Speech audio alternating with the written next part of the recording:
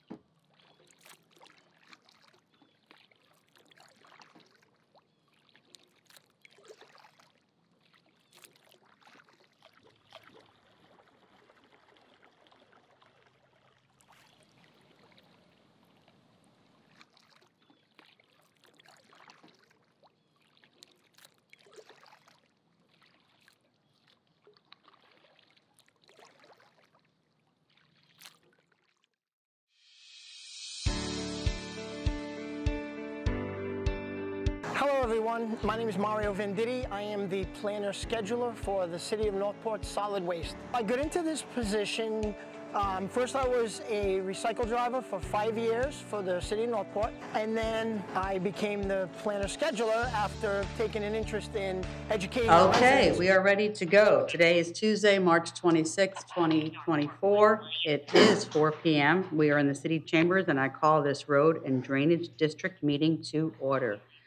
Uh, Commissioners present are Commissioner McDowell, Commissioner Langdon, myself, Mayor White, Vice Mayor Stokes, and uh, absent is Commissioner Emrich. We're still wishing him uh, for a speedy recovery. Uh, But there is a quorum present for this meeting. Also present are City Manager Fletcher, City Attorney Slayton, City Clerk Faust, Board Specialist Bodmer. I thought I saw the police chief in the house. I don't now.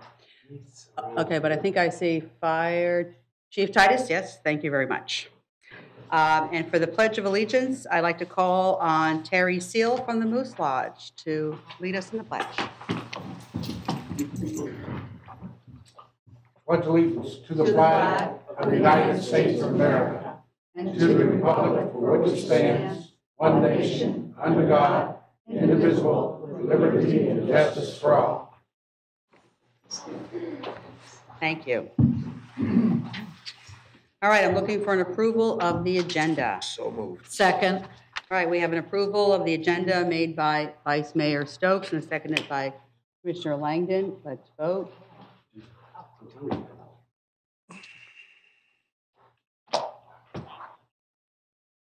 And that passes four to zero. On to public comment. There is none. All right, consent agenda. City manager, has anyone pulled anything from the consent agenda? No, Madam Mayor. Okay, so I'm looking for a motion to approve the items in the, Um, I'll make a motion, Mayor. I move to approve the items in the consent agenda as presented. Second. all right, we have a motion to approve the items in the consent agenda as presented by Commissioner Langdon and seconded by Vice Mayor Stokes. If there's nothing else, let's vote.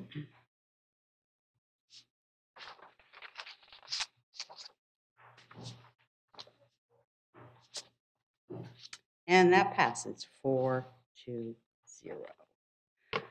All right, moving on to item four, public hearings. Uh, City Clerk, could you read this by title only, resolution? Resolution number 2024-R-11, a resolution of the City Commission of the City of North Port, Florida, as the governing body of the North Port Road and Drainage District, amending the North Port Road and Drainage District budget for fiscal year 2023-2024 for road rehabilitation in the amount of $2,200,000, providing for findings, providing for posting, providing for conflicts, providing for severability, and providing an effective date. All right, thank you. City Manager, this is your item. Thank you, Madam Mayor. On March the 5th of this year, the commission approved resolution number 2024-R-10, allowing $2.2 million to be transferred from the road reconstruction bond debt service fund to a five balance to be used for additional road rehabilitation for streets approved in the original bond. This budget amendment will allow the funds to be budgeted in the road and drainage fund for this purpose. We're happy to answer any questions you may have. All right. Do we have any questions from? Any? Do we have any public comment? All right. So I close this portion of the public hearing, and I'm looking for a motion. I'll make it. Okay, Move to adopt resolution number 2024-R-11 as presented. All right. I have a motion made by the vice mayor to adopt resolution number 2024-R-11 as presented, and that was seconded by Commissioner McDowell. If there's nothing else, let's vote.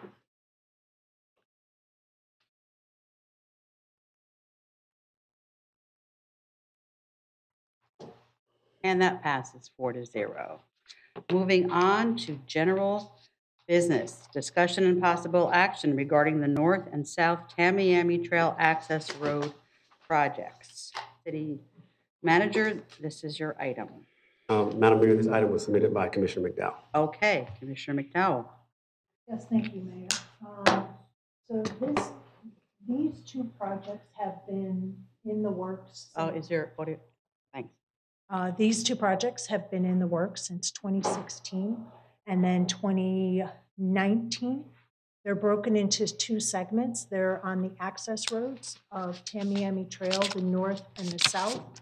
The south one is the oldest of the two projects. Both of the projects have been completely designed, and in the backup materials is the design plans for the project. The- These projects have been not fully funded. There was some money put in and then COVID hit. Money had to get reallocated. Um, I had a few citizens, businesses along the access roads reach out to me and say, hey, we've got a really, real big problem with the parking. Um, and they're wondering what the city is going to possibly do or assist them with to alleviate those parking concerns. Just for everybody's information, the parking that was done right there by the library, that's on the city's right-of-way, was not a city project. That was a county project that the city granted them an easement for. So the city did not expend any funds for that. We just said, yes, you can put the parking there. Um, So at this time, the, the businesses are wondering how we are going to proceed with the project plans. Um, There is money in surtax for, but it's not until 2035 to 2039, so the last third of that surtax funding. And it doesn't fully cover all of the costs. So back in 2020, um, the commission had a discussion about possibly figuring out some really ingenious ways of paying for this parking. And one of the things that was discussed, albeit a very short discussion, was possibly seeing if the businesses were amenable to helping with the costs, possibly having an assessment on their properties because they are going to get the benefit. It would only be to those businesses.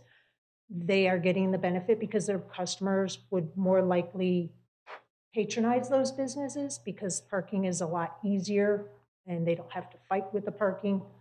Um, And I just wanted to see what the commission thinks. I, you know, do we want to jumpstart it? Do we want to proceed? Do we want to just wait for surtax? Um, One of the things that is also in the backup materials is the legislative text from the road and drainage meeting from July 28th. And it kind of outlines some of the processes if the commission wants to start the conversation with these businesses and send a letter out saying, hey, would you be amenable to adding that assessment? Um, So we would probably have to get legal involved to see how that all looks. But before we do any of that, I wanted to bring it to you. And I do have some members of the Moose that are here. And I'm sorry, sir, I don't, the gentleman in the purple shirt, are you with the Moose also? Okay, thank you. Um, So take it away if anybody has any questions, ideas, suggestions on how we can get this jump-started, or is this something we're going to just have to wait for surtax for? All right, uh, Commissioner Langdon.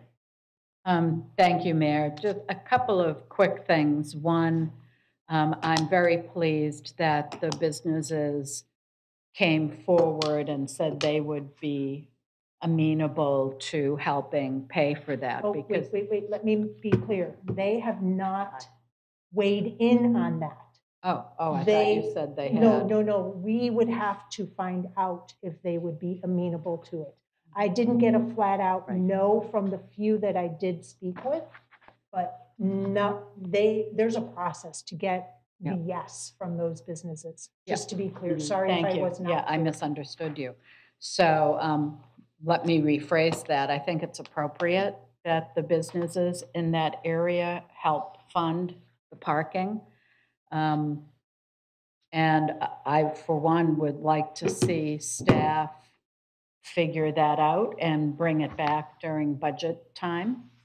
Because at that time, perhaps we can either take that allocation off the rolls or reduce the allocation that's there and perhaps pull it in. Um, I'm not comfortable waiting till 35. I mean, it's just, yeah, something needs to be done in that area way before then. So um, that's sort of what I'm thinking. I'd like staff to figure it out and uh, bring it back during budget conversations. All right, Vice Mayor. How much money are we talking about to actually complete both the north and south side? We know that number? The numbers that we talked about were so long ago that I wouldn't even be comfortable saying what that price tag would Thought I remember it being under a million, but I can't recall. I- I remember a CI, I think it was a CIP sheet on it, but does anybody know? what The kind of work? surtax has nine hundred and twenty-five thousand dollars for twenty thirty-five to twenty thirty-nine, but it does say that it's short one point four million A lot dollars. of money. So it's in excess of two million dollars, but that's also figures of construction that are well over three years old. And we all know what's happened in the past three years with construction costs. I mean, my take is, I mean, there's definitely a need. Uh, uh, There's no doubt there's a need. Uh, I mean, cars are all over the place and with, uh, especially with Anna Maria opening up and some of the other things that are happening on both sides of 41 there. It's, it's not going to get better. It's going to get worse. I really don't know what to make of the idea of, of a financial collaboration. I don't know that we've done it mm-hmm. before and it does, I mean, yeah, I mean, on the one side, from the city standpoint, that's wonderful. It helps bridge the gap and helps move this project. On the other side, it's like businesses pay their taxes as, as do, you know, the owners of these businesses who live in the city and, you know, now they would be asked to help pay for their own parking on city property. I assume. So I don't know about that one. I'm kind of scratching my head a little, but it is, it is a budget item, but boy, this should not be kicked down the road. I mean, I've had the same businesses come to me over this past year since I got on the commission. I've had numerous conversations, some of these gentlemen as well as other businesses up and down. This project, we need to find a way to get done without having to wait five or more years or 10 years. It's absurd. Um, It really needs to be done. And these are some great, solid businesses that support our city and, and, and are really, you know, uh, supporters of our city. So I, I don't know what to make of it. I mean, I'd love to know, one, what it really is going to cost to do it and, and to look at whether or not there's money in this budget to do it. I mean, it's more of a budget item, but you know, we get into the budget and then like, there's a million other things and it just keeps getting kicked to the curb. That's the problem. If, if we are gonna make it a priority, we should make it a priority. I'd like to make it a priority.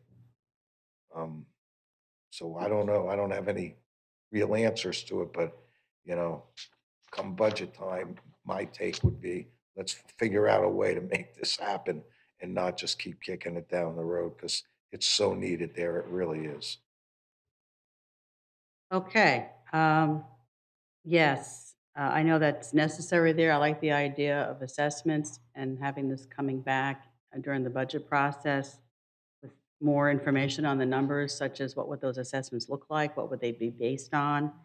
Um, I have to tell you, I'm not really a big fan of shuffling surtax money for this. We have big, big, big projects in the works, and um, I know that the, the businesses need this, but if it was to be paid with assessments, that would be uh, good, but this would come back, have to come back to us with more information.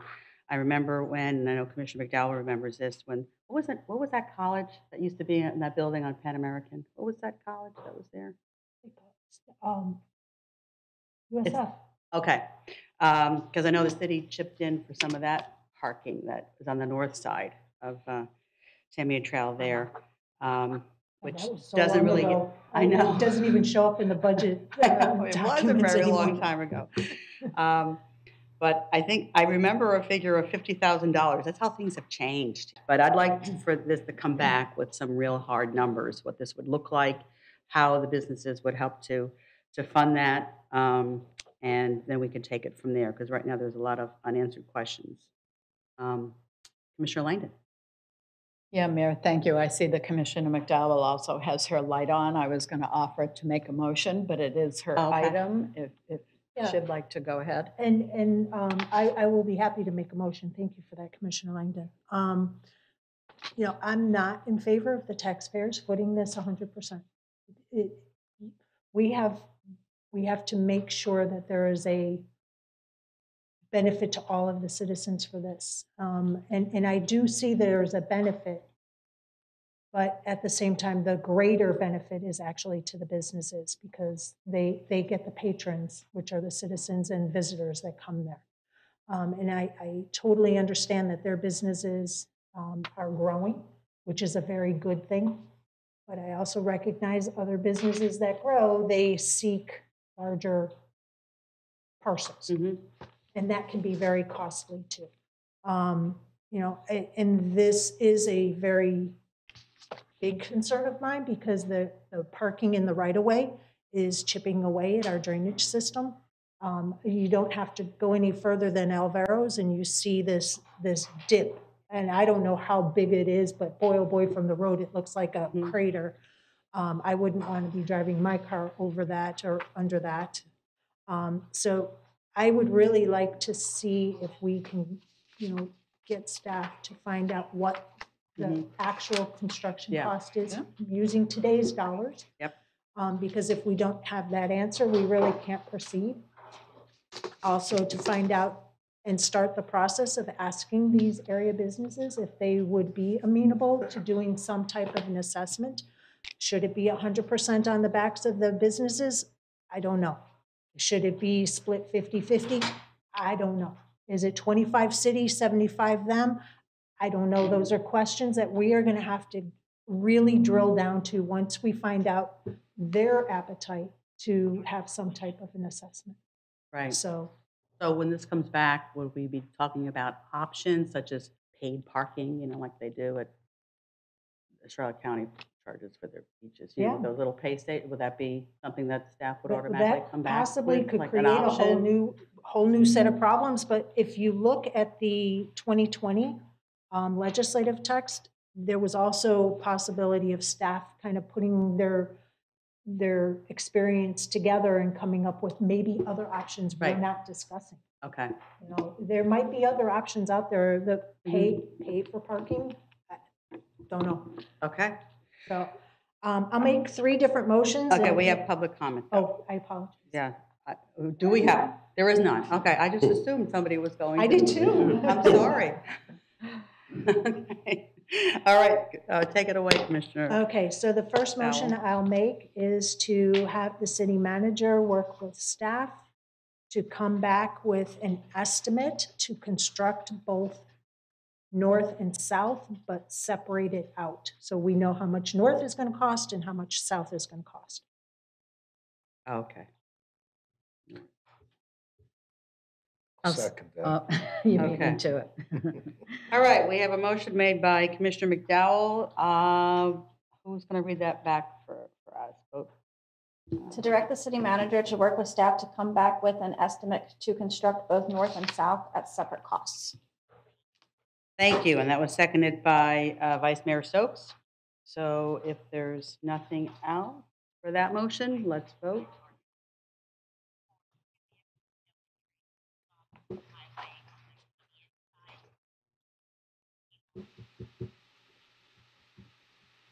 The motion number one passes four to zero.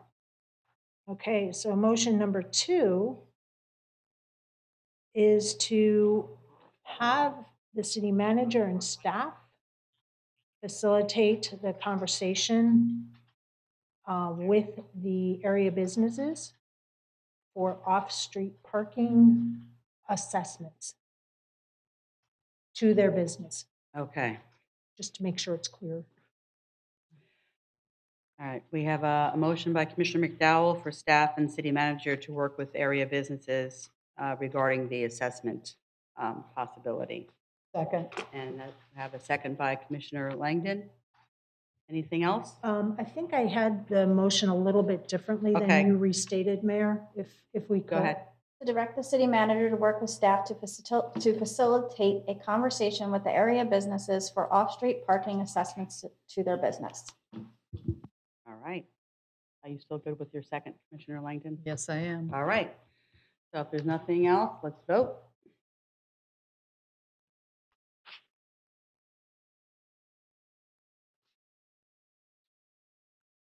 And that passes four to zero. And did you say you had a third one, Commissioner McDowell? Um, The fourth motion is to have the city manager uh, work with staff to come up with potential other options, including um, paid parking meters as, including paid parking meters and other viable solutions to this issue. Okay. All right, we have a motion made by Commissioner McDowell. City Clerk, could you read that back? To direct the city manager to work with staff to come up with potential other options to include paid parking meters and other viable solutions to the parking issue. Seconded only for conversation purposes. Um, Okay. Can I speak to it? Yeah, we have a second by Vice Mayor. Um, Commissioner McDowell brings up an issue that is not just specific to this particular, these particular two locations in the city. As we grow, this is an issue in a number of places, the Well, way I see it. this is all we're discussing right No, now. But, but what I'm saying is that perhaps it might make sense to make this a topic for another day on a greater scale. And so while I seconded the motion, you know, I- personally, I, I'm, I'm not so sure that, that staff's time would be best suited, focused on this, these this particular ask, when really I think it, it- it should be part of a larger conversation that we should have city, you know, regarding citywide type parking issues like this. So, Uh, Commissioner Langdon? Yeah, it's interesting you bring that up, Vice Mayor, because I've been having conversations with city manager along those same lines. Um, And it's in all of our more commercial areas as we look at our um, rezoning proposal. We're proposing mixed use in a lot of areas. Um, There will be a need for parking. So I also would like to see a plan citywide for parking. Um, I, I don't want to put any date on it or any pressure on it, but um, I think we are going to have to tackle that from a planning point of view. So uh, I get it. I appreciate Commissioner McDowell bringing it up because it is an issue, but not just for this, but for, Mhm. Yep. Commissioner McDowell? Yeah, I hear what you're saying, um, but because this one already has the design plans in place, I would kind of like to keep it as this project for the north and south. And if you would like to make a separate motion to give direction to city manager for citywide parking constraints, um, I would be willing to second it. But part of the problem is developers come forward and say, hey, can we get reduced parking? And commission approves it. So we're, we're creating the problem too. So I, I'm, if, if my motion can stand as it is, I, I would be grateful. Um, and then create a second motion for citywide parking issues. Yes, I, I like to see this move forward. This is a very specific uh, item that's been in the works, as Commissioner said, for a long time. We already have the design for it, um, and we already know what we're talking about. With other rezoning situations, we're not really sure what, how that's going to look when those areas get rezoned. Um, But this one, we already know what the problem is. It's, it's there, and it's been there for uh, quite some time. So uh, It could also be considered like a pilot. Let's see, let's get something in place for this and see how it works out. If we go forward with one of these suggestions that staff makes and we find, gee, that's not really working, obviously, we don't want to implement it throughout the whole city if it didn't work for this little parcel. So um, But I do understand that uh, ultimately, Mr. Langdon, we have other Did things. you already make your comment or no? I have not. Oh, Okay. go So new comment. Okay, new comment. Um, Certainly with um, my, my suggestion that we take a look at the bigger issue, it was not my intention to delay the topic on the Okay. table. I think we Okay. need to move forward with that. Right. Um, And, and I'd be happy to make a motion about the larger parking issue. All right, Vice Mayor? That, that, you echoed my sentiments. I absolutely, on the first two motions, I'm totally supportive of moving forward. as what, my concern is taking staff's time to look at a myriad of other options, whether it be paid parking, a variety of things. But as far as, as assessing or whether the, the, the businesses in that area are willing to do that, what the actual cost is, we need to move forward on it. This project's taken forever. Mhm. It's not getting done. It needs to get done. But as far as looking at creative ways to handle a parking issue, that's just such a bigger topic. That's, that's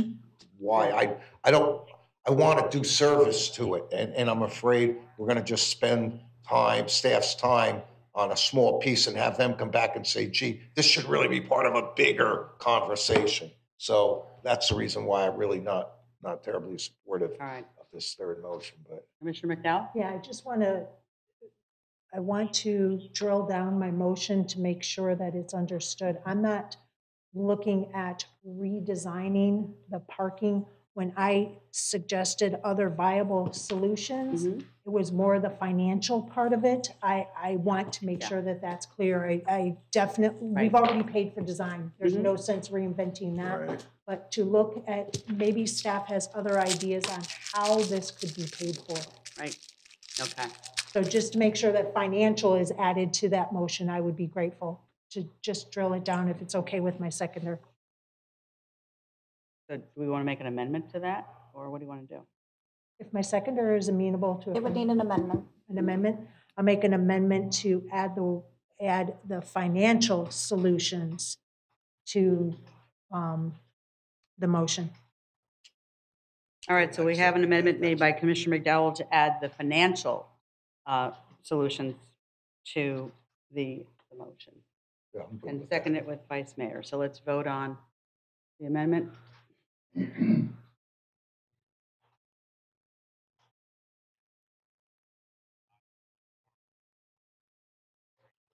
And that passes four to zero. And are we good to vote on the the main motion Amended? as amended?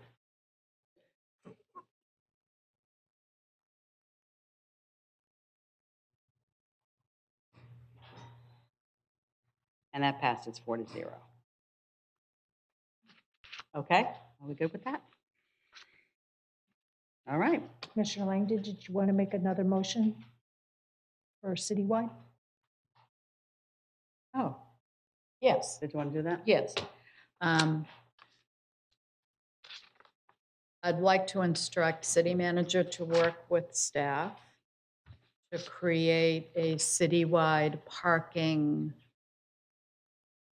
plan um, with funding options, date TBD.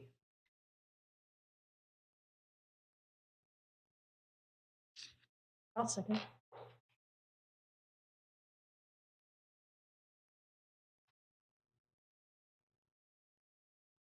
Um,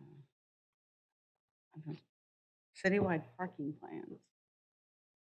I don't, like, specific, specifically for what? Like certain other areas or just, I don't understand how this would apply if we don't know what parking areas we're talking about. Well, where there are businesses. So um, the thought would be particularly to take a look in light of our rezoning plan, to take a look um, at parking along our commercial corridors and and mixed-use corridors. Certainly, we don't need parking in the middle of a neighborhood. But wherever we're going to have businesses, we should have a plan on, on how we're going to accommodate those businesses.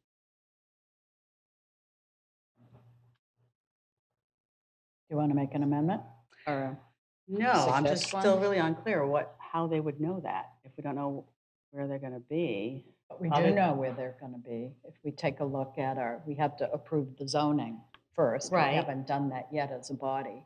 I'm just saying a very specific example, like this is very specific where they are. We all can relate to that, but I don't understand. Well, I think part of the plan is to identify where we need that parking Well, um, in light of the commercial industrial build out the of the the way the city. motion's phrased is, is, is, is difficult for me. I mean, I mean, we have parking requirements for all our businesses. But as a city that's growing and rezoning, perhaps it would be worth our while for staff to look at a city strategy for public parking that would benefit primarily interaction with businesses, but also to a degree residentially and, and, and more, more on that vein as opposed to, you know, something targeted like this previous situation, you know, a, a citywide strategy. I mean, is it time for this city to look at parking garages? Is it time to look at paid parking lots? Is it time to look at like what you got in St. Armand's where you can park in any spots and, and pay to park? Um, I Oh, don't know, but that's in addition to our basic requirements for parking. I mean, we, businesses need to provide parking, but, you know, let's face it, as we grow, it, it, it it is an issue and, and people have already raised the issue, you know? I, have a hard time finding a spot to park. It's difficult. So, I mean, maybe that's the idea is that staff could look at it. I mean, I mean, quite frankly, in an attempt to get the, I- I'm, I'm stretching this conversation a little, but we are working so hard to get this ULDC done. I would really like to see them just focus all their attention on getting that damn thing completed. Right. You know, it just keeps getting pushed off and pushed off and it needs to get done. So, I mean, maybe this is a motion that should wait. I don't know. I mean, certainly you need to look at it, but the same people who have to get the ULDC done are the people who are gonna take a look at this thing. And Right. Commissioner McDowell, can you shed any light on this? Yeah, um, I, after hearing the additional conversation, I know I was the seconder, but I, I was under the impression that there were targeted areas that Commissioner Stokes and Commissioner Langdon are aware of that are unrelated to the rezoning of the city. So, um, if there are no specific targeted areas, Right. then I think this, at this point in time, is premature, and at at this point, I cannot support the motion, even though I was the seconder. But I wanted to explain why, because the Mhm. conversation I thought was more targeted. Yeah. So, All right, thanks for that, that, and I can, that's where I was coming from as well, that we have park- parking problems from businesses that were established along the access road, because mm-hmm. there was never really any parking other than those little tiny areas. So that's why I was floundering, like, where else would we have that But I, again, I think with the rezoning, perhaps it is premature, we should get the ULDC done. But once that is done, I understand we have requirements for parking. But as we really step back and look at that, having 25 businesses in a row with individual parking, the, the flow of that area might be better served with sort of a, a group parking area and a walkable area um, than to have each individual small business have their six or eight.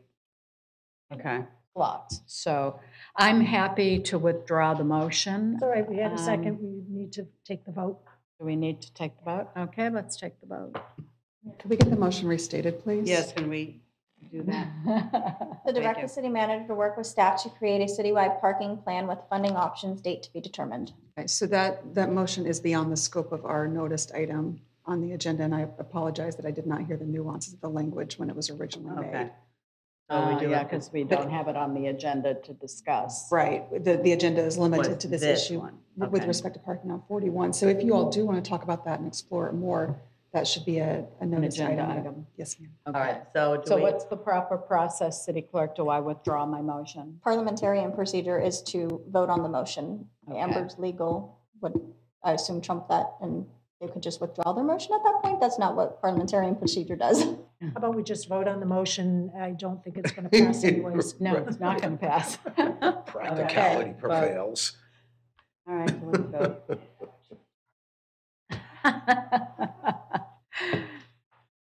She said you do or you don't. I do. Well, unanimously. there we go. So we've got it. Ever remember a, f- a four to zero failed? Okay. Or a five to zero. That was a great motion I made, for sure. No, it- It's, it's definitely something that needs to happen, mm, Yeah. but not just at this time. All right, so the motion failed four to zero, just for the record. Okay, do we have any public comment? There is none. So without further ado, I'm going to adjourn this meeting at 4:35.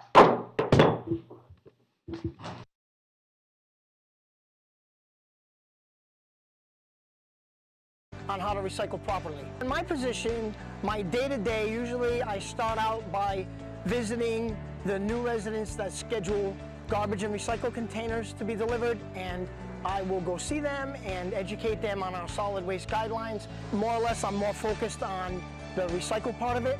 After that, I will drive around the city and I actually inspect recycle containers manually for contamination and then I will take calls from drivers if there's any issues with uh, repeat garbage in the recycle, and I will go educate those people as well. What I love most about the city of North Port is their residents are from all over the world, and I get to learn about the solid waste guidelines, where they come from, as well as educate them on the city of North Port solid waste guidelines and how to recycle properly.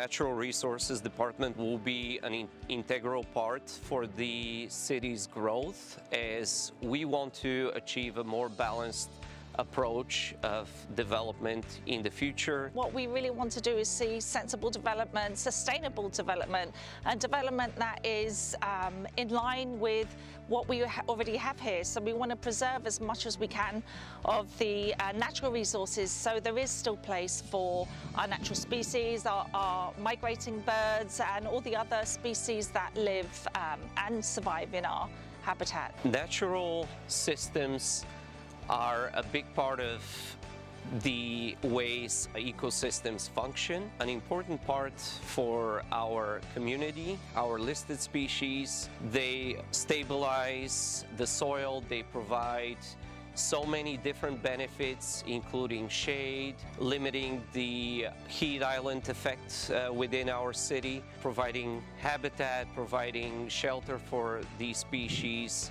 and just uh, also for our aesthetic enjoyment. Well, as an arborist, uh, a lot of what I do is making sure that development conforms to the tree protection code. So one thing we already have in place since April of 2022 is a tree protection code, which is quite robust in the city of North Port that was adopted by commission and the city through also a lot of community involvement. And so we're very happy to have that tree protection code. So what I, a lot of what I do is making sure that development, either residential or commercial, conforms to that code. We are such a passionate team. We come from varied backgrounds. Uh, I think between us we have over 100 years of experience and we are every day raring to go and you know we know our work is cut out here and we're happy to uh, take the challenge. Through the division and community involvement and leadership in the city, we really hope to make great strides in protecting what we have here and finding that balance with development and environmental stewardship. I am excited to be a part of this team and I'm really seeking and looking forward to the opportunities for us to be able to make a difference.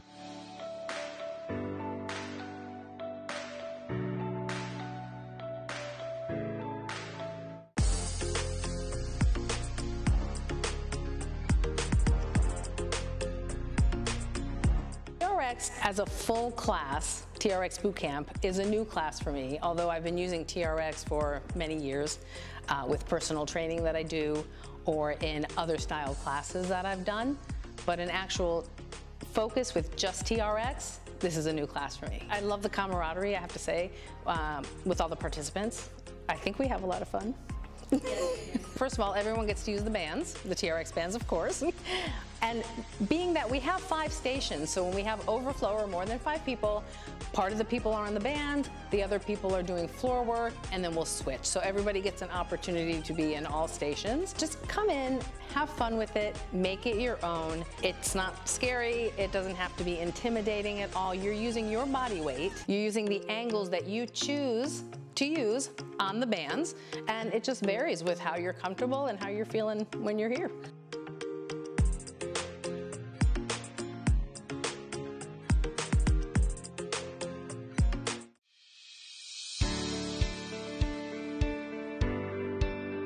Started with Charlotte County Utilities as a meter reader in 2004.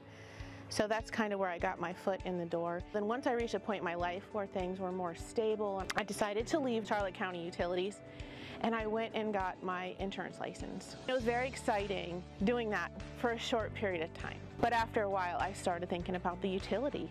It was in my heart. At this point, I had almost 12, just two months shy of 12 years in. And so I realized during that time, my heart was in utilities. And so I started looking around again. I seen an opening here to be a C&D tech. So I applied and I got in. Typically I get here at seven in the morning. I get my list of, you know, if I can get to this, this is what I need to do. And I get in my truck. If, if I need any supplies, parts, tools based off of the work I was given that morning, I'll pick that up here at our shop. And then I head out and um, my goal for the day is to get as much work as that was assigned to me done as possible.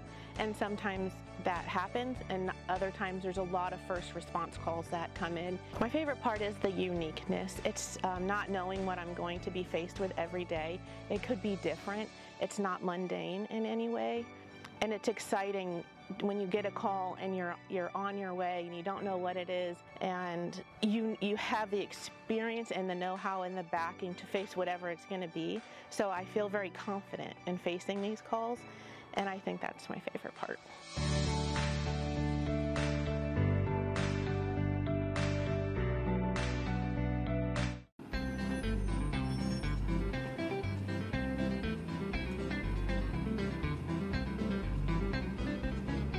Lamasson, Waste Manager, of City of North Port. Uh, here today with Mario Vendetti, planner schedule for the City of North Port, Solid Waste Division. We're going to talk about bulk pickups today, uh, how to schedule bulk pickups, what should go out and what should not go out to the curb, where to place the items, and then what happens if you have more than what's allotted for you for the year for a bulk pickup. So Mario, I know we call 941-240-8050, talk to our customer service reps. That's correct. About how to schedule a bulk pickup. How else can we do that? Can also go on our website, northportfl.gov, click on solid waste, and fill out a bulk request form. Excellent, excellent. So Mario, what about uh, if a person wants to place it out, what should they place out? What's the right thing, what's the wrong thing? Basically, Frank, anything that doesn't fit in the container that's garbage is going to go curbside. We're going to stay off driveways. What's not accepted is tires, chemicals, stuff like that. You can put yard waste out, that's considered bulk, but just make sure it's separate from the garbage pile. Yard waste is a separate pickup. So what happens if I use all my uh, bulk pickups already? Good question.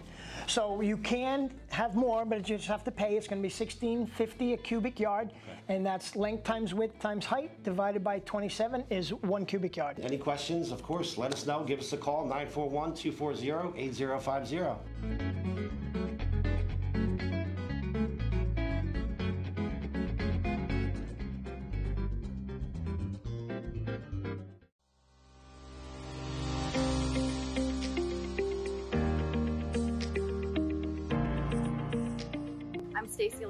I'm the emergency manager for the city of North Port, and I'm going to discuss first responders after the storm. So it may take a while for first responders to get to after the storm, and that's due to a variety of reasons.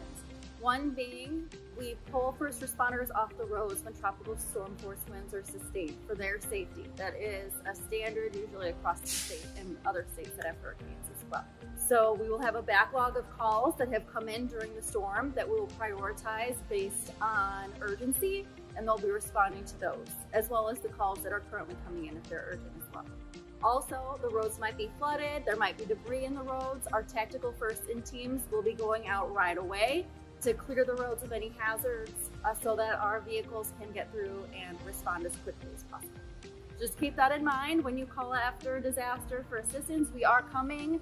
You are very important to us. We care about our residents and their safety, but it may just take a while for us to get to you depending on the conditions of the roads.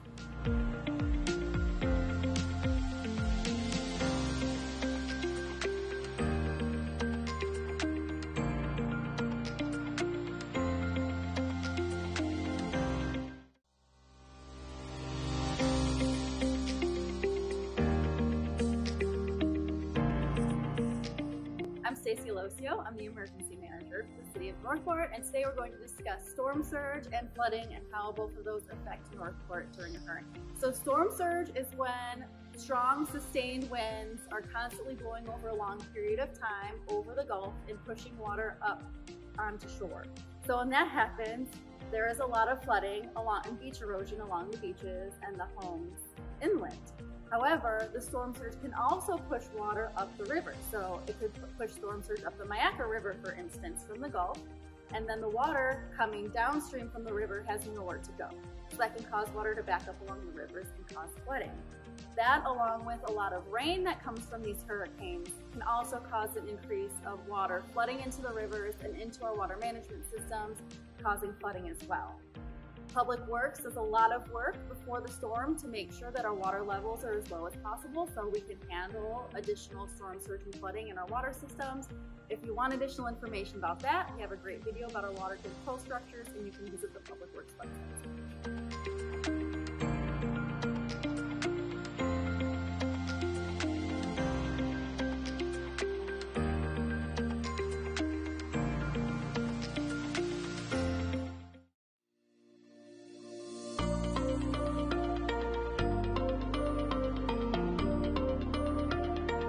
Everyone, my name is Devon Poulis. I'm the aquatics manager within our Parks and Recreation Department.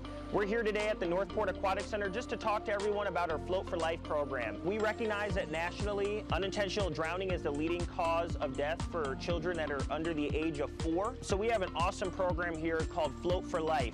Float for Life is a program that we teach that starts with the fundamentals of floating before we actually learn swimming. This program is targeted for those children at ages six months to four, and what we want them to do is we want them to get comfortable in the water, and if they accidentally fall in the water or find themselves in a trouble situation, they can roll over their back and float. When we launched this program, uh, we were the only one in the state that was actually teaching this milestone program. So I want to give a shout out to our North Port Rotary as well, who sponsored this program here at the Aquatic Center and actually paid for a trainer to come in all the way from Nebraska where this program originates there. We practice and we go through what's called milestones here. So as soon as the kids progress through the milestones, we can continue moving on through them. And at the end of it, it's a pretty awesome program when they graduate. It's one of the final things that they do is they jump in fully clothed and they have to turn over, roll over on their back, and actually be able to scream for help at that point in time. It's just an awesome segment program that leads right into our Learn to Swim program, so that way we can make sure we're keeping our kids safe in, on, and around the water.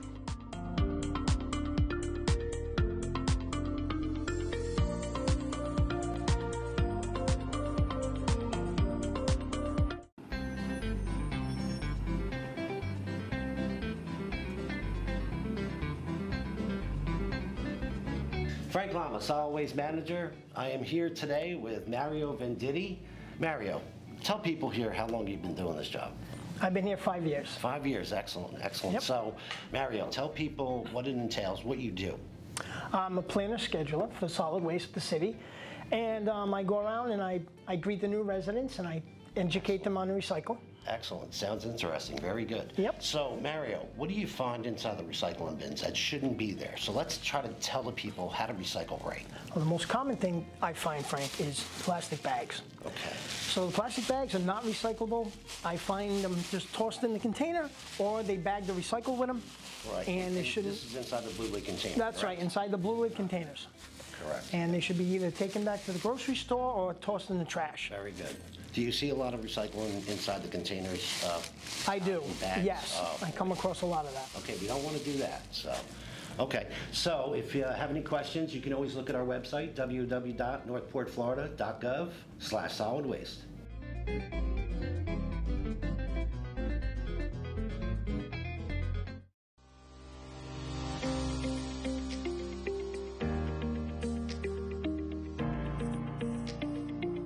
I'm Stacey Losio. I'm the Emergency Management Coordinator for the City of North Port, and we're going to talk about why it's important to have a Go Kit and what should go inside of it. It's important to have a Go Bag because if you wait last minute to pack, there are definitely going to be items that you're going to forget in the scramble to get everything put together. So it's important to have your documents such as IDs, insurance paperwork, titles for your home and your vehicles and your boats, just so that if your home does flood or your roof blows off, all those documents are with you and they're safe because you don't want to end up losing those and having to try to replace those later on. Also in your go bag, you should think about what medications you might need to have ahead of time. If we're under a state of emergency, you are able to refill your prescriptions ahead of time, even if they're not due yet.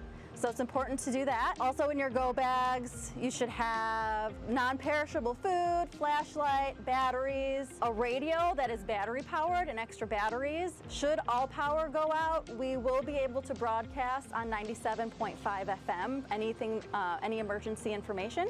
So be sure to have your battery powered radio ready and tuned in to 97.5.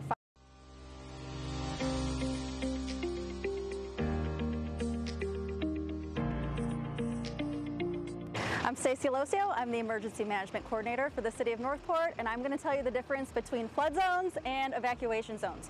Or in Sarasota County, we call them evacuation levels. So flood zones were generated by FEMA, and they're used to determine the likelihood that you will flood, and they're used to determine if you need flood insurance if you have a mortgage on your home. Now, the evacuation zones are based on storm surge data that comes from the National Hurricane Center, and they use topography as well as hurricane vulnerability for storm surge for the area. And we use those to determine who needs to evacuate during a storm. So it's important to understand that there is a difference. If you're interested in finding out what evacuation zone you are in, which we highly recommend you do, uh, you can use your search engine of choice and type in Sarasota County Know Your Level, and that'll take you to the Sarasota County government website.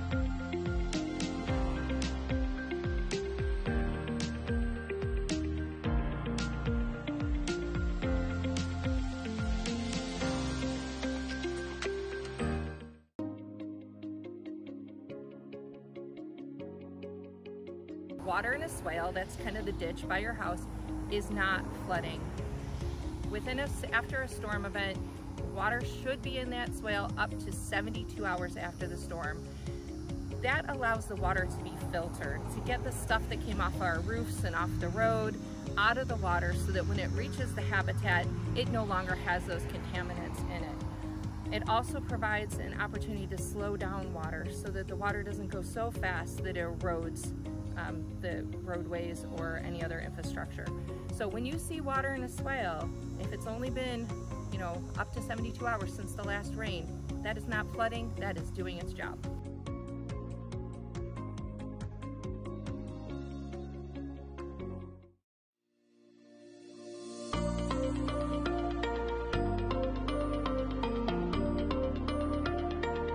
My name is Devon Poulis. I'm the Aquatics Facilities Manager with the City of North Port, and today we're going to be talking with you guys about our free swim evaluation. It's important that we do these swim evaluations so as uh, kids are registering for swim programs, they get placed in the right class. What we're looking at when we're doing the swim evaluation is every swim level has what's called exit skill assessments. So what we do is we have your child get in the water and we'll go through a series of different movements. Can you go under the water? Uh, can you show us your front crawl? Can you show us back crawl? Can you show us elementary backstroke? Different strokes within there. And what we're doing is we're trying to see where your child tests to before it becomes a challenge for them at that point. Once we assess that, then we'll let you know and you can go ahead and sign your child up for that appropriate level there. It's important that we have these so that way when we're teaching a level one, we don't have kids that should be potentially in a level two and a level one class because they're not learning the appropriate skills that they need at that point in time. Right now, uh, when we're in full summer operations, uh, we ask that people come between 8 and 10 to do the swim evaluations, just as you can hear the water splashing in the background, slides and everything like that. But any day of the week uh, that we're open, you can come in at any point in time and ask for a swim evaluation. We always have a certified swim instructor on site that can uh, have your child take a swim swim assessment.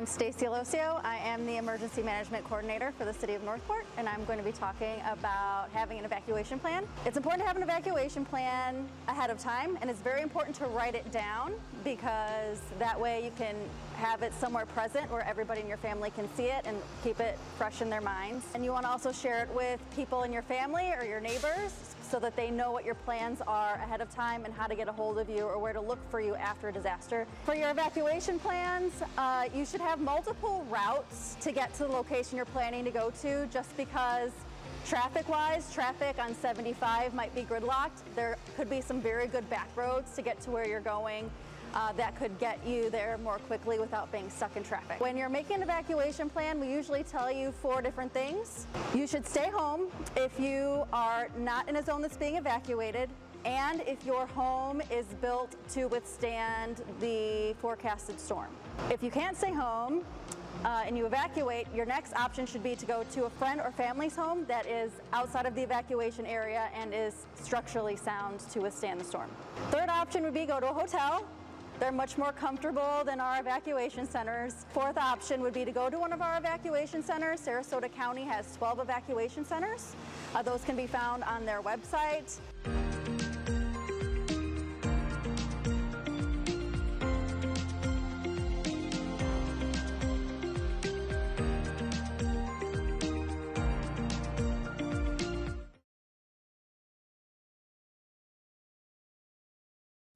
Why do we flood? During significant rain events, North Port nearly always floods in certain areas of the city. This is thanks to the locally named Myakkahatchee Creek, also known as the Big Slough Watershed.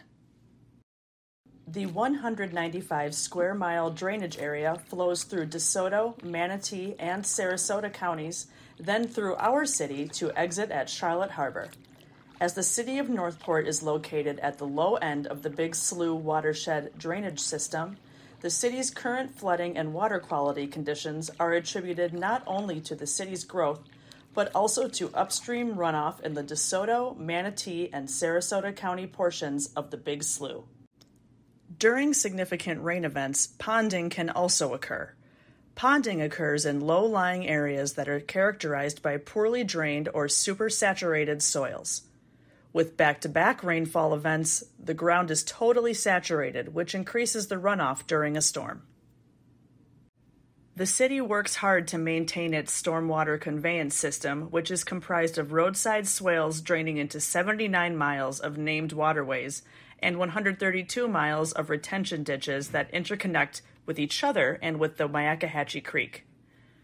There are 64 water control structures, of which 23 are gated water control structures, 5 are gated drop structures, 28 are fixed weir structures, and 8 are drop structures. The control elevations of these structures are designed so that water is retained in the waterways in a step down elevation system configuration, this means the water levels in the waterway segments between structures progressively decrease in elevation from north to south and from east to west.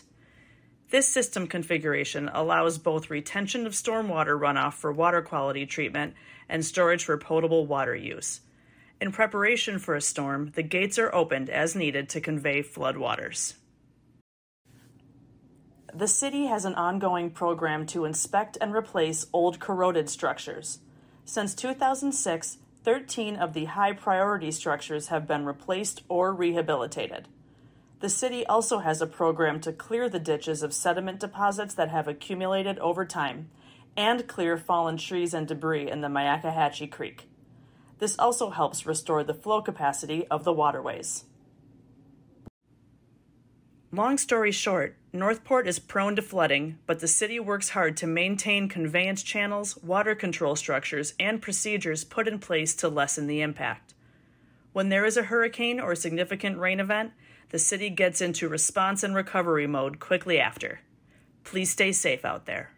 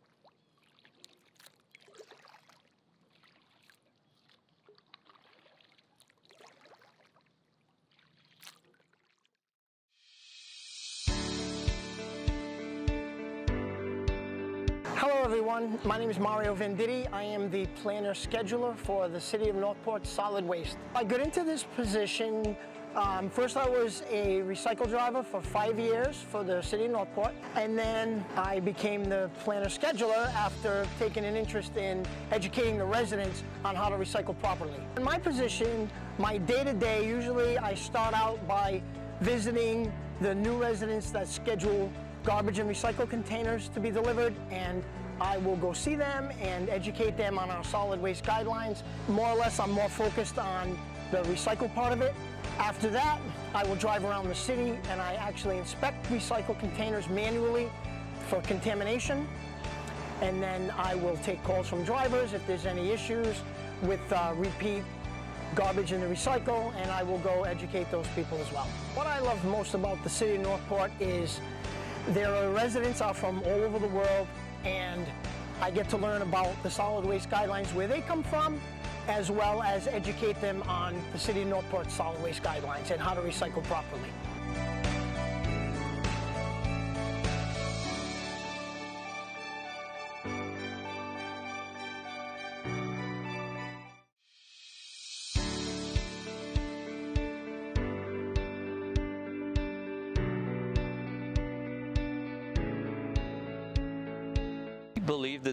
Natural Resources Department will be an in integral part for the city's growth as we want to achieve a more balanced approach of development in the future. What we really want to do is see sensible development, sustainable development, and development that is um, in line with what we ha already have here. So we want to preserve as much as we can of the uh, natural resources so there is still place for our natural species, our, our migrating birds, and all the other species that live um, and survive in our habitat. Natural systems are a big part of the ways ecosystems function, an important part for our community, our listed species. They stabilize the soil, they provide so many different benefits, including shade, limiting the heat island effect uh, within our city, providing habitat, providing shelter for these species,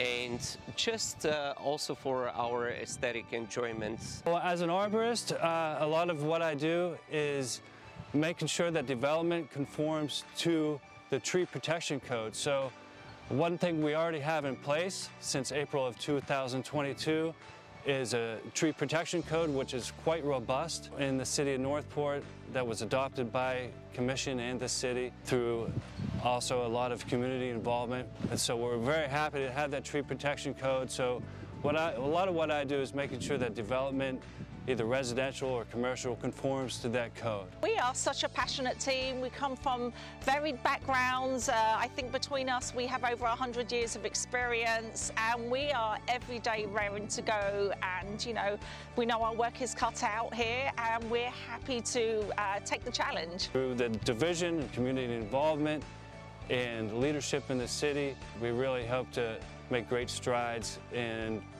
protecting what we have here and finding that balance with development and environmental stewardship. I am excited to be a part of this team and I'm really seeking and looking forward to the opportunities for us to be able to make a difference.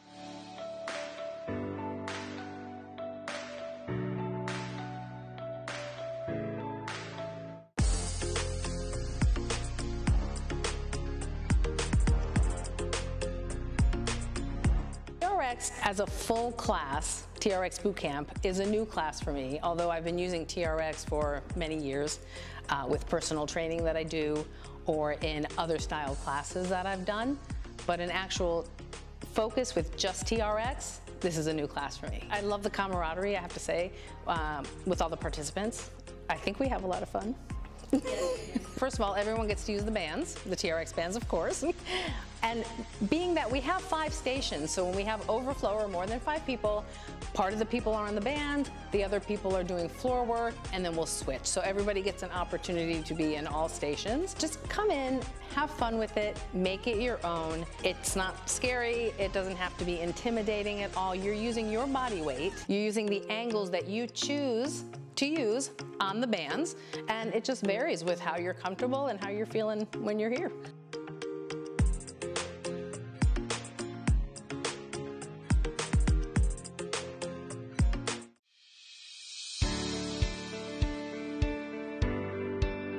Started with Charlotte County Utilities as a meter reader in 2004.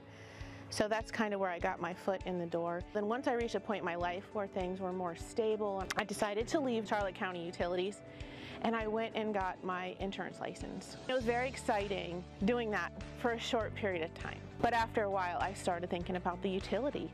It was in my heart. At this point, I had almost 12, just two months shy of 12 years in. And so I realized during that time, my heart was in utilities.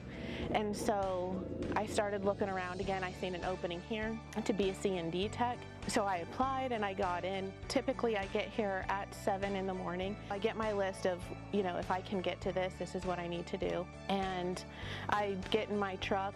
If, if I need any supplies, parts, tools based off of the work I was given that morning, I'll pick that up here at our shop. And then I head out and um, my goal for the day is just to get as much work as that was assigned to me done as possible. And sometimes that happens, and other times there's a lot of first response calls that come in. My favorite part is the uniqueness. It's um, not knowing what I'm going to be faced with every day. It could be different. It's not mundane in any way. And it's exciting when you get a call and you're you're on your way and you don't know what it is and you you have the experience and the know-how and the backing to face whatever it's going to be. So I feel very confident in facing these calls and I think that's my favorite part.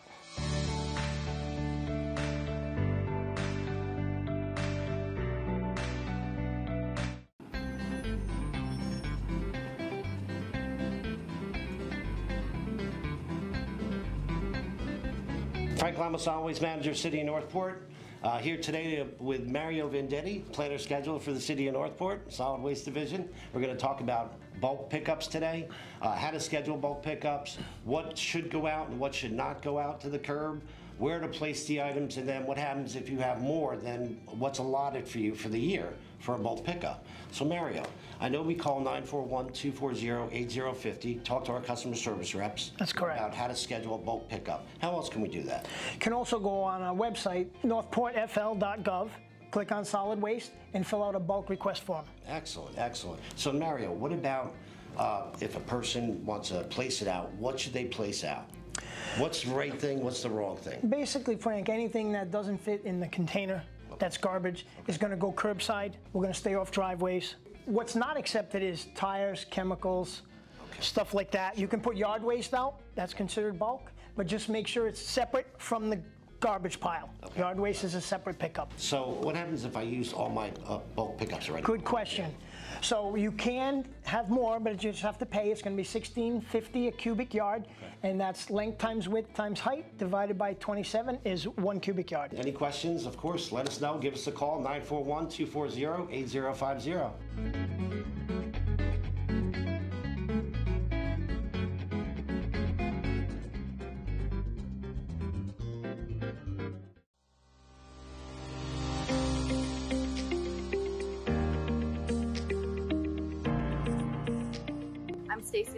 I'm the emergency manager for the city of North Port, and I'm going to discuss first responders after the storm. So it may take a while for first responders to get to after the storm, and that's due to a variety of reasons. One being, we pull first responders off the roads when tropical storm force winds are sustained for their safety. That is a standard usually across the state and other states that have hurricanes as well. So we will have a backlog of calls that have come in during the storm that we will prioritize based on urgency and they'll be responding to those, as well as the calls that are currently coming in if they're urgent as well. Also, the roads might be flooded, there might be debris in the roads. Our tactical first in teams will be going out right away to clear the roads of any hazards uh, so that our vehicles can get through and respond as quickly as possible. Just keep that in mind when you call after a disaster for assistance. We are coming. You are very important to us. We care about our residents and their safety, but it may just take a while for us to get to you depending on the conditions of the roads.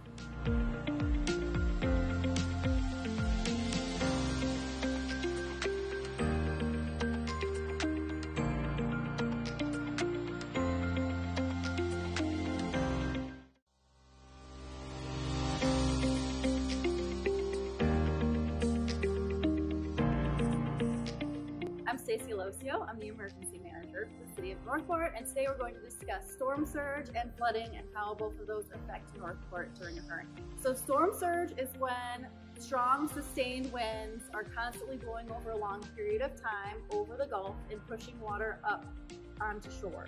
So, when that happens, there is a lot of flooding along and beach erosion along the beaches and the homes inland. However, the storm surge can also push water up the river. So it could push storm surge up the Myakka River, for instance, from the Gulf, and then the water coming downstream from the river has nowhere to go. So that can cause water to back up along the rivers and cause flooding. That, along with a lot of rain that comes from these hurricanes, can also cause an increase of water flooding into the rivers and into our water management systems, causing flooding as well. Public Works does a lot of work before the storm to make sure that our water levels are as low as possible so we can handle additional storm surge and flooding in our water systems. If you want additional information about that, we have a great video about our water control structures and you can visit the Public Works website.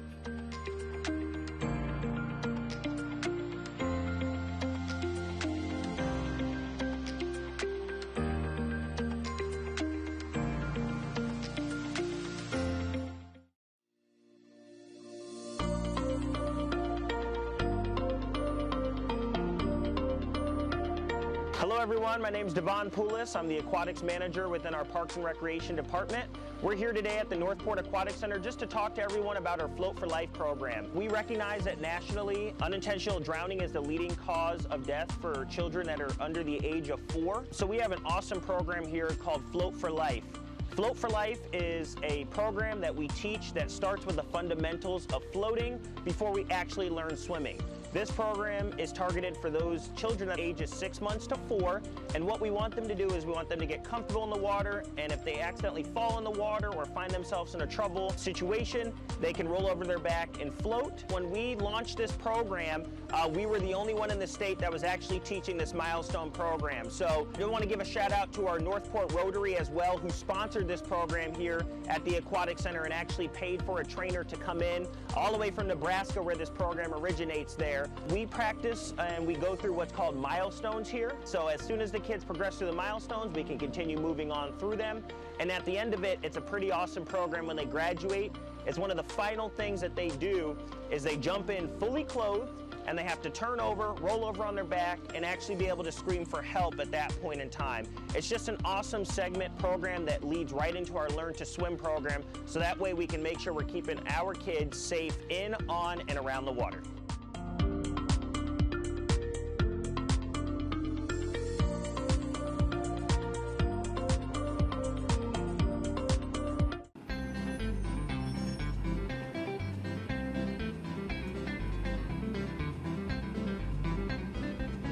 Frank Lama, Solid Waste Manager. I am here today with Mario Venditti. Mario, tell people here how long you've been doing this job. I've been here five years. Five years, excellent, excellent. Yep. So, Mario, tell people what it entails, what you do. I'm a planner scheduler for solid waste of the city. And um, I go around and I, I greet the new residents and I educate them on the recycle. Excellent, sounds interesting, very good. Yep. So, Mario, what do you find inside the recycling bins that shouldn't be there? So let's try to tell the people how to recycle right. Well, the most common thing I find, Frank, is plastic bags. Okay. So the plastic bags are not recyclable. I find them just tossed in the container or they bag the recycle with them. Right. And they shouldn't. This is inside the blue lid container. That's correct? right, inside the blue lid containers. Correct. And they should be either taken back to the grocery store or tossed in the trash. Very good. Do you see a lot of recycling inside the containers? uh, I do, bags? yes. Oh, I come across a lot of that. Okay, we don't want to do that, so. Okay, so if you have any questions, you can always look at our website, www.northportflorida.gov slash solid waste.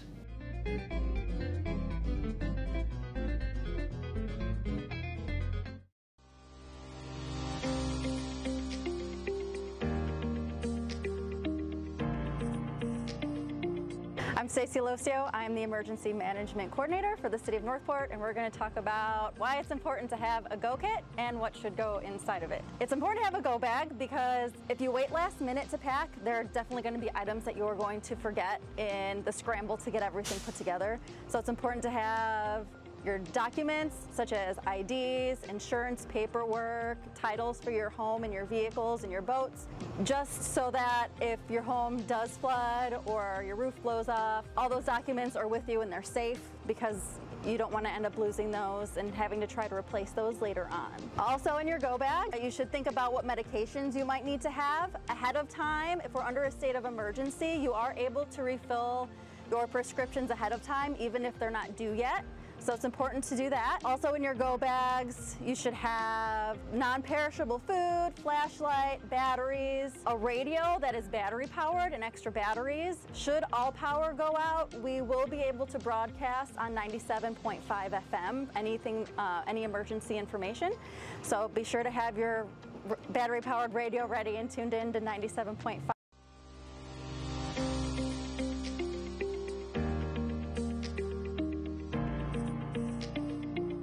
I'm Stacy Losio. I'm the Emergency Management Coordinator for the City of North Port, and I'm going to tell you the difference between flood zones and evacuation zones. Or in Sarasota County, we call them evacuation levels. So flood zones were generated by FEMA, and they're used to determine the likelihood that you will flood, and they're used to determine if you need flood insurance if you have a mortgage on your home. Now, the evacuation zones are based on storm surge data that comes from the National Hurricane Center, and they use topography as well as hurricane vulnerability for storm surge for the area. And we use those to determine who needs to evacuate during a storm. So it's important to understand that there is a difference. If you're interested in finding out what evacuation zone you are in, which we highly recommend you do, uh, you can use your search engine of choice and type in Sarasota County Know Your Level, and that'll take you to the Sarasota County government website.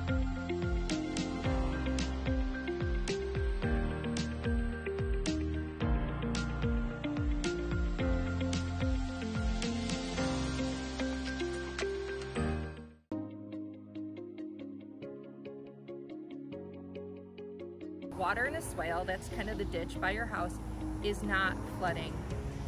Within a, after a storm event, water should be in that swale up to 72 hours after the storm. That allows the water to be filtered, to get the stuff that came off our roofs and off the road out of the water so that when it reaches the habitat, it no longer has those contaminants in it. It also provides an opportunity to slow down water so that the water doesn't go so fast that it erodes um, the roadways or any other infrastructure. So when you see water in a swale, if it's only been, you know, up to 72 hours since the last rain, that is not flooding, that is doing its job.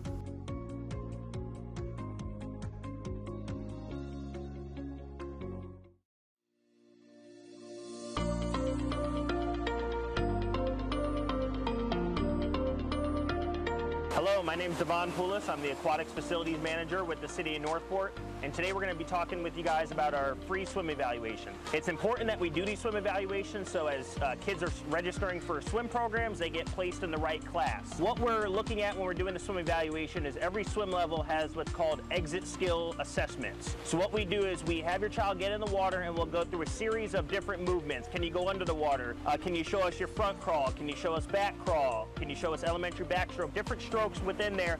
And what we're doing is we're trying to see where your child tests to before it becomes a challenge for them at that point. Once we assess that, then we'll let you know and you can go ahead and sign your child up for that appropriate level there.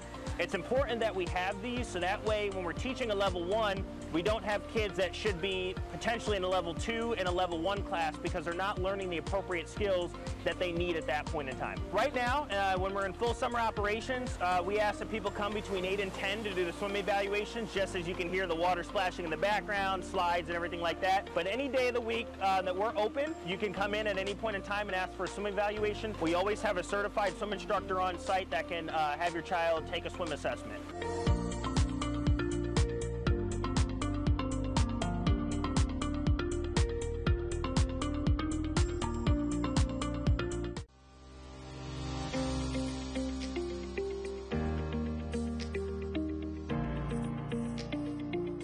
I'm Stacy Alosio. I am the Emergency Management Coordinator for the City of North Port, and I'm going to be talking about having an evacuation plan. It's important to have an evacuation plan ahead of time, and it's very important to write it down because that way you can have it somewhere present where everybody in your family can see it and keep it fresh in their minds. And you want to also share it with people in your family or your neighbors so that they know what your plans are ahead of time and how to get a hold of you or where to look for you after a disaster. For your evacuation plans, uh, you should have multiple routes to get to the location you're planning to go to just because Traffic-wise, traffic on 75 might be gridlocked. There could be some very good back roads to get to where you're going uh, that could get you there more quickly without being stuck in traffic. When you're making an evacuation plan, we usually tell you four different things. You should stay home if you are not in a zone that's being evacuated and if your home is built to withstand the forecasted storm. If you can't stay home, uh, and you evacuate, your next option should be to go to a friend or family's home that is outside of the evacuation area and is structurally sound to withstand the storm. Third option would be go to a hotel they're much more comfortable than our evacuation centers. Fourth option would be to go to one of our evacuation centers. Sarasota County has 12 evacuation centers. Uh, those can be found on their website.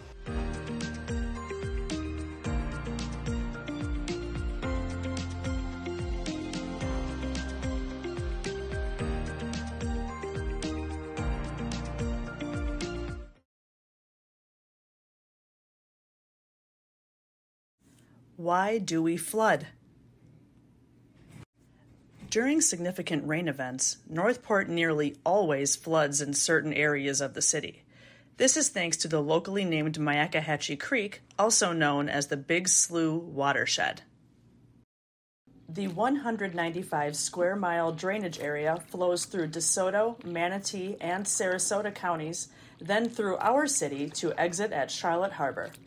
As the city of North Port is located at the low end of the Big Slough watershed drainage system, the city's current flooding and water quality conditions are attributed not only to the city's growth, but also to upstream runoff in the DeSoto, Manatee, and Sarasota County portions of the Big Slough. During significant rain events, ponding can also occur. Ponding occurs in low lying areas that are characterized by poorly drained or supersaturated soils. With back to back rainfall events, the ground is totally saturated, which increases the runoff during a storm. The city works hard to maintain its stormwater conveyance system, which is comprised of roadside swales draining into 79 miles of named waterways and 132 miles of retention ditches that interconnect with each other and with the Myakkahatchee Creek. There are 64 water control structures, of which 23 are gated water control structures, 5 are gated drop structures, 28 are fixed weir structures, and 8 are drop structures.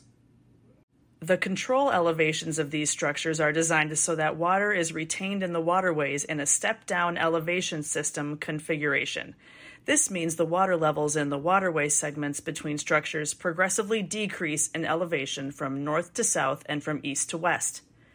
This system configuration allows both retention of stormwater runoff for water quality treatment and storage for potable water use. In preparation for a storm, the gates are opened as needed to convey floodwaters. The city has an ongoing program to inspect and replace old corroded structures. Since 2006, 13 of the high priority structures have been replaced or rehabilitated. The city also has a program to clear the ditches of sediment deposits that have accumulated over time and clear fallen trees and debris in the Myakkahatchee Creek. This also helps restore the flow capacity of the waterways. Long story short, North Port is prone to flooding, but the city works hard to maintain conveyance channels, water control structures, and procedures put in place to lessen the impact. When there is a hurricane or significant rain event, the city gets into response and recovery mode quickly after. Please stay safe out there.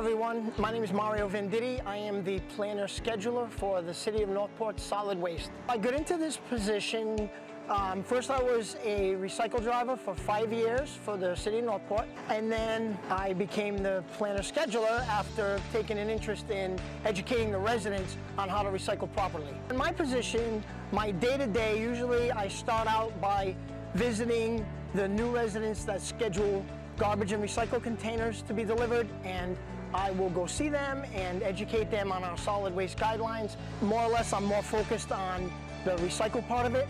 After that, I will drive around the city and I actually inspect recycle containers manually for contamination.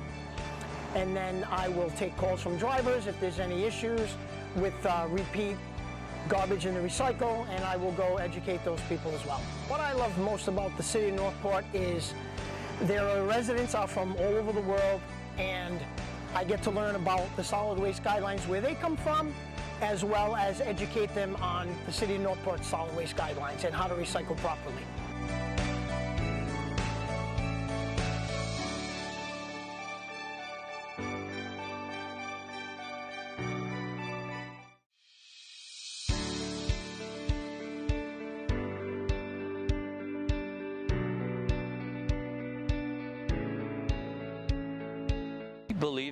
Natural Resources Department will be an in integral part for the city's growth as we want to achieve a more balanced approach of development in the future. What we really want to do is see sensible development, sustainable development, and development that is um, in line with what we ha already have here. So we want to preserve as much as we can of the uh, natural resources so there is still place for our natural species, our, our migrating birds and all the other species that live um, and survive in our habitat. Natural systems are a big part of the ways ecosystems function, an important part for our community, our listed species. They stabilize the soil, they provide so many different benefits, including shade, limiting the heat island effect uh, within our city, providing habitat, providing shelter for these species,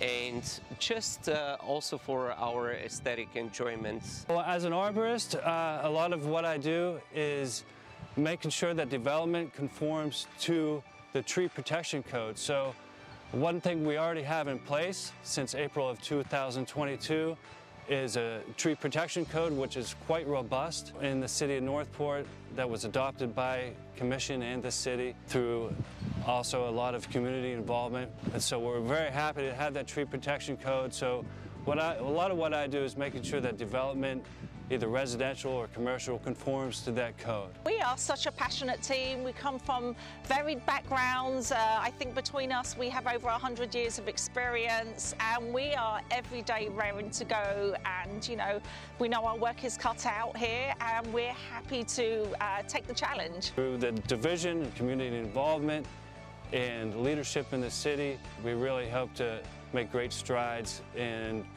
protecting what we have here and finding that balance with development and environmental stewardship. I am excited to be a part of this team and I'm really seeking and looking forward to the opportunities for us to be able to make a difference.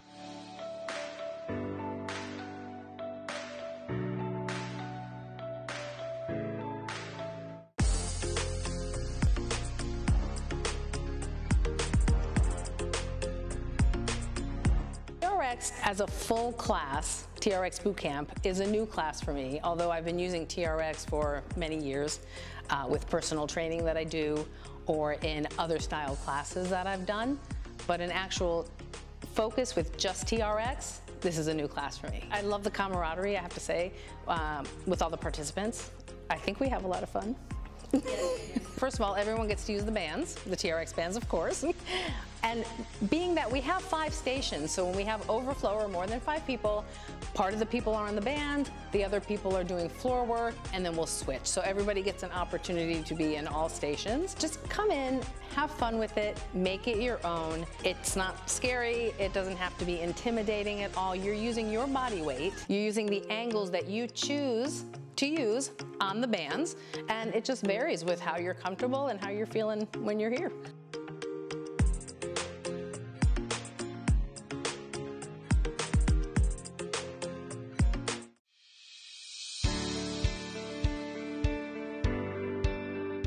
Started with Charlotte County Utilities as a meter reader in 2004. So that's kind of where I got my foot in the door. Then once I reached a point in my life where things were more stable, I decided to leave Charlotte County Utilities and I went and got my insurance license. It was very exciting doing that for a short period of time. But after a while, I started thinking about the utility. It was in my heart. At this point, I had almost 12, just two months shy of 12 years in. And so I realized during that time, my heart was in utilities. And so I started looking around again. I seen an opening here to be a C&D tech. So I applied and I got in. Typically I get here at seven in the morning. I get my list of, you know, if I can get to this, this is what I need to do. And I get in my truck. If, if I need any supplies, parts, tools based off of the work I was given that morning, I'll pick that up here at our shop. And then I head out and um, My goal for the day is to get as much work as that was assigned to me done as possible. And sometimes that happens, and other times there's a lot of first response calls that come in. My favorite part is the uniqueness. It's um, not knowing what I'm going to be faced with every day. It could be different. It's not mundane in any way. And it's exciting when you get a call and you're you're on your way and you don't know what it is and you you have the experience and the know-how and the backing to face whatever it's going to be. So I feel very confident in facing these calls and I think that's my favorite part.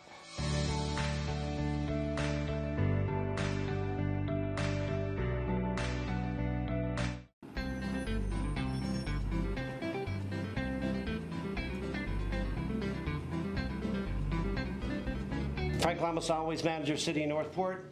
Uh, here today with Mario Venditti, planner scheduler for the City of North Port, Solid Waste Division. We're going to talk about bulk pickups today, uh, how to schedule bulk pickups, what should go out and what should not go out to the curb, where to place the items, and then what happens if you have more than what's allotted for you for the year for a bulk pickup. So Mario, I know we call 941-240-8050, talk to our customer service reps. That's correct. About how to schedule a bulk pickup. How else can we do that?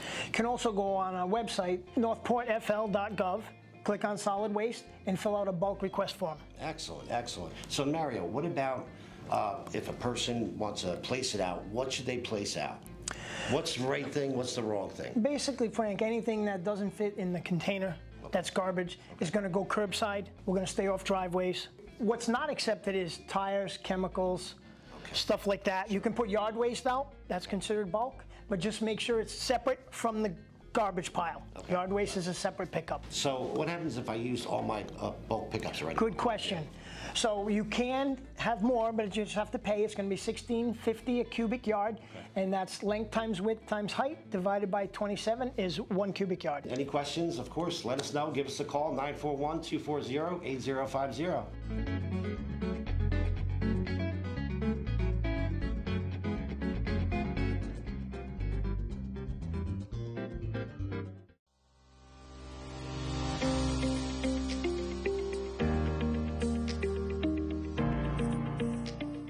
Stacey Losio. I'm the emergency manager for the city of North Port, and I'm going to discuss first responders after the storm. So it may take a while for first responders to get to after the storm, and that's due to a variety of reasons.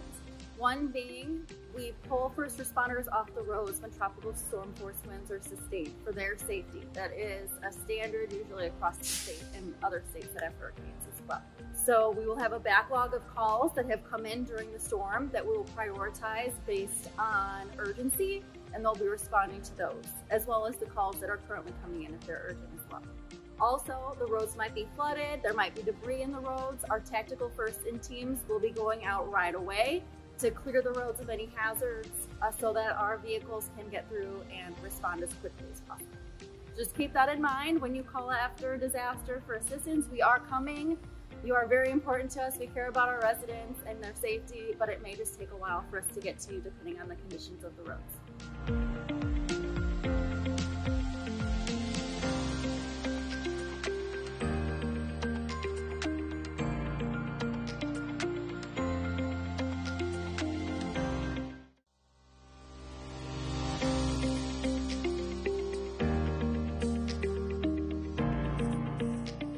I'm Stacy Losio. I'm the emergency of North Port, and today we're going to discuss storm surge and flooding and how both of those affect North Port during a hurricane. So, storm surge is when strong, sustained winds are constantly blowing over a long period of time over the Gulf and pushing water up onto shore. So, when that happens, there is a lot of flooding along and beach erosion along the beaches and the homes inland. However, the storm surge can also push water up the river. So it could push storm surge up the Myakka River, for instance, from the Gulf. And then the water coming downstream from the river has nowhere to go. So that can cause water to back up along the rivers and cause flooding. That, along with a lot of rain that comes from these hurricanes, can also cause an increase of water flooding into the rivers and into our water management systems, causing flooding as well. Public Works does a lot of work before the storm to make sure that our water levels are as low as possible so we can handle additional storm surge and flooding in our water systems. If you want additional information about that, we have a great video about our water control structure.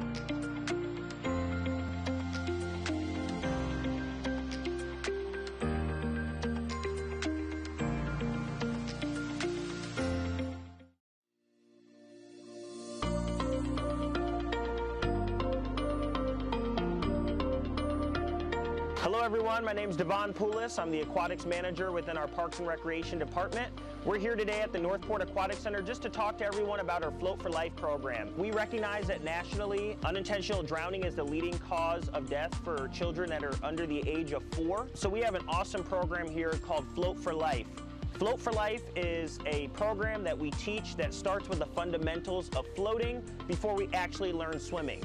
This program is targeted for those children that ages six months to four, and what we want them to do is we want them to get comfortable in the water, and if they accidentally fall in the water or find themselves in a trouble situation, they can roll over their back and float. When we launched this program, uh, we were the only one in the state that was actually teaching this milestone program. So I want to give a shout out to our North Port Rotary as well, who sponsored this program here at the Aquatic Center and actually paid for a trainer to come in all the way from Nebraska where this program originates there. We practice and we go through what's called milestones here. So as soon as the kids progress through the milestones, we can continue moving on through them.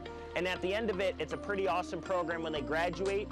It's one of the final things that they do is they jump in fully clothed and they have to turn over, roll over on their back, and actually be able to scream for help at that point in time. It's just an awesome segment program that leads right into our Learn to Swim program, so that way we can make sure we're keeping our kids safe in, on, and around the water.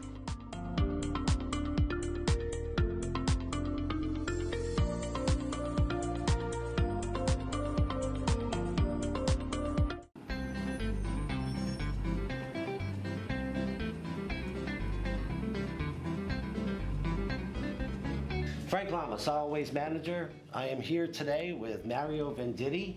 Mario, tell people here how long you've been doing this job. I've been here five years. Five years, excellent, excellent. Yep. So, Mario, tell people what it entails, what you do. I'm a planner scheduler for solid waste of the city.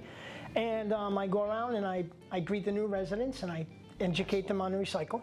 Excellent, sounds interesting, very good. Yep. So, Mario, what do you find inside the recycling bins that shouldn't be there? So let's try to tell the people how to recycle right. Well, the most common thing I find, Frank, is plastic bags. Okay. So the plastic bags are not recyclable. I find them just tossed in the container or they bag the recycle with them. Right. And they shouldn't. This is inside the blue lid container. That's right, correct? inside the blue lid containers. Correct. And they should be either taken back to the grocery store or tossed in the trash. Very good. Do you see a lot of recycling inside the containers? uh, I do, bags? yes. Oh, I come across a lot of that. Okay, we don't want to do that, so. Okay, so if you have any questions, you can always look at our website, www.northportflorida.gov slash solid waste.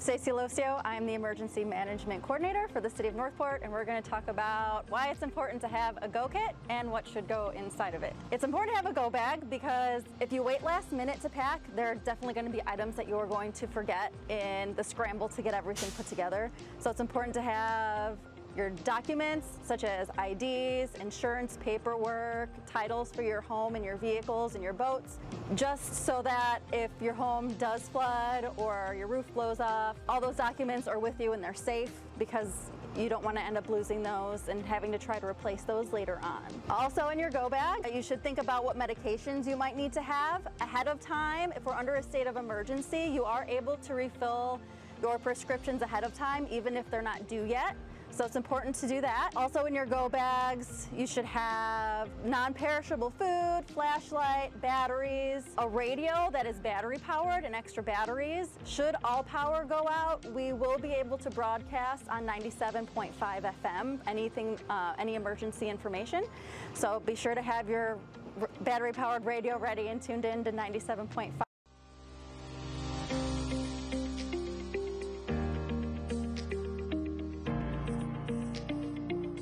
I'm Stacey Losio. I'm the Emergency Management Coordinator for the City of North Port, and I'm going to tell you the difference between flood zones and evacuation zones. Or in Sarasota County, we call them evacuation levels. So flood zones were generated by FEMA, and they're used to determine the likelihood that you will flood, and they're used to determine if you need flood insurance, if you have a mortgage on your home. Now, the evacuation zones are based on storm surge data that comes from the National Hurricane Center, and they use topography as well as hurricane vulnerability for storm surge for the area. and we use those to determine who needs to evacuate during a storm. So it's important to understand that there is a difference. If you're interested in finding out what evacuation zone you are in, which we highly recommend you do, uh, you can use your search engine of choice and type in Sarasota County Know Your Level, and that'll take you to the Sarasota County government website.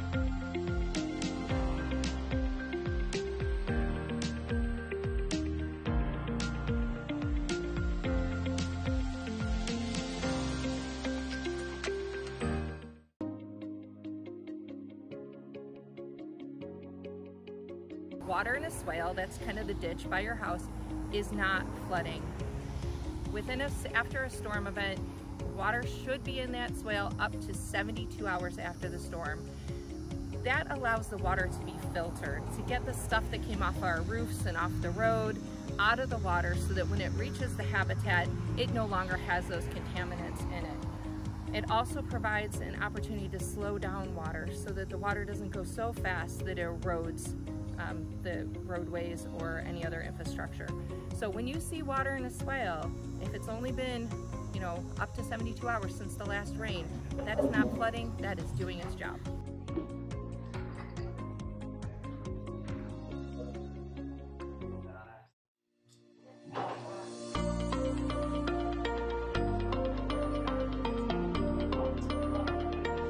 My name is Devon Poulis. I'm the Aquatics Facilities Manager with the City of North Port, and today we're going to be talking with you guys about our free swim evaluation. It's important that we do these swim evaluations so as uh, kids are registering for swim programs, they get placed in the right class. What we're looking at when we're doing the swim evaluation is every swim level has what's called exit skill assessments. So what we do is we have your child get in the water and we'll go through a series of different movements. Can you go under the water? Uh, can you show us your front crawl? Can you show us back crawl? Can you show us elementary different strokes within there.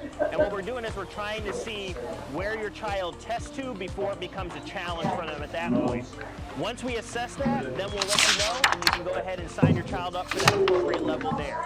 It's important that we have these so that way when we're teaching a level one, we don't have kids that should be potentially in a level two and a level one class because they're not learning the appropriate skills that they need at that point in time. Right now, uh, when we're in full summer operations, uh, we ask that people come between 8 and 10 to do the swim evaluations just as you can hear the water splashing in the background, slides and everything like that. But any day of the week uh, that we're open, you can come in at any point in time and ask for a swim evaluation. We always have a certified swim instructor on site that can uh, have your child take a swim assessment.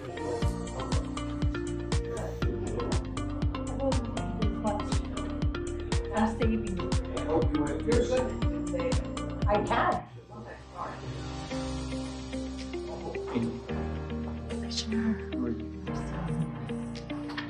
I'm Stacy Losio. I am the Emergency Management Coordinator for the City of North Port, and You're I'm going to be talking I about saw- having an evacuation plan. It's important to have an you evacuation plan out and do ahead of time, and it's very important to write it down because that way we can have it somewhere present where everybody in your family can see it and keep it fresh in their minds. And you want to also share it with people in your family or your neighbors so that they know what your plans are ahead of time and how to get a hold of you or where to look for you after a disaster. For your evacuation plans, uh, you should have multiple routes to get to the location you're planning to go to just because traffic-wise, traffic on 75 might be gridlocked. There could be some very good back roads to get to where you're going uh, that could get you there more quickly without I'm waiting for a call traffic. back, and the next thing I know, I'm not gonna get a call back. four different things. You should stay home if you are not in a zone that's being evacuated, and if your home is built to withstand the forecasted storm.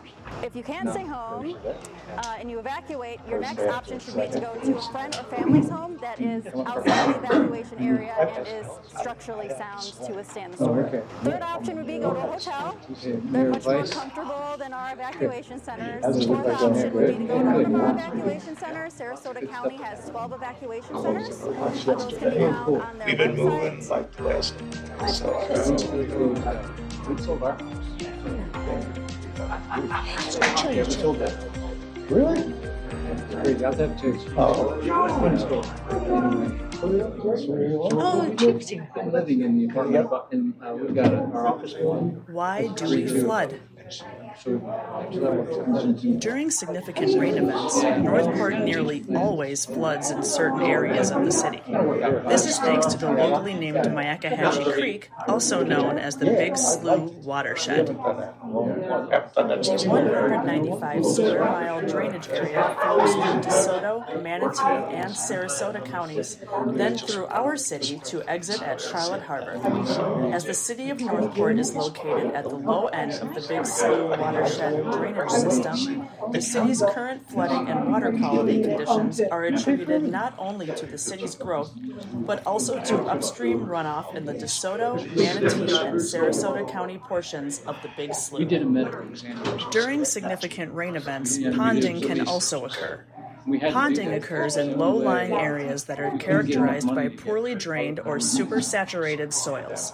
With back to back rainfall events, the ground is totally saturated, which increases the runoff during a storm. The city works hard to maintain its stormwater conveyance system, which is comprised of roadside swales draining into 79 miles of named waterways and 132 miles of retention ditches that interconnect with each other and with the Myakkahatchee Creek. There are 64 water control structures, of which 23 are gated water control structures, 5 are gated drop structures, 28 are fixed weir structures, and 8 are drop structures. The control elevations of these structures are designed so that water is retained in the waterways in a step down elevation system configuration. This means the water levels in the waterway segments between structures progressively decrease in elevation from north to south and from east to west. This system configuration allows both retention of stormwater runoff for water quality treatment and storage for potable water use. In preparation for a storm, the gates are opened as needed to convey floodwaters. The city has an ongoing program to inspect and replace old corroded structures. Since 2006, 13 of the high priority structures have been replaced or rehabilitated. The city also has a program to clear the ditches of sediment deposits that have accumulated over time and clear fallen trees and debris in the Myakkahatchee Creek. This also helps restore the flow capacity of the waterways. Long story short, North Port is prone to flooding, but the city works hard to maintain conveyance channels, water control structures, and procedures put in place to lessen the impact. When there is a hurricane or significant rain event, the city gets into response and recovery mode quickly after. Please stay safe out there.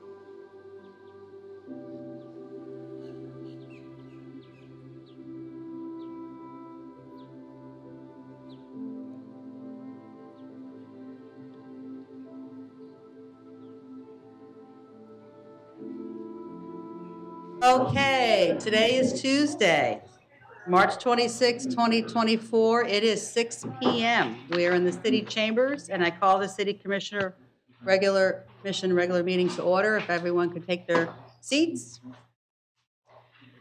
Uh, We have uh, Commissioner McDowell present, Commissioner Langdon, myself, Mayor White, Vice Mayor Stokes, and Commissioner Emrich is absent. But there is a quorum present for this meeting. Also present, we have City Manager Fletcher, City Attorney Slayton.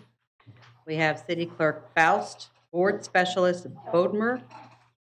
And I know I saw uh, Police Chief Garrison in the house. what number it was, but I Yes, he's still there. And um, I have to put the number Fire down? Chief Titus, right? Yeah, there he is. Thank you very much. I I like that you wear that white shirt because I can see you through that glass. Um, For the Pledge of didn't see that Allegiance, I'd like to call on Larry Grant to lead us. I watch you guys on TV, so I got a big mouth. For. pledge allegiance to the flag of the United States of America and to the republic for which it stands, one nation, under God, indivisible, with liberty and justice for all. Thank you. Dreaming about it, paper. All right, I'm looking for an approval of the agenda. So moved. Second. No, did we want to do a, a- I'm sorry?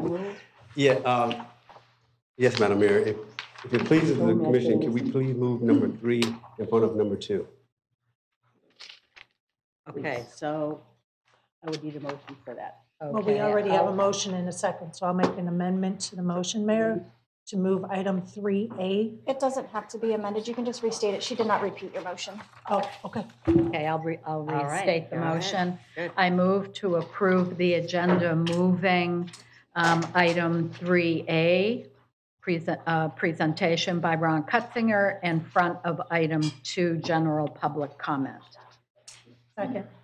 All right, so we have a motion made by Commissioner Langdon to approve the agenda, but moving um, item three to be uh, before public comment. And that was seconded by Commissioner McDowell. Nothing else? Let's vote. And that passes four to zero. All right, so we're going to move to item three, presentations. Sarasota County Commissioner Ron Cutsinger, the floor All right, is yours. good evening, Commissioners. Thank you for having me this evening. Yes, my name is Ron Cutsinger. I am Sarasota County Commissioner for District 5, South County, the best of all five districts for sure, the fastest growing of all five districts, and the most exciting of all five districts. So it's good to be here. Speaking of that, hopefully you've seen the improvements uh, moving ahead on River Road. We're excited to see that taking shape. And when we first started that project, the design was to six lane it from US 41 out to Center Road, and then from Center out to I 75 is, was four lanes. Well, the good news is, believe it or not, that project came in um, a lot better than we expected in terms of price, under budget. And so what we're able to do at this point is we're going to be six laning the entire stretch of River Road from 41 all the way out to I-75. I was so glad that, uh, you know, sometimes we do these things and we realize right after we get them done, we need to add another lane. Well, it's great to be able to do that this time, and we were very fortunate that that came in ahead of budget. And I'll talk about it in a minute, but I've been telling the uh, contractors, just stay here and go south and finish the south section while you're here. They're fine with that. They just said they need money. So we're working on that. Um, Also wanted to, uh, you remember here not that long ago, we did have a joint meeting between North Port and Sarasota County. One of the things that came out of that was the uh, reconstituting of the mosquito task force to kind of look at the recommendations that had been made, progress, and just uh, do a review of that. Very fortunately, the original members of that task force who were subject matter experts, all of them agreed to come back together. They met now on March 1st. They had their first meeting uh, at the mosquito control facility in Sarasota. And they spent a lot of time reviewing the recommendations that had been made, the implementations, and uh, working on that. The next meeting for the task force, and we wanted it to be in South County so that it could be available to those who are here in North Port. That meeting is scheduled for April 2nd, that's this Tuesday, between 2 and 4 PM in the veranda room at the North Port Library. That's the one on US 41, not the Shannon Staub Library. That's here on 41, April 2nd, 2024, from 2 to 4 PM, veranda room at the North Port Library. There will be opportunity for public comment, so encourage anyone who wants to be part of that to join that meeting. And then a third meeting, a third meeting will be scheduled for uh, May 10th, uh, back at mosquito control. And along those lines, we have broken ground on the new mosquito control facility right at Laurel Road and I-75, a great central location, much closer to South County. That's coming out of the ground now. We're very excited about what that's going to do for this area. With that, there's another issue I just want to kind of bring to your attention. I think it's a great little uh, piece of news. We, in December of 21, Sarasota County purchased a parcel on San Mateo. Uh, it was one of North Port's priority projects that they wanted to see purchased through the Neighborhood Parkland Program. I've given you a packet. Perhaps you're familiar with this. Staff met with your staff about two weeks ago talking about this property. What we would love to see is we would like to see this property conveyed to the city of North Port.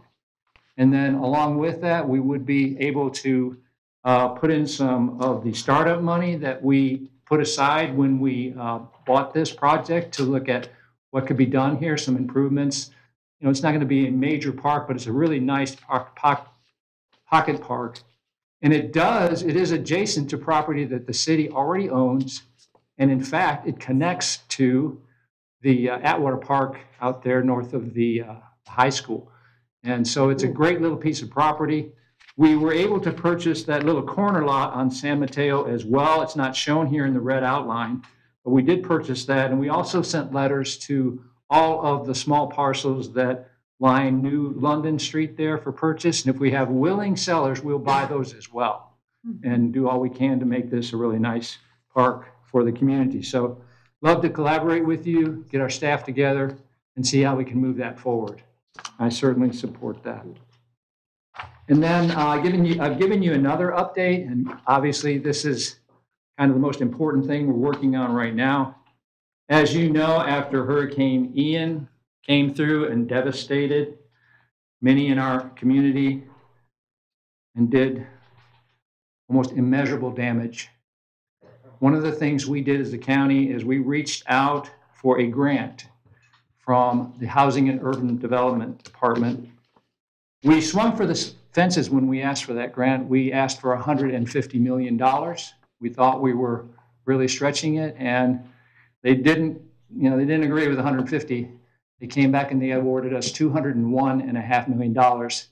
We weren't upset with them about that, actually, and we decided to go ahead and keep the extra $50 million. But um, what I've got here for you is, um, and I'm proud, one of the things I'm very proud about that is that it was a direct allocation to Sarasota County. No middleman, no one taking funds out of it, no one you know, saying how we're going to use this money between us and the grant. So that's a very positive thing. One of only four counties in the state that received direct allocation speaks to how they feel about the way Sarasota has dealt with grant monies. We're very proud of that. But I'll just go through these quickly. The sheets in front of you. Um, we categorize them, first of all, was housing, homeowner rehabilitation and reconstruction. For those whose homes were destroyed, and need to be rebuilt. We allocated $40 million of the grant.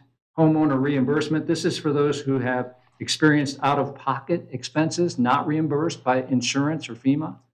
And so they paid for them up front because they needed to get it done, but they had to pay out of pocket. They will be able to um, ask for reimbursement for some or maybe even all of those funds, depending on their status. Obviously, HUD is dealing with, and, and one of the criteria that we work with is low to moderate income families. So they're going to have to qualify, but this money will be available to reimburse them for expenses they have spent out of pocket. Um, that launch date uh, is in April. So we're looking to open up those applications next month. So keep your eyes open for that. On the housing, one of the things that uh, HUD, of course, is trying to do is help. There are a lot of displaced families, and housing is their focus. So we um, have allocated $40 million to affordable housing projects. That application opened up March 20th. It just opened up. It will be open through May 1st, 2024. Sarasota County is setting the bar on doing all we can to create affordable housing. You may recall when the ARPA funds came in, we allocated $25 million of our $80 million allocation. We were the number one county in the state in terms of how much money, percentage of money of ARPA funds that we allocated to uh, affordable housing. And now, when this came through, my comment was, let's do something big. We've got, you know, you don't get many chances to have a, a, a, a number like this. So let's do something big. And so we allocated $40 million to these projects. And what we want to see happen here, we don't want to just fund projects individually. What we want to do is see a number of projects come through where we can leverage these dollars and create, you know, a thousand or more affordable housing units. We, with the $25 million from ARPA, we were able to create about 700 affordable housing units. Mm-hmm. So what can we do with $40 million? And so we're excited to see nonprofits, community partners, community foundations, private developers. We're looking at all aspects. We want to be creative. We want to leverage these dollars, and we really want to make a difference in terms of affordable housing. And I would love to see a lot of it down here in North Port. So we're looking to see that happen. I know I've talked to a lot of people who are very excited about it, looking at possibilities. So if you know someone, if you have contacts, if you have a way to kind of help someone say, hey, come to North Port and build, build a, a project here. We'll get on board best of our ability and, and make that happen. There are some voluntary housing buyouts, and that's in areas that continually are flooded. So, and in this goal for six and a half million dollars, what we're trying to do is probably have some contiguous areas that are just problem areas and maybe do some buyouts in, in, in those in those areas. As you know, infrastructure is a huge need. We allocated $45 million to infrastructure. We've received those applications. You might be surprised to know that we've received requests for more money than we have. Big surprise. So we could use another couple hundred million dollars. Um, But what is helpful is prioritizing those projects because North Port has a lot of need. And there's some great projects. Very excited about some of the projects that have been applied for. They're just all good, but we're not going to be able to fund them all, or we're going to have to fund some of them partially. So we're going to work together to make those dollars stretch as far as possible. But again, uh, your work will be to prioritize them so we know, okay, how do we how do we spread these dollars out and have the biggest impact that we can have? $25 million, and this is a project I've been pounding the table on uh, since I became a commissioner.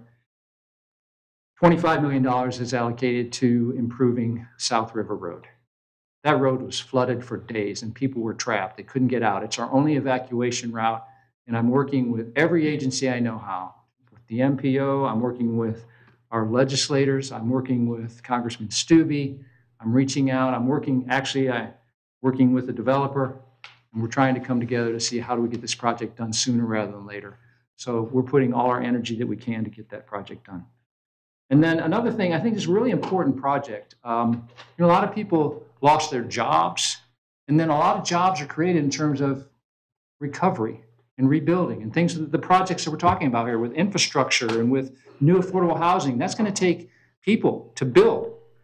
And, and so what we're trying to do is say, if we can help retrain people or we get people trained in these careers, that's a very positive economic thing, but it's great for our community. So we allocated $15 million to career and trades training. And I think there's some great opportunities in North Port. Maybe out at the Shannon Staub Center, maybe we're going to create a, a workforce training facility and get some of the private industries involved and see what we can do to help people get trained. So this is a great opportunity. That's going to be opening up. The applications for that's going to be opening up in May. So again, all of these categories, great opportunities. I know you guys have been working with our staff on this. Uh, as best you can to get these dollars out most efficiently, as quick as we can. I'm very proud of staff because they've been moving very quickly on getting, we know how desperate the money is needed. We're moving very quickly to get this out. Every week, we're getting an update. We're just trying to get things done as quickly as we can. So um, I also, on the uh, affordable housing, I gave you a sheet on that. That's the second sheet. That's, that's the one that just opened up. That'll be receiving applications through May 1st. So again, the sooner those get in, the sooner we can get them qualified, hopefully, and the sooner we can get them built. Um, So a lot of good things happening. Thank you for having me with you and look forward to working on these things with you together. Thank you. Thank you sir. Thank you, for the update. Okay, good information. All right, let's move on to public comment.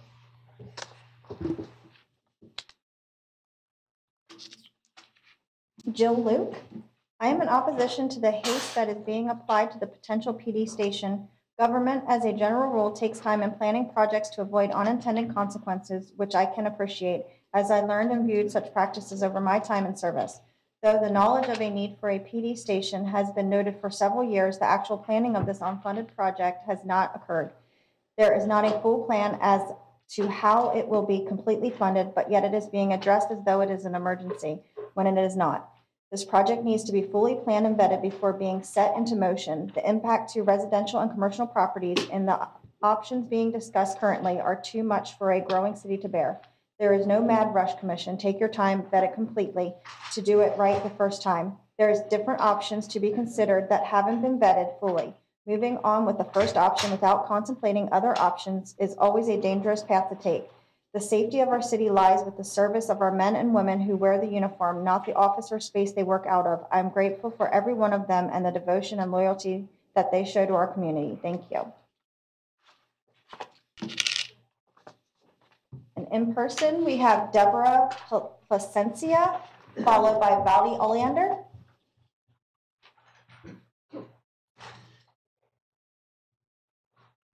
Wow, I have to follow that with the county commissioner? Man, that was great news. Um, I'm going to cut mine down. Because, y'all, I've met with every one of you, uh, including City Manager Fletcher, um, and had numerous discussions. And so you know the issue with our Dalewood Circle, little land island that's in area um, in the AC6 area and has been permitted for 29 homes, but that was cut off in October last year because there was an understanding now that it wouldn't fit in. Um, my concern is that I have I have talked to every department. I have talked to the zoning and advisory board. I presented at many numerous public comments about this issue. I've talked to as many city leaders as I can. And I'm just really struggling with the lack of remediation or discussion of this issue and even the possibility of the city commissioners carving out our little neighborhood, which is only about under 2% of the total undeveloped land. Our, our community is developed. We have 29 homes and we have lots in there. When you rezone to something new, those lot owners can't use their property, but we still have to pay property taxes on it. Those 29 homes are now non-conforming structures, which means if, if they burn or some other natural cost takes them, they can't rebuild unless they meet the criteria of the new zoning.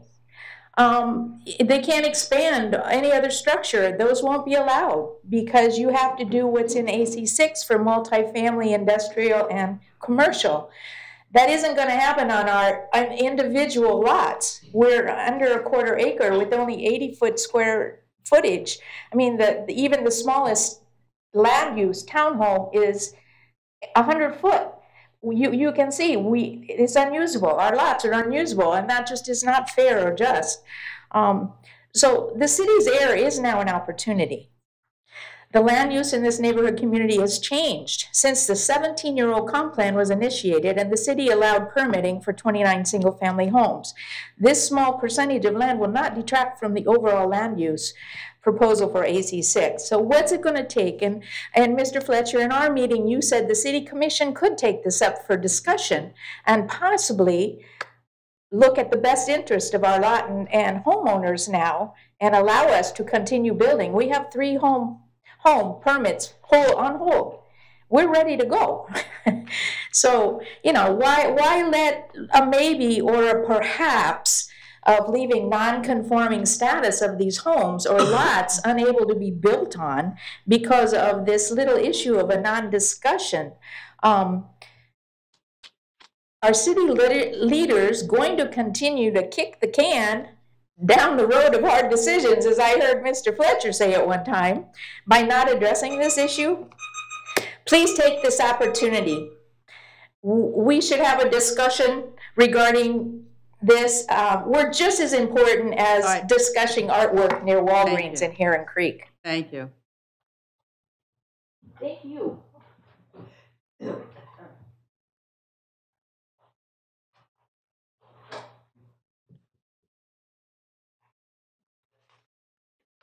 Good good evening.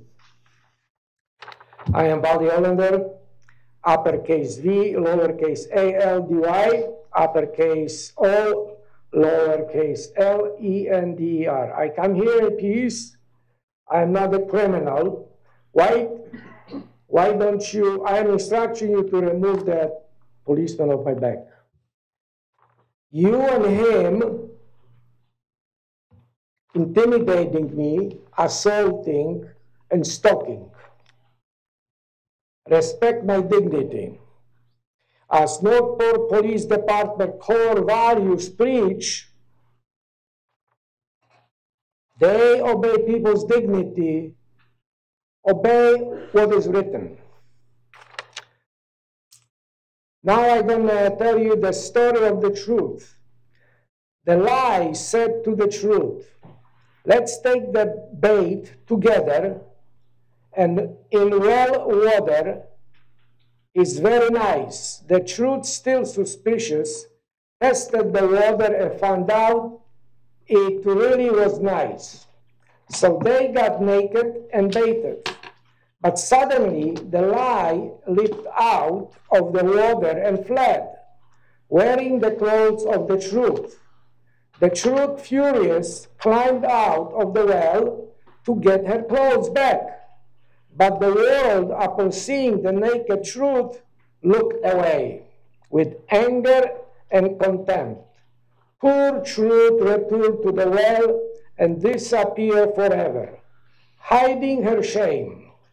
Since then, the line, lie runs around the world dressed as the truth. And society is very happy because the world has not desired to know naked truth. Jean-Léon Gérôme, 1986. Now is the question to you. By using my first and last name in all capital letters,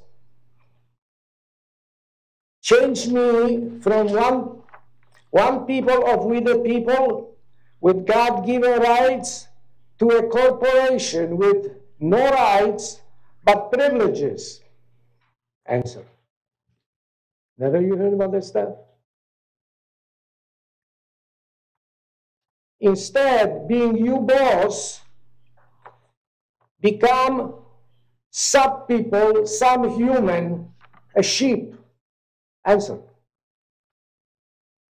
Are you claiming jurisdiction by trickery, fraud? Are you conspire to defraud with the people? I have objection and no concern to this Palestine-style checkpoint. Get your act together. All right, thank you. Oh, that's it? Okay.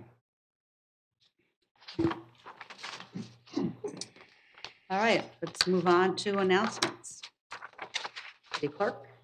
The current vacancies for the following boards and committees include the Art Advisory Board, Auditor Selection Committee, Charter Review Advisory Board, Citizens Tax Oversight Committee, Environmental Advisory Board, Police Officers Pension Trust Fund Board of Trustees, Parks and Recreation Advisory Board, Planning and Zoning Advisory Board, Veterans Park Advisory Board, and Zoning Board of Appeals. Sarasota County Advisory Council vacancies include one resident of North Port to serve on the Citizens Advisory Committee and one resident of North Port to serve on the Citizens Oversight Committee for School Facility Planning. If anyone would like more information, please see the city clerk's office. Thank you. All right, thank you. Moving on to the consent agenda, City Manager, any items been pulled? Uh, no, Madam Mayor. Mayor? Yes. I'm sorry. I, I originally requested something to be pulled, had a conversation with the city attorney, and was comfortable in not pulling a specific item. At this time, in light of an email that I just received, I have one follow-up question. I sent it to him, I didn't get a response. So I would like to pull item D, the interlocal agreement about trespassing. Okay. So I'm looking for uh, a motion. I'll make a motion. Mm-hmm. I'll make a motion to approve the consent agenda, pulling item D for discussion. We have a motion made by Commissioner McDowell to approve the consent agi- agenda, pulling item D for discussion. Second. All right, and that's seconded by Vice Mayor Stokes. Nothing else? Let's vote.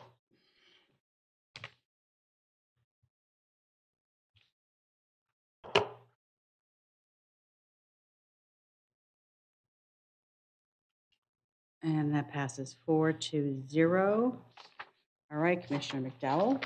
Yeah, so my question had to do with the map and the green um, highlighted areas that are going to be part of this agreement.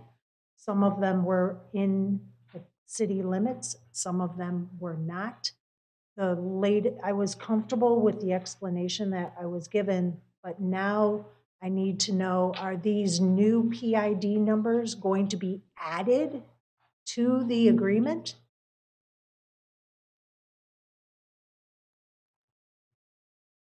Sir?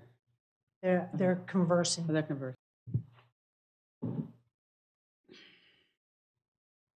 Hello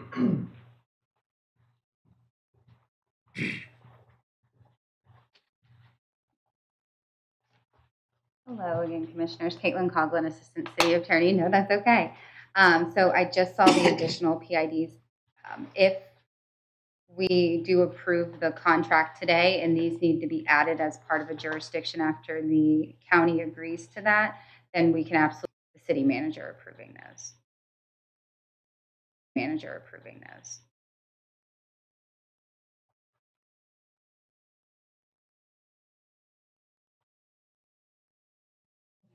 So let me try my question again. Okay.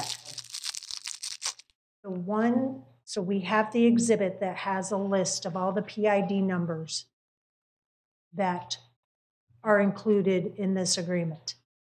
Some of the PID numbers outlined in the email I just received, my fellow commissioners have not received, citizens have not received. Are those going to be added to the agreement? That will, at this time, have to be up to the county and the agreement. If, if those are within, if they find that to be within the jurisdiction of the city, um, then they can add those at that time. But at this time, with the agreement we have with the county, the PIDs that are indicated on Exhibit A are the only, are the only parcel ID numbers that are included in this agreement for purposes of law enforcement going out and potentially doing a trespass in those areas.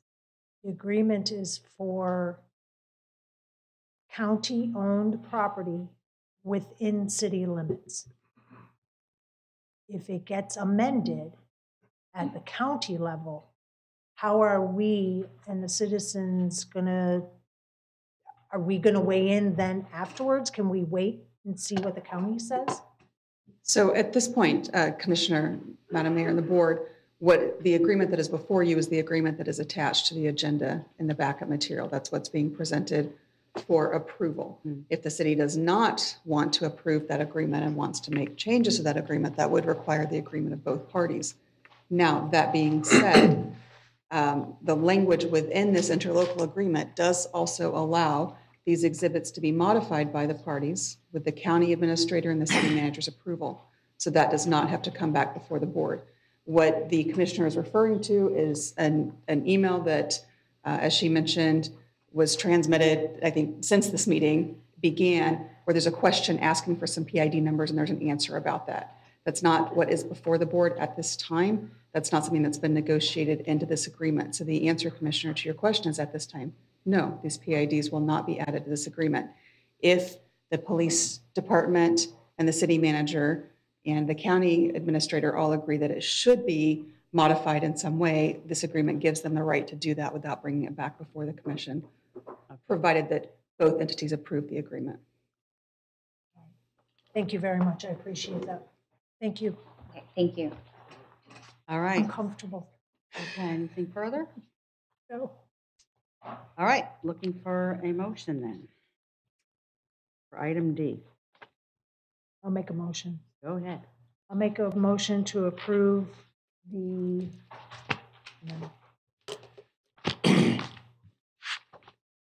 I make a motion to approve the interlocal agreement relating to the trespass authority for the county-owned parks and facilities located within the city limits by and between the Sarasota County and the city of North Port.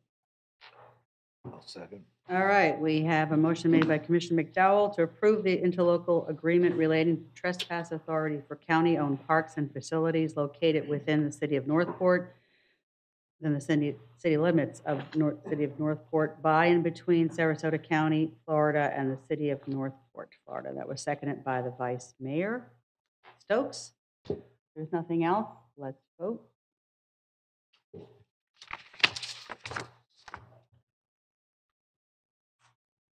And that passes four to zero. Okay, next up, we have item six, which is presentations of Awaken Outreach Center 2023 Annual Report of Activities. All right, uh, City Manager, this is your item. Thank you, Madam Mayor. Uh, This is their annual report, uh, and I believe that former city fire chief, Bill Taft, will be providing said report. Thank you, City Manager. For the record, Bill Taft, Fire Chief, Fire Chief. There we go. Scott Titus, I'm sorry. Habits die hard, Uh, don't they? habits die hard. Even after all these years.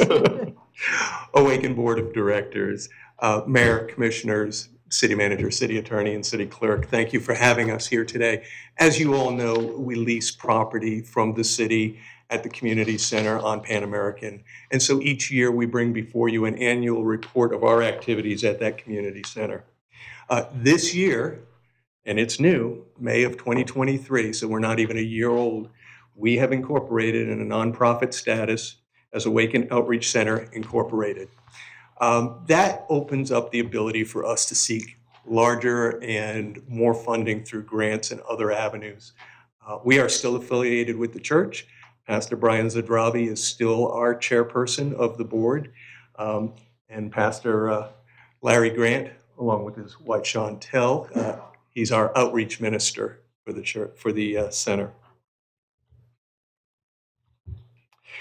We have lots of partner organizations, and first up is the city of North Port. Without us being able to get that lease and utilize those, that property for the purposes of serving the community and uh, their need of those who are underserved and undernourished in our community, um, we wouldn't be able to, to work at all. Um, we have All Faiths Food Bank, one of our major partners, Mayor's Feeding the Hungry, North Port Senior Center. Uh, they, we cohabitate with them, and they're wonderful partners. They come right alongside us, and, and we use a lot of their space from time to time uh, in joint activities. Uh, Sarasota County Schools, uniquely, uh, we sign off on students for their uh, high school graduation community service hours and also uh, for their college community service so that they can put on their applications. So it's a good partnership. The schools also provide us later on, you'll see a little bit more, um, some needs that we try to fill for them. Sarasota County Court and Probation System, uh, offenders can come to us and work off their community service. The unique part about this is a lot of them stay on longer than the hours they need to work. And it's, it's amazing. They just love the work that we're doing out there. Uh, Hope for Communities and Day for Hope, Mothers Helping Mothers. Our outreach center programs in 2023. Of course, our food pantry is our number one And we are open five days a week, with Friday being a drive-through service. Um, We've moved our hours back a little bit. We're at 8 AM is when we open until noontime. Um, We do the Day for Hope. Again, we receive the names of the children in our community who don't have the proper supplies and equipment to go to school, and those come from the school. We take them and we supply them with just about everything that they need. We have uh, food assistance registrations. Um, Pastor Larry and myself and a couple of others loaded up a 24-foot box truck and another trailer, 18-foot trailer, and headed up two days after Idalia and paid it forward to those that came to us during the hurricane. Ian, we went up there and paid it forward and opened up an, a uh, community service center there. We ran out of supplies in six hours. That's how big the need was. Care team counseling, um, community service day. Of course, we help North Port with their Easter egg hunt, the postal drive, T-shirts for turkeys, which is a wonderful way of fundraising uh, and getting turkeys for everyone for Thanksgiving. Um, we've got a new partner, Jesus Loves You. Uh, we bring in a shower trailer for those uh, that are homeless in our community and need a nice hot shower. So uh, they come to us, they set it up, and um, it's available. Uh, food pantry for Thanksgiving meals and Hope for Christmas Children's Outreach. Feeding the community, that is our primary service, it is our primary mission. Our Friday drive-through pantry sees between 600 and 750 cars, which reaches approximately 2,000 to 2,500 persons. A car is filled with food every 30 seconds, and we keep them moving as fast as we can. Our walk-up pantry operations serve an additional 700 persons a week for the extra hours that we're open. Take a look at the number on the right. Nearly 2.3 million pounds of food were served last year out of the food pantry. That's 500,000 pounds more than in 2022. The need is here. The need is great. One of our biggest things that we're seeing lately is an influx of Ukrainians who are here as refugees, and they need support in all ways not just food, but clothing and other assistance. And we're there to try and help them through whatever we can. Day for Hope, talked a little bit about that. Again, what a wonderful day to prepare people for school. They start the morning or afternoon, uh, depending on what session that they are registered for with either breakfast or lunch. We provide an eye exam, a dental checkup, a school physical, so they can play sports. They have access to community services. They receive haircuts, school photos, a backpack full of supplies, a hygiene backpack full of supplies. This is my favorite part because I usually get to do this. I give out gift cards for clothing and shoes to the children. You know, when they get a $25 or $30, $50 gift card in, in their hand and they get to go shopping for themselves. That's pretty unique for children that have not had that opportunity before. And then they walk out with food for the family. Detwiler's provides all kinds of food for us for that day.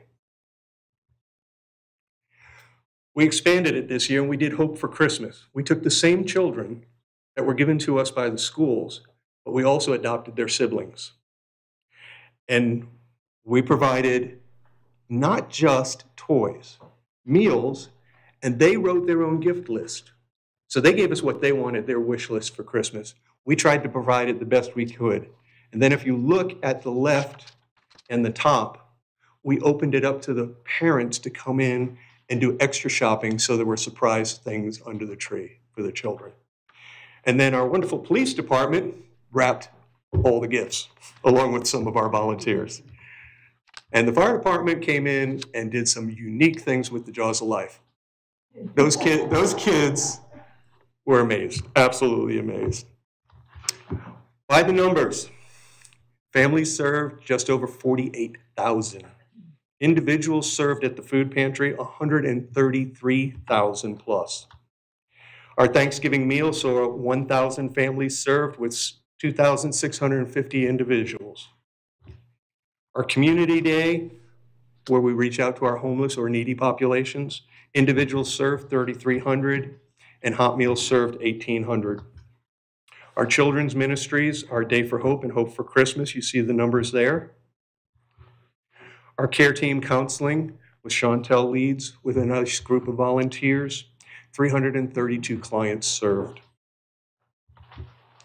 And Mothers Helping Mothers, where the Mothers Helping Mothers program brings in a trailer full of clothing and baby needs, um, toddler items, and the mothers can shop for their children and get the things that they need diapers, formula, and all kinds of things.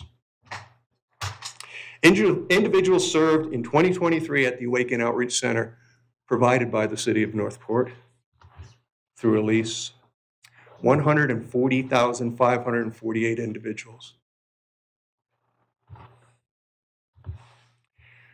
Couldn't be done without our volunteers. 35,633 volunteer item hours. Many of you, staff included, have been there and volunteered, and we appreciate it. The Awaken Outreach Center is there to meet the needs of this community, and we are also looking for additional space. We hope one day to build our own facility where we can reach out and provide more services to this community. And I want to thank you for your time, and we will take any questions if, if you have any. All right, thank you. Good seeing you again, too. Good seeing you. All right, any questions or comments? Commissioner McDowell? Extremely impressive every time you give the annual report to the commission. Um, I have no words for what Awaken Church does and your volunteers do for our community and for our citizens and visitors. Thank you very much for everything. It's Pastor Larry. Without his vision, we wouldn't be there. Commissioner Langdon? Yes, I just have to echo um, Commissioner McDowell's comments, Awaken Church. Don't tell anybody I said this, but Awaken Church is my favorite organization in the city of North Port. Um, And, and I love volunteering when I can. You guys make such a difference. And I'm delighted you've gone for your 401C, your 501c3. That will, that will Yes. indeed make a huge difference in your ability to fundraise. So um, we're lucky to have you guys here in the city. Thank you. Vice Mayor? I would just say that this city is very blessed to have you folks, all that you do for our people. Um, Perfect example of how to give back. So thank you, thank you, thank you.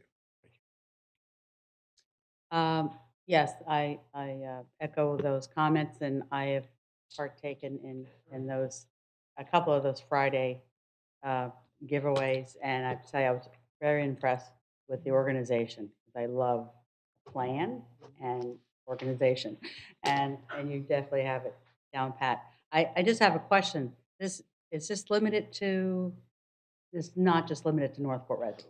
Oh, no, we serve South Sarasota County. And um, we also can serve Port Charlotte, but not through our USDA food program. So they receive other goods, but not through the USDA because it's reserved to this county. All right, and, and for those who may not know, do they have to have a card or something, or anybody can just show up? They can show up and we will register. Of course, we'll never turn anyone away that needs Right. anything, but we will register them. And that is to keep track of the numbers so that we can apply for more food. Okay, um, there are limits on, again, with any free giveaway, there are limits on income and things of that nature, but we try to supply everyone because we don't know what the needs are. Right, so do, do they have to sign up prior to the Friday, or can they just show up that day? We like them to come during one of our daytime operations Okay. at the food pantry and sign up there. Then we can have their card ready when they come in in their car and we can give it to them. And Okay. then they just move on through. Okay, I just needed a refresher on that. when Yes, we talk ma'am. to people, thank you. All right, um, I don't see anything else, so thank you so much. Thank you so much. Thank you, Joe. Uh, do we have any public comment on that? Okay. So we move on to item seven, which is public hearings. Moving on to petition A, consideration of petition PLF-23-251 Lake Spur at Wellen Park Phase 3, final plat. This is quasi judicial. Uh, City Clerk, can you read this by petition title? Consideration of petition PLF twenty-three two five one Lake Spur at Wellen Park Phase Three Final Plat. Can everyone wishing to provide testimony, please stand and raise your right hand. Do you swear or affirm that the testimony you're about to provide is true and accurate to the best of your knowledge, so help you God? I do. All right, Thank you. Uh, Now I'm going to call for disclosure of any ex parte communications. Commissioner McDowell? None. Commissioner Langdon? None. I have nothing. Vice Mayor? I also have nothing. All right. City Clerk, do we have any aggrieved parties? All right. We're going to start with presentation by the applicant.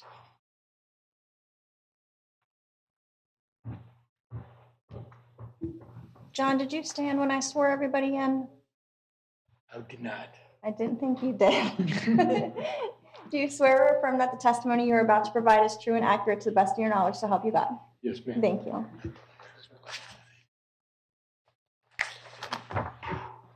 Hello, John Luczynski, Senior Vice President with Wellen Park, and I have now been sworn. Uh, This plat is for 90 additional single-family lots in Lakespur, which is in our Village K neighborhood. It'll be the last plat of that area. If you remember, uh, Village K is west of River Road, south of Manasota Beach Road, and east of West Village Parkway and north of the city-county line. The West portion is known as Everly, got 241 very upscale homes. Uh, And west part of it, or the east part of it, has Lakespur, which has single-family homes being built by Lennar and Pulte Homes. And we have some coach homes that will be offered to the marketplace later this year by Matt. This is just a continuation of the existing program. That's all I've got. Boy, that was, no pictures?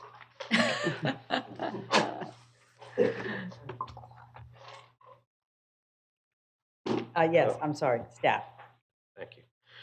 Good evening, uh, Madam Mayor, members of the uh, City Commission. Hank Flores, Planning and Zoning Manager. I have been sworn. Uh, This is the application of John Luczynski for, of Manasota Beach Ranch Lands for a final plat approval for, as he said, Lakespur at Wellen Park, Phase 3. The plat consists of 91 single-family lots and associated improvements on 29.17 acres of land located uh, see, between South River Road and Moonflower Drive here, and it's about 0.6 miles south of Manasota Beach Road. On March 7th, 2024, the Planning and Zoning Advisory Board recommended approval of the petition. The final plat was reviewed and approved by Steve Watts, PSM, for conformance with Florida statutes, Chapter 177, Part 1, and was also reviewed by city staff and found to be in conformance with Chapter 37 subdivision regulations of the Unified Land Development Code. Staff is therefore recommending approval of the proposed plat, final plat for uh, file number PLF 23-251, Lake Spur at Wellen Park, Phase 3. All right, thank you. Moving on to rebuttal by the applicant. There are none. Okay, rebuttal by staff. Uh, No, ma'am. All right, thank you. Do we have any public comment? And moving on to questions, commissioner questions. Just Wait for it. Nope, nothing. Okay. So moving on to closing arguments. No grieving party, so move to staff. Oh, well, this is what's on here. Any closing arguments? Uh, No, ma'am. Okay, applicant? None. Okay. So I close this portion of the public hearing and request a motion. I'll make a motion, Mayor. Go ahead. I move to approve the Lake Spur at Wellen Park Phase 3 final plat, petition number PLF-23-251, and find that based on competent and substantial evidence, the plat is consistent with Florida statutes, Section 177.081, the Unified Land Development Code, and the North Port Comprehensive Plan. Second. All right, we do have a motion to approve the Lake Spur at Wellen Park Phase Three Final Plat Petition Number PLF twenty-three two five one and find that based on the competent and substantial evidence, the plat is consistent with Florida Statute Section one seven seven point zero eight one, the Unified Land Development Code and the North Port Comprehensive Plan. And we have a seconded by the Vice Mayor. Anything else? Okay, let's vote.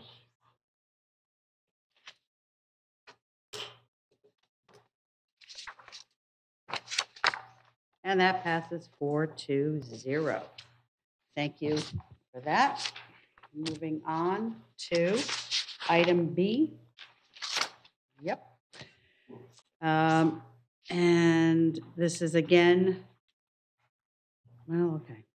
I, I will say it. CC PLF twenty-three two five nine, consideration of petition PLF twenty-three two five nine Wellen Park downtown, Phase Two, final plat. This is quasi judicial. City clerk, I already read, well, go ahead if you want to read it again, and swear in those who, I'm taking your job away from you, I'm sorry. Swear in those wishing to provide testimony. Consideration of petition PLF twenty-three two five nine, Wellen Park Downtown Phase Two, final plat. Can everyone wishing to provide testimony please stand and raise your right hand? Do you swear or affirm that the testimony you are about to provide is true and accurate to the best of your knowledge, so help you God? I do. Thank you. All right, I'm calling for disclosure of ex parte communications. Commissioner McDowell? None. Commissioner Langdon? None for me. I have nothing. Vice Mayor? Nothing here. Okay. City Clerk, do we have any aggrieved parties? None. Okay, so we're moving to presentation by the applicant. John Luczynski, Senior Vice President of Wellen Park. You This is have a- been sworn, correct? I have been sworn. At the Okay. right time this time. Yes. This is a fifty-two point two five acre parcel that's bound by four- US forty-one on the north, Radiant Way on the east, Sunglow, which has been acting as the main access from the west into downtown, and Prado. This is really a post-closing obligation. Track one oh one was acquired just about a year ago from HCA, by HCA Hospital for future hospital, and they're in the process of securing their, uh, first deal, which is gonna be the emergency room which we expect uh, in the month of April. So we should be seeing that very soon commence construction. The balance of the property is being platted in three separate tracks that we will market, you know, in the future. Mostly, we anticipate mostly non-residential uses that will play off the hospital. But they could be some type of mixed use as it ties, as you go south and east, that ties into the apartments to the east, the Trophy Apartments, and uh, obviously downtown. That's all I have. All right, thank you. All right, staff. Thank you, Madam Mayor. Uh, Hank Flores, Planning Manager, uh, Planning and Zoning Manager for the record. I have been sworn. Uh, John Luczynski of Main Street and Ranch Lands has applied for final plat approval for Wellen Park Downtown Phase Two. Final plat proposes the creation of a four-lot commercial subdivision, as he stated, 52.23 acres of land, located on the south side of South Tamiami Trail, east of Preto Boulevard, which is this road here, uh, northwest of Sunglow Boulevard, which is this other road here, and Radiant Way, which is right here. So it's the west of Radiant Way. On March 7th, 2024, the Planning and Zoning Advisory Board voted to recommend approval of the petition. The final plat was reviewed and approved by Steve Watts, PSM, for conformance with Florida statutes, Chapter 177, Part 1. It was also reviewed by city staff and found to be in conformance with Chapter 37 subdivision regulations of the Unified Land Development Code. Staff is therefore recommending approval of petition PLF 23259 for the Wellen Park Downtown Phase 2 final plat.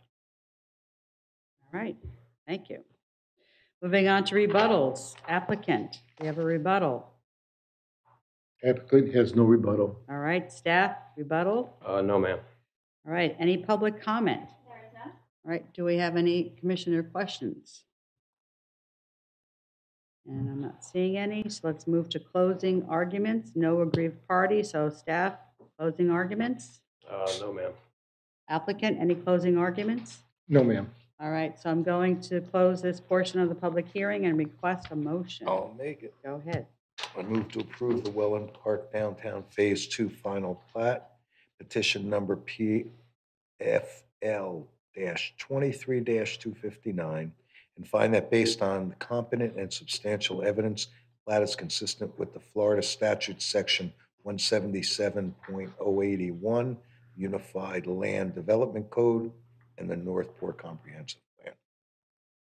All right, so we have a motion to approve the Wellen Park Downtown Phase Two Final Plat, petition number PLF twenty-three two five nine, and find that based on the competent and substantial evidence, the plat is consistent with Florida statute, section one seven seven point zero eight one, the Unified Land Development Code, and the North Port Comprehensive Plan. Do I have a second? Second. And seconded by Commissioner McDowell. If there's nothing else, let's vote.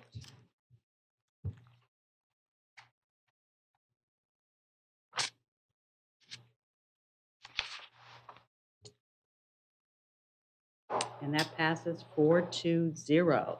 Thank you. Thank you. All right. Moving on to item C. Ordinance second reading, 2024-01. City Clerk, can you read this by title only? Ordinance number 2024-01, an ordinance of the City of North Port, Florida, adopting certain standards of the International Property Maintenance Code related to the exterior maintenance of residential and non-residential properties, buildings, and structures, amending the Code of the City of North Port, Florida, Chapter 42, Article 5, Section 42-84 through 42-86, providing for findings, providing for conflicts, providing for severability, providing for codification, and providing an effective date. All right, thank you. City Manager, this is your item. Thank you, Madam Mayor.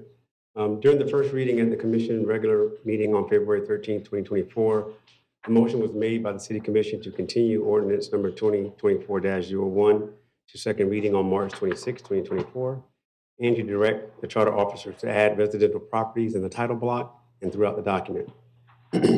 Due to the city commission's requested amendment to ordinance number 2024-01, re-advertising of the ordinance what was on March 26, 2024, commission regular meeting was required. Uh, In accordance with the Florida statute, section 166.0414, a business impact estimate was posted on the city's website on January 25th, 2024. But at this time, we ask for adoption of this resolution, and we're happy to answer any questions you may have. Okay, thank you. Um, Any commissioner questions? Commissioner McDowell? Yeah, this is a long time coming, and I want to thank staff for getting this done. Um, I do have a, a question that's more related to the citizens. Um, What are the next steps to be able to gain compliance for Lake Popeyes, uh, the Dome House, uh, the various incomplete housing um, startups that have not been touched for years? How, how does compliance look with this adoption? Good evening, Alaina Ray, Director of Development Services. Um, We first intend to educate. We will be contacting property owners that, uh, spe- specifically at first, the commercial property owners that we know have had um, some long-term problems, um, the ones that were just mentioned on the dais uh, among them. Um, We will be making them aware of this new ordinance and giving them a deadline to comply uh, with completing those repairs, or we will go through the formal code enforcement process. Um, I would imagine that those notices would go out within about 30 days uh, of the effective date of this ordinance. Uh, For the residential, um, we do understand that a lot of our residents have um, issues with hurricane damage and those types of things. So um, primarily, at first, we want to begin with the long-term issues that we've had related to some uh, burned out homes and those types of things. This gives us additional authority to address those. So we will be contacting those property owners and um, following those same steps. Um, We will be, for, for our other homes that may not be quite as severe as that, um, we will be providing additional um, education, letting them know what the ordinance says, working with them as to the steps for compliance and helping them through whatever permitting processes they might need.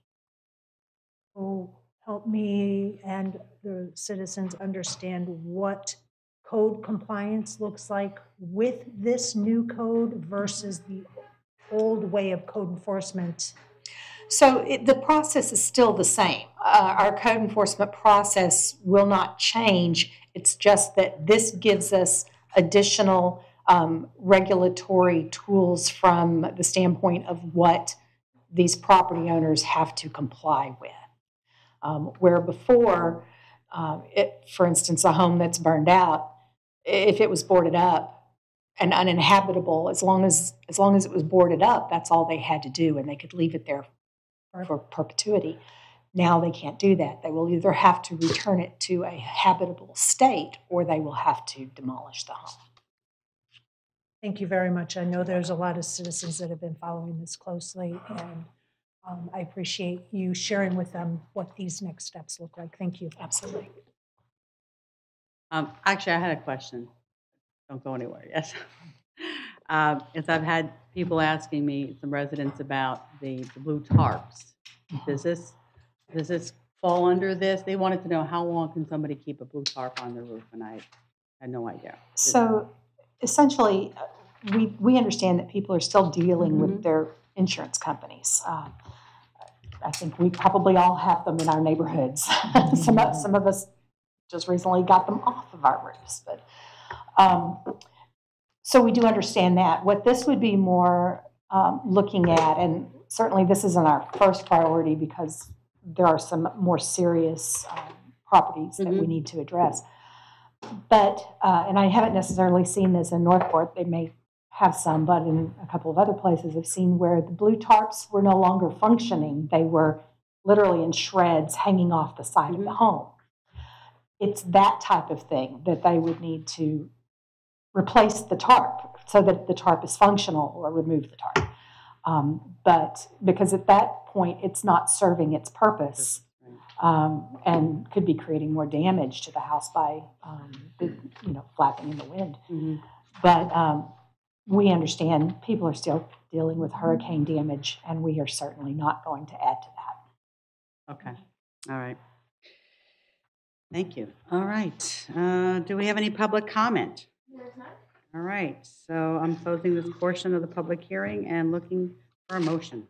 I'll give you a motion, Mayor. Go ahead. I move to adopt ordinance number 2024-01 as presented. All right, I have a motion made by Commissioner Langdon to adopt ordinance number 2024-01 as presented, and looking for a second. Second. Seconded by Commissioner McDowell. If there's nothing else, let's vote.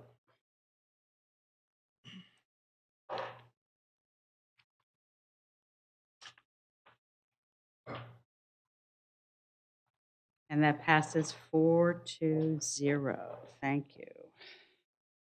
All right, moving on to ordinance first reading. Item D, ordinance number 2024-06. Uh, City Clerk, can you read this by?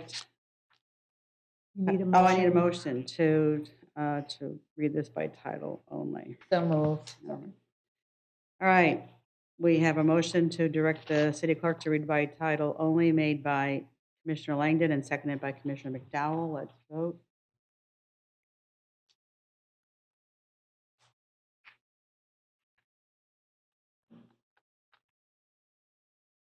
And that passes four to zero. All right, city clerk, take it away.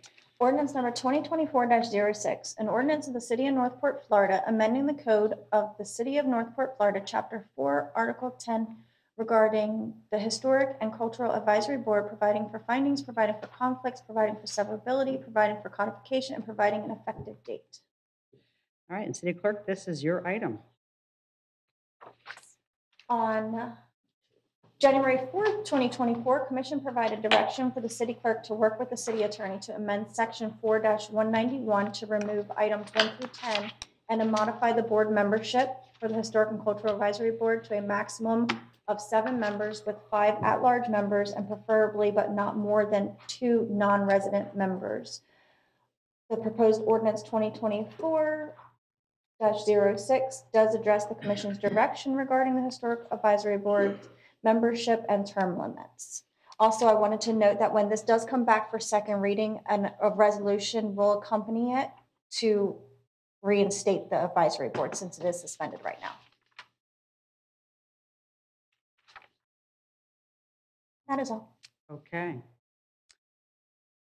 Bill, company, okay, got that. All right, Commissioner McDowell. Yeah, I, uh, I only have one question. Um, Line 63, it says, "Board members serving on April 1st, 2024 are deemed appointed to their first te- first term beginning on that date." We have no board members. We do not, but you had, the board had agreed that c- previous board members would be able to start fresh and apply once this, this ordinance is passed. So in order to make it to where they are fresh slate, they can be reappointed to the board even though they've maxed, reached their term mm-hmm. previously, we had to include that in there. So once come April 9th, we're going to, hopefully if this gets approved, we'll open the board up, take in applications, and then any board member at that point will be appointed to their first term, even though they previously served on the board. Thank you for that clarity. And, and if, if that's, if that's the case, City Clerk, I think we probably want to massage that language a little bit because to the Commissioner's point, if there are no board members in existence on April 1st, 2024, then that's going to nullify that language. But if, if the intent is as you stated, we can work on something before second reading to refine that. Thank you. All right, uh, any other questions? Commissioner McDowell, are you okay? Yeah, thank All you. right. Uh, Any public comment? All right, so I close this portion of the public hearing and looking for a motion. I'll make a motion. Okay. Um, I'll find out what, what date. Hold on. Let's see. Um, I move to continue ordinance number 2024-06 to second reading on April 9th with the change to line 63. All right, we have a motion made by Commissioner McDowell to move, uh, to continue ordinance number 2024-06 to second reading on April 9th, 2024, with the change to include line 63. Do I have a second? Second. Okay, seconded by Vice Mayor Stokes. There's nothing else? Let's vote.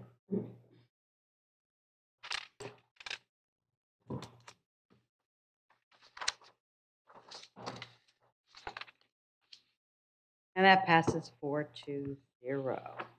All right, moving along here. Are we doing okay?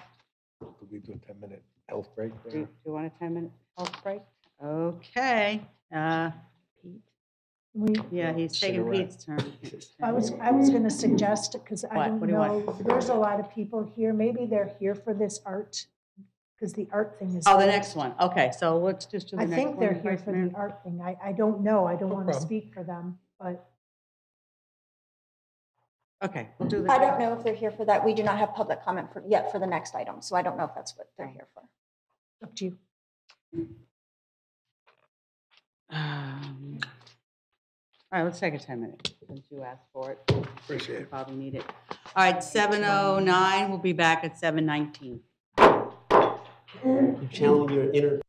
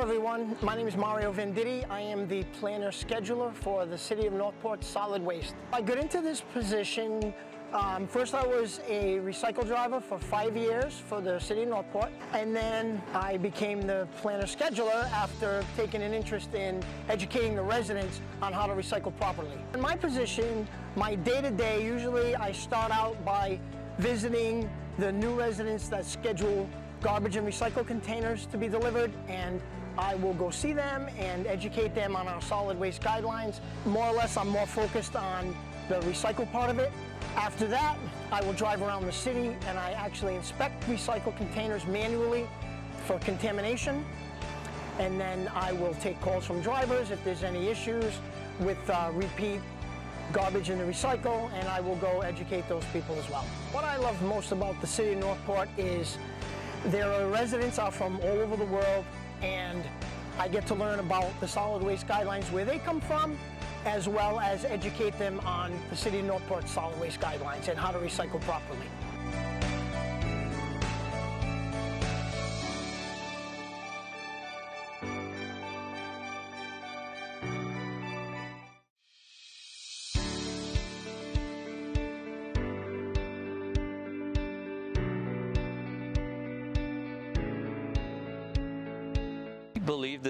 Natural Resources Department will be an in integral part for the city's growth as we want to achieve a more balanced approach of development in the future. What we really want to do is see sensible development, sustainable development, and development that is um, in line with what we ha already have here. So we want to preserve as much as we can of the uh, natural resources so there is still place for our natural species, our, our migrating birds, and all the other species that live um, and survive in our habitat. Natural systems are a big part of the ways ecosystems function, an important part for our community, our listed species. They stabilize the soil, they provide so many different benefits, including shade, limiting the heat island effect uh, within our city, providing habitat, providing shelter for these species,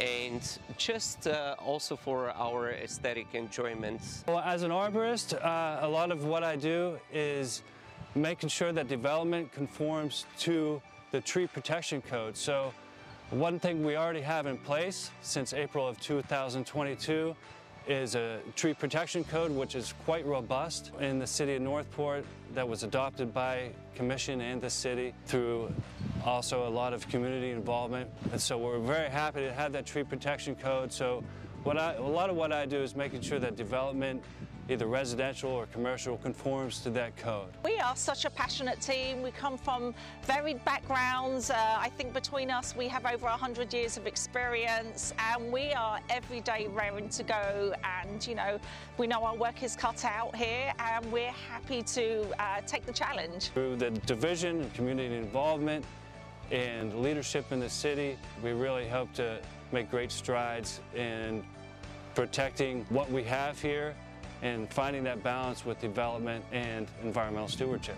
I am excited to be a part of this team and I'm really seeking and looking forward to the opportunities for us to be able to make a difference.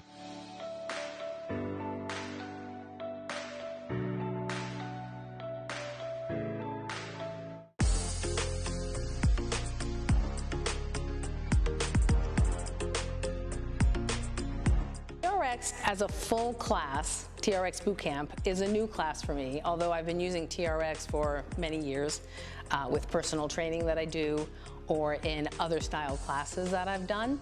But an actual focus with just TRX, this is a new class for me. I love the camaraderie, I have to say, um, with all the participants. I think we have a lot of fun. First of all, everyone gets to use the bands, the TRX bands, of course. And being that we have five stations, so when we have overflow or more than five people, part of the people are on the band, the other people are doing floor work, and then we'll switch. So everybody gets an opportunity to be in all stations. Just come in, have fun with it, make it your own. It's not scary, it doesn't have to be intimidating at all. You're using your body weight, you're using the angles that you choose to use on the bands, and it just varies with how you're comfortable and how you're feeling when you're here.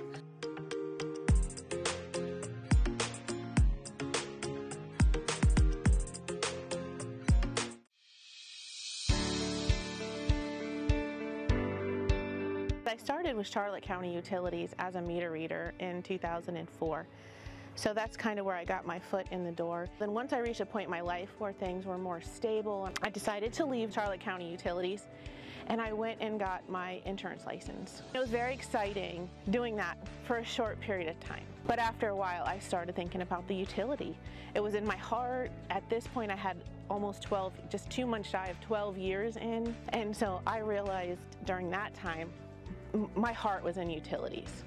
And so I started looking around again. I seen an opening here to be a C&D tech. So I applied and I got in. Typically I get here at seven in the morning. I get my list of, you know, if I can get to this, this is what I need to do. And I get in my truck. If, if I need any supplies, parts, tools based off of the work I was given that morning, I'll pick that up here at our shop. And then I head out and um, my goal for the day is just to get as much work as that was assigned to me done as possible. And sometimes that happens, and other times there's a lot of first response calls that come in. My favorite part is the uniqueness. It's um, not knowing what I'm going to be faced with every day. It could be different. It's not mundane in any way. And it's exciting when you get a call and you're you're on your way and you don't know what it is and you you have the experience and the know-how and the backing to face whatever it's going to be. So I feel very confident in facing these calls and I think that's my favorite part.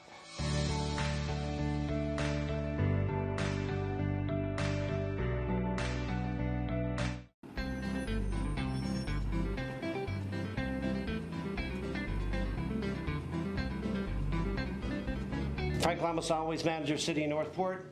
Uh, here today with Mario Venditti, planner schedule for the City of North Port, Solid Waste Division. We're going to talk about bulk pickups today, uh, how to schedule bulk pickups, what should go out and what should not go out to the curb, where to place the items, and then what happens if you have more than what's allotted for you for the year for a bulk pickup. So Mario, I know we call 941-240-8050, talk to our customer service reps. That's correct. About how to schedule a bulk pickup. How else can we do that? You Can also go on our website, northportfl.gov, click on solid waste, and fill out a bulk request form. Excellent, excellent. So Mario, what about uh, if a person wants to place it out, what should they place out?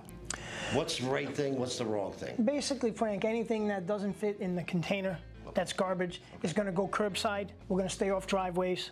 What's not accepted is tires, chemicals, stuff like that. You can put yard waste out. That's considered bulk. But just make sure it's separate from the. Okay, it's 7:19, and I call this meeting back to order. All right, we're moving on to item eight, general business, 24-0358. City manager, this is your item. Thank you, Madam Mayor. This is discussion and possible action regarding the City Commission previous action relating to the placement of artwork near Walgreens and Heron Creek and possible direction related to the associated recommendation from the Art Advisory Board for artwork. Um, I will call down Ms. Sandy Pfundheller, our Parks and Rec Director. Good evening, everyone. Sandy Pfundheller, Parks and Recreation Director. So today, staff is requesting direction uh, on two items. The first is related to lo- the location of a proposed piece of art in conjunction with a developer contribution. And the second is for approval of the sculpture recommended by the Art Advisory Board. While efforts towards this project started in March of 2021, uh, through the process, staff have determined that the sculpture cannot be placed in the location originally directed, which is at the Walgreens at the corner of Price and Sumter, due to the absence of an easement. As a result, Public Works has recommended an alternate location near the new Greenway Trail on Price Boulevard, which is owned by the city, but still in proximity to Heron Creek. Um, I'd like to have Recreation Manager Shelby Mendelson, who serves as the staff liaison to the Art Advisory Board, to come up and provide some details on the proposed sculpture. Good evening, Shelby Mendelson, Recreation Manager. During the City Commission regular meeting on December 14th, 2021, the Art Advisory Board was tasked with identifying a low-maintenance piece of art to be placed near the Walgreens at the corner of Sumter and Price Boulevard. with the artwork oriented to provide maximum visibility of the piece from the intersection. Additionally, direction was provided for the city attorney to review the legalities of removing and replacing artwork at this location. In relation to the review by the city attorney, an update was provided indicating there could be consideration for other locations in this area, provided there was approval from the developer, and access to private property was legally authorized by the property owner. As part of the Art Advisory Board efforts to identify a piece of art for this project, a presentation was scheduled during the May 9th, 2023 Art Advisory Board meeting where local artist Mike Halligan proposed a sculpture created through the utilization of salvaged materials from Hurricane Ian. The sculpture symbolizes the strength of the North Port community rebuilding in light of tragedy. On December 19th, 2023, after receiving additional supporting information related to the proposal, the Art Advisory Board made a recommendation to submit Mr. Halligan's project to the City Commission for approval. Mr. Halligan is here today um, to speak on the sculpture, the materials, and the anticipated process. Okay.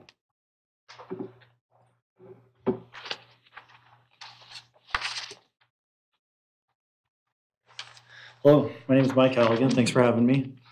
Um, I own a small business here in North Port. Uh, we do a lot of custom woodworking stuff, um, commercial from from commercial to artwork to residential, you name it. Um, after the hurricane, we started salvaging logs. Um, we cut a bunch of trees out of the road, and then I realized that uh, I'm from Oregon. I've lived here for a handful of years, but we realized that a lot of these were tropical trees and woods that we don't get often in Oregon, can't find. So I started stacking them up.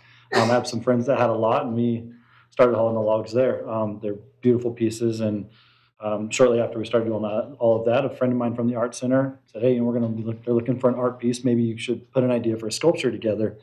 Um, throughout the storm and, and the days after, we did a ton of search and rescue stuff with some friends of mine. My shop on Toledo Blade, for whatever reason, never lost power, so we just opened up, turned the air conditioner on, and had people start sleeping there. I have a picture of about 100 people sleeping on my floor in my shop. Um, so we just we literally stacked a table saw on top of my CNC machine to make room. Um, and it just kind of it spoke to the community here, and I, I, felt welcome since the day we moved into town, and um, and it just kind of sparked the uh, image, I guess, in my head of what this sculpture could look like. And, and um, my my intention would be this this rendering is was very rough; it's hard to convey digitally. Um, but I, I, have a couple of logs set aside for this project. Um, once you cut into these, you never know what you're going to get. So we'll basically um, start processing three or four of them and pick the best one throughout the process that would, that's most um, stable and, and would work the best. But then our intention was to essentially have jagged metal, for lack of a better term, to kind of uh, show what this town went through and have it all come out and start and, and end as nice flowing um, flower petals and stems and things. Um, mounted to a, a, large aluminum base, and then I think there's some some stuff in about um, it'll be mounted to a, a large concrete pad, and we'll, we'll put some additional anchors and stuff in that. Um, kind of make it a cool functional piece of art. It'll shed some rain and, and look neat. Okay, thank you. So if, if that's all we have, so if you have questions, Yes, um, any one of the three of us can help answer those. Okay, great. Uh, Commissioner McDowell? So I think I'm the lone commissioner sitting up here that started the process with the spoon bill. And I have learned from that experience. So my first questions have to do with the materials. So I understand aluminum, and you're going to be using wood. I want to find out what steps are going to be taken to prevent the aluminum from corroding and the wood from deteriorating and being eaten by pests. So our, our initial intentions with the wood will be, so uh, again, the rendering is kind of hard to convey digitally what we're thinking, but everywhere that that aluminum goes, goes into the wood, we'll bore a large hole through it and it'll be a, a con- continuous piece through it.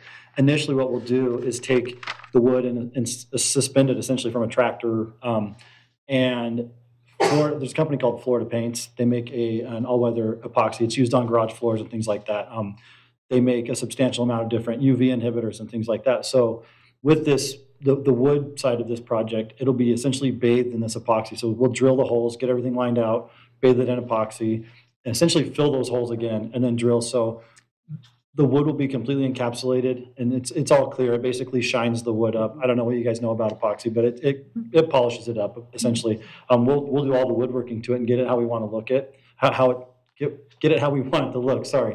And then, um, essentially encapsulate it in this epoxy resin. Um, after that, we'll, we'll re-drill the holes in the same spot, but the inside of those holes will be drilled a bit smaller, so the wood is completely covered in resin. As far as the aluminum goes, um, that will be a combination of being anodized and powder coated, um, and then it's essentially protected. Uh, I, I wouldn't say forever, but for a very long time, probably longer than any of us will be around. Phew, you've learned from the spoonbill too then. Um, The only other question I have, and, and I, I mean no disrespect, because I know artists' labor and time is money, and I get all that. But to have more than fifty percent of a deposit, that is concerning to me.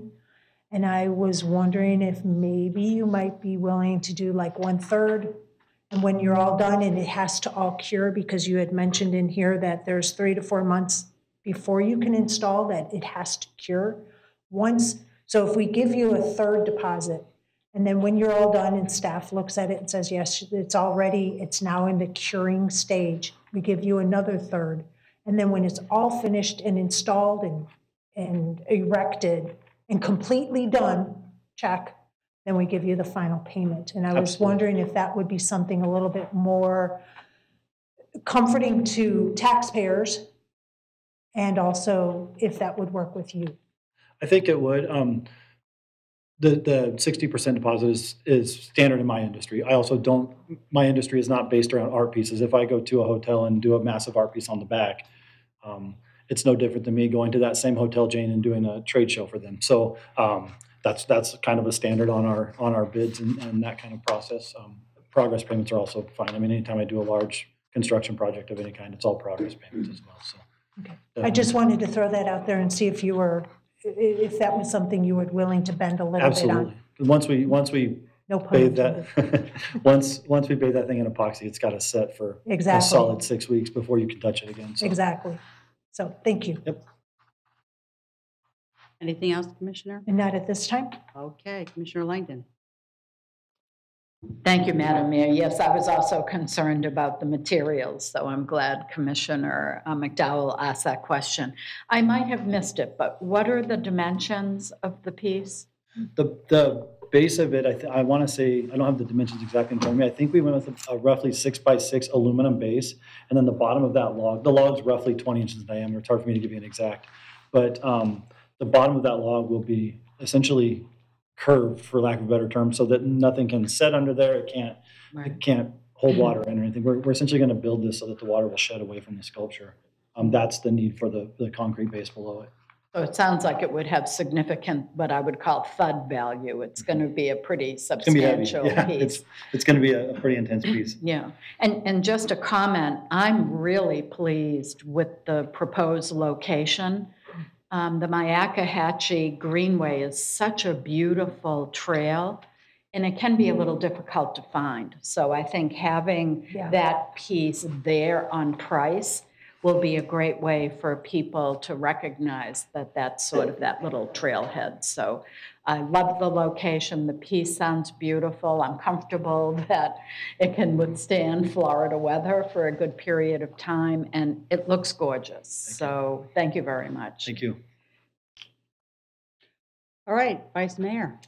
Just a comment, it's a beautiful piece. It will look great there. It really will. All right, uh, Commissioner McDowell? Yeah, I have a follow-up question. Could you bring that back up, please? The picture of it?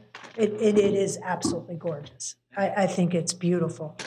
Can you, so the base is six feet by six feet. How tall would you say that base is going to be with the concrete pad and, and the base of your piece? So the, the, if you, you can kind of see in here, we, we, um, again, it's hard to convey digitally. Um, the, the concrete itself will be about four inches. Then we will go ahead and drill anchors into that and we'll use stainless hardware to bolt that thing to. And then it will have, I want to say it was like an eight inch, um, aluminum base on it that will essentially be a grid pattern, like the sculptures over here at the assisted living place, similar to that, that build, um, again, to allow water and everything to shed off it, it can't puddle up. How far from the bottom where the log is? The log is sitting on the base. How far from the bottom up to where that first branch or green, the green part would be? How, how big is that? Our intention was initially to go kind of low, but then we started thinking about, we probably want it above like standard head height, so we don't have kids climbing on it or people trying to vandalize it. So I was kind of thinking six or seven feet, so you, you couldn't climb it. I mean, you'd have to be pretty, pretty proficient at climbing to get up there. Um, Now that I'm thinking about it, even higher, because I can reach eight feet, so. um, Because I can reach up. you Yeah, know, I- and, and we don't want anybody trying to hang from it or, or do anything to it. That's exactly where I was going. I, I was looking at this, and when you mentioned the thug value, I was like, oh, that's right by the high school, middle school. The, the, the trail is beautiful, but it's also right next to the park. I didn't want this to become the next jungle gym. Right, the initial height requirements, I want to say was like between ten and twelve feet. That was my maximum because of the, the initial location. I don't, I don't have to conform to that if, if, if the new site doesn't, doesn't require me to. I can go a little bit higher. I'm gonna move those up a little bit so that they're not accessible. And how tall would you say it's gonna go from Initially, it was gonna be twelve feet. I was gonna push every inch of it. Yeah, I, I, and I'm sure staff and you will get together and work out all the logistics to keep it safe, so we don't have to put security around it or a fence around it, or, it- that's the last thing I want to do. I don't want, I don't want this to be something that we go, "Oh, why didn't we think of that? So, thank you. Thank you. I had, I had a question about, um, well, just to clarify, you said 12 feet. Is that from bottom to top, or is that once the, the green starts? Bottom to top was, was twelve feet initially because that was the parameters that we were given. Um, Okay. But I had a question uh, about the location of that. I do have concerns about where it is, actually. Um, uh, Commissioner McDowell kind of alluded to it. It really is not in a, in an area that people go to. And I'm concerned about vandalism there, uh, that it's an easy target for graffiti. I know that's at the end of the trail, but there's no way for anybody to actually view it um, unless they park at Butler, and it's not a pedestrian, as you know, friendly way to get from Butler, Butler Park, the shop, the uh, parking lot, to where that is, because you have to walk over the bridge. Anyway, I, I'm sorry.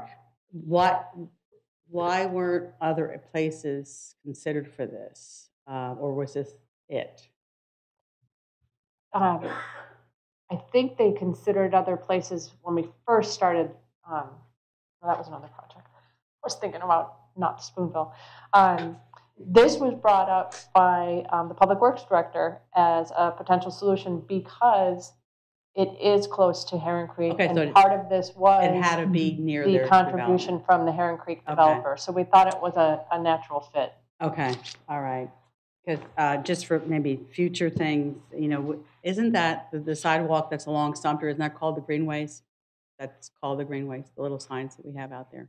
There are signs that call Yeah, that. yeah, because there's, we have, we have gazebos out along there, and I just thought that it's kind of like begging for art, or sculpture, and I like to think of public art too as a, uh, a draw, like a discovery thing, when people drive by and they say, hey, look at that, what's that? And this will entice them to go walk along a walkway, whereas like I just said in But- Butler Park, it's awkward to get to that entrance, as opposed to people are parking on Appomattox to use that trail. They're not really parking at the other. And if they do, they have to walk across the bridge, and it's a very narrow. Do you know what I'm We, talking un- about? we understand, actually, Yeah. people are parking at both ends. Yeah. Um, It's very popular, there are a lot of Right, people that a are using that trail right now. Yeah. Um, And once um, we get to that uh, widening of Price Boulevard on that project, Yeah, yeah. um, It could then be we act- would an have that actual sidewalk, because I don't think connection that's a sidewalk on there, that's just kind of like, so they can work on the bridge type Yeah, thing, right now it is, correct. Right, okay. All right. Um, And is this going to be lit at night or no? Um, we hadn't, we hadn't talked about that. Um, I don't believe that there is, um, electric there Mm. that we would be able to access. Like solar, maybe? We A could lot, look a at lot that. of places are u- utilizing solar We could look at it. lights, yeah. Okay. All right, Commissioner McDowell. Yeah. What about putting it at the Appomattox entrance instead of the Price Boulevard entrance? Keeping the height higher to prevent monkey Traffic. climbers and, um, but this way it's, it's a little bit more noticeable to Mayor's point, and it's still near the Heron Creek development. I, I, I don't know. We'd have to go back and get approvals um, if we were going to change the Oh, location. because we already got it from Mr. York, that's right. All right. All right. You know what, maybe this is a good meeting place, and it, it will then draw the attention to this new park, and word's getting out. It's, it's very popular. Mhm. Oh, yeah, yeah. I was just concerned about, you know, vandalism out there, but, okay. And I know I like to put this thing to rest. I know. I, that's why I, I stopped with uh, Appomattox as soon as you said about the approvals. I know, it's like, forget it, you lost me. Um, uh, Commissioner Langdon. Just quick, I'm always quick. That's good. Just the traffic count on Price, so many more people are going to see it at that Mhm. location than Absolutely. on Appomattox. So I think it's, it's a perfect location. Vandalism is a concern wherever we put it. So um, I'm good. Okay, all right, you're good. All right, uh, do we have any public comment? We we don't? Okay. All right, so then I'm looking for a motion. I'll do it. Go ahead, Commi- uh, Commissioner Langdon. Okay, thank you. Um, I'd like to direct city manager to move forward with the installation of the artwork as presented by Mike Halligan to be located near the Myakkahatchee Creek Greenway Trail along Price Boulevard in an amount not to exceed $45,000. A second for discussion. All right, we have a motion made by Commissioner Langdon to direct the city manager to move forward with the installation of the artwork as presented by Mike Halligan to be located near the Myakkahatchee Creek Greenway Trail along Price Boulevard in an amount not to exceed $45,000, and that was seconded by Commissioner McDowell. And Commissioner McDowell, did you? Yeah, my first question had to do with, um, do we need to give direction to take the money out of art fund, or is that understood and, or do we need to give that direction also? No, that's, that's part of the financial impact, and we would come back um, and uh, do that as a budget amendment. Okay, so I think then my next question goes back to the artist. Would you be willing to do a 33, a third, a third, a third um, for payment instead of the 60/40? Yes, we can break it Okay, in three. I'd like to make an amendment. Mm-hmm. Go ahead. Um, I'd like to make an amendment to change the deposit amount and um, payment in one-third intervals, um, starting with the de- initial deposit, and then another third at the time of completion during the curing process, and then the final third at the um, installation completion. All right, we have a motion made by Commissioner McDowell, I'm going to ask. the city- Amendment. uh, An amendment, uh, made by Commissioner McDowell. I'm going to ask the city clerk to read that back, because you were very specific about what you wanted to see there. To change the deposit, deposit and payment to be in one-third increments of an initial deposit, one-third during completion and curing process, and another one-third at the final installation. All right, do I have a second for that? Yeah, I'll second it. Okay. Seconded by Vice Mayor. If there's nothing, any other discussion? Thank you. Thank you. All right, let's vote on the amendment.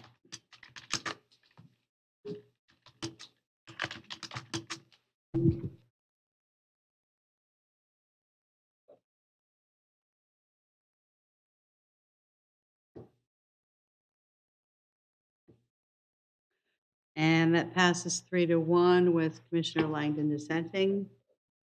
You want to comment? Um, yes, I do. I thought the original payment um, situation was acceptable, so I didn't see any reason to change it. All right. Thank you. So let's vote on the original motion. As amended.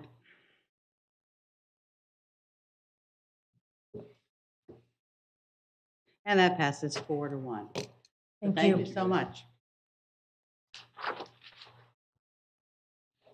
I'm sorry. I Just heard what I said. That passes four to zero. I thought you said one. and then- Yes, I did. I know, I did. So wait a minute, maybe I should have had a cup of coffee during our break there. Okay, I'm sorry. Um, Let's move on to item B. Uh, Discussion and possible action regarding approval of the March 5th, 2024 Commission regular meeting minutes. Uh, City Clerk, this is your item. The draft minutes were submitted to commission for review on March 7, 2024, and Commissioner McDowell provided suggested changes on March 5, 2024. Those changes were taken into consideration and made and are in the um, minutes that have been provided for approval. Okay. Do we have any questions? Do we have any public comment? So I'm looking for a motion. I'll make it. Go ahead, Vice Mayor. Move to approve the March 5th, 2024 meeting minutes as presented with the recommended changes. Okay, we have a motion to approve those March 5th, 2024 meeting minutes as presented with the recommended changes made by Vice Mayor Stokes. I'm looking for a second. Second. Seconded by Commissioner McDowell. If there's nothing else, uh, let's vote.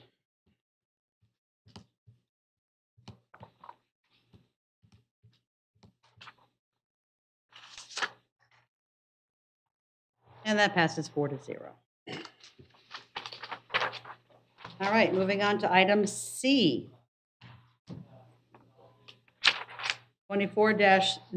24-0490. Uh, City Manager, this is your item. Thank you, Madam Mayor. This item is discussion and possible action regarding a potential referendum for charter amendment regarding the city's bonding authority, a potential referendum authorizing bonds and other funding options for the police department headquarters project. Um, You will notice that we attached the bond language that we have captured from our co- previous conversations uh, attached to the item, which outlines our current proposal of up to $50 million in surtax maturing, as well as $35 million paid from ad valorem property taxes. We did want to get your feedback on that this evening, as well as there were a few motions that were given to us on March the 7th. And one was to direct us to proceed with the $122 million growth to 2065 plan.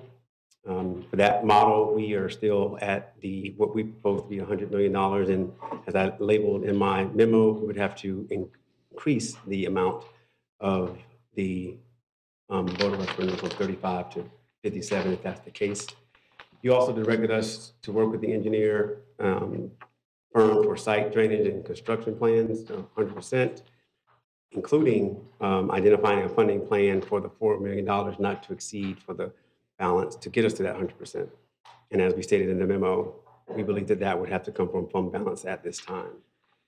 You also uh, directed us to schedule a meeting with the Chamber of Commerce, and that meeting is scheduled for Tuesday, April the 2nd. And you also directed um, us to work on alternative options of a lease buyback for construction of the headquarters as well. And the Attorney's Office put together a great table that outlined um, information that she has received and compiled. So today, this evening, we really wanted to get your feedback on the bond referendum draft language because it does have deadlines. We want to make sure that the language is correct, even if you change the numbers as we get to further information. Following today's conversation, you will have a meeting on April the 1st that will go over the surtax list and the CIP list, see if there are any changes that you would like to influence your decision-making, as well as um, you will not make a decision until you meet with the Chamber of Commerce, who we have stated and will restate is a valuable partner of ours, and we would like to hear them and talk to them and have a conversation before you make um, your final decision as we move forward.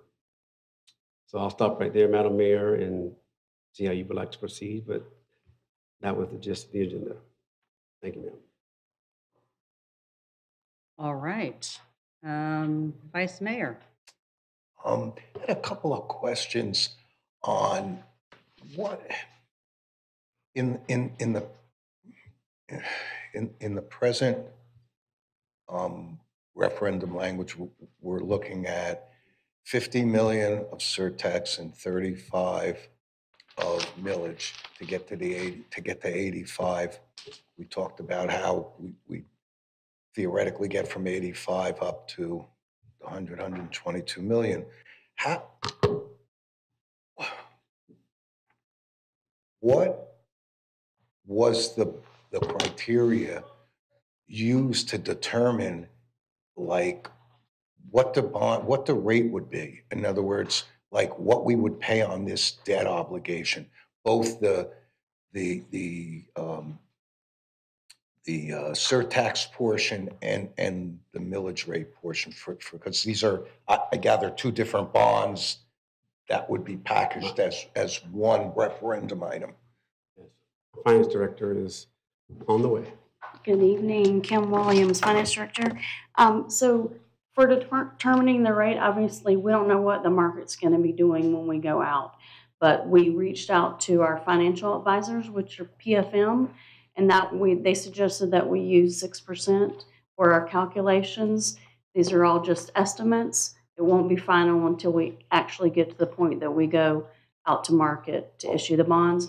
Look for the best rate, whether it's bonds, a bank loan, the, the best deal that we can get for the city at that time. And, and are, that's, I mean, are they underwriters? Do they, do they actually, are they in the market? I, I mean, only because, you know, I question when you actually put a bond offering together. I mean, very often you find that, you know, those numbers, if it's a, a general obligation bond, it's, it's a point to two points less than a, than a revenue bond. So I get, I guess my question is how, how really refined is this? And, the reason I ask it is, we're looking at presently 50 million, well, a bond, uh, two bonds, one that would be funded from 50 million in surtax, the other to be funded 35 million from a millage rate increase that the voters would be asked to vote on. And my concern, and it's been all along, is that um, the utilization of surtax provides a much broader base of parties who contribute to the, to the payment of this safety building, okay? Um, not only do we have property owners, but we have renters, we have tourists, we have snowbirds, we have people who shop all over the county who may not even come to North Port, but because we get a prorated share of the county surtax, and we are the fastest growing, we get, based on population, other than the school board, the greatest share. And my concern's been that, you know, the, this police headquarters is, I believe, a necessity. And it is a need, it is not a want. And I believe that the possibility exists with a deep dive into the surtax. So far, that 50 million was Price Boulevard widening two. Phase one is moving along. Phase two is a need, but may not have the highest level of priority equal to a police headquarters that provides safety to our citizens. But there are a plethora of projects in surtax. And to, to, to take the approach of asking our citizens to vote themselves a property tax increase, I would love to see us try to finance the vast majority, if not all, of this project out of surtax, grant monies, impact fees granted there, as we talked last meeting, almost non-existent now, but, and the general fund could grow over the years. And if this were to be spread over a period of years where surtax was the primary funding of this, we would allow our city to grow both property owners residentially as well as commercially. So if the need arose down the line to look at the potential of millage increases to pay for some of this, we would have a broader base to draw from. And I guess what I'm saying is that to sit here and say 50 million's coming from surtax price widening two, and 35 coming from a millage rate increase, and, and quite frankly, that's only 85. I mean, to get that number to where we need it to be, we're not looking at 35. We're looking at another 10 or 20 million dollars, which is, in my estimation, asking citizens to vote for over a 10% increase. And I say, why would we ask them to do it if we could fund this through wants in the surtax pile? So I would look, before we even look at the language for this referendum, I would love to do a deep dive into every single surtax project and look to see, could we get that number to 70, 80 million? Thank you, Mr. Vi- Vice Mayor, and we are having that conversation on April the 1st, and that's when you will have the entire list. We as a staff could not take the liberty of removing any projects. That is something we could not do, and we've um, rearranged one major project at the end, and we're still having conversations about that as well. I would just say, as someone who has been here for two and a half years, and I've seen this list sort of evolve over that time, there are a lot of department staff, commissioners, and citizens who are connected to a lot of these projects that have been already shifted. And when we do shift something for the police headquarters, which I think everyone knows where I stand on that, there are unintended consequences of moving the items around. So we plan on having a very delicate conversation on Monday to allow you to hear from, you know, everyone involved to get to the goal of reducing the burden on the taxpayers as much as possible. I appreciate that. Uh, Again, I, you know, ask the average citizen, in my opinion, whether or not they want to vote themselves a property tax increase or put a hold on wanted surtax projects. I, think that the answer would stand for itself. And, and the idea here is to get a police headquarters built because it is in need and it's a righteous ask. So again, I don't know how we talk. I, I know I went into that Monday meeting, that first of April meeting, because we're sitting here and, and you would like us to talk about this referendum language and it, it, it doesn't have any applicability to where I think we're going to end up, or I hope we're going to end up. Well, and Mr. Vice Mayor, so this was the direction we were given prior. So we're trying to update you in real time so that you will see that unless there's a glaring um, objection to this language, if you settle on numbers that go down this pathway, this is what it will look like.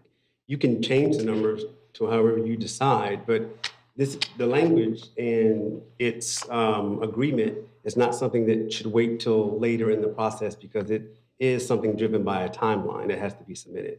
So you- I, I would not ask you to say, yes, this is the exact language because we've decided on 50 million and 35 million tonight, but the numbers being um, variable, we hope that you agree with the language and the way that it reads.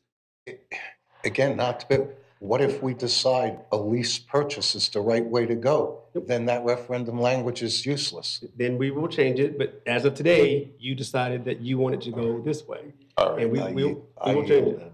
Okay. Thank you.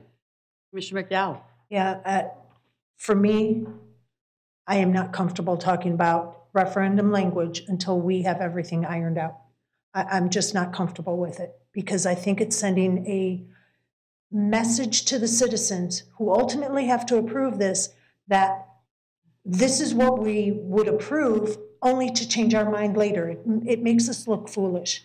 If we change the numbers or we change which bond it's going to be, or if we're going to go with a lease thing, I would be much more amenable to discussing the referendum language after we figure out how we're going to finance this. Um, we have four months to get the bond referendum language to the supervisor of elections. And I know four months may not seem like a long time, but It's not something we have to do tonight either. Um, The language, I do have some questions about the language. I don't know if now would be appropriate. I, I just don't feel comfortable with this pathway. Um, With the millage rate and the surtax, we haven't talked to our partner yet. That's after the fact on Tuesday. We can wait another couple weeks for this discussion, in my opinion. Um, There's a lot of other things that we need to focus on, and right now, this, this can wait.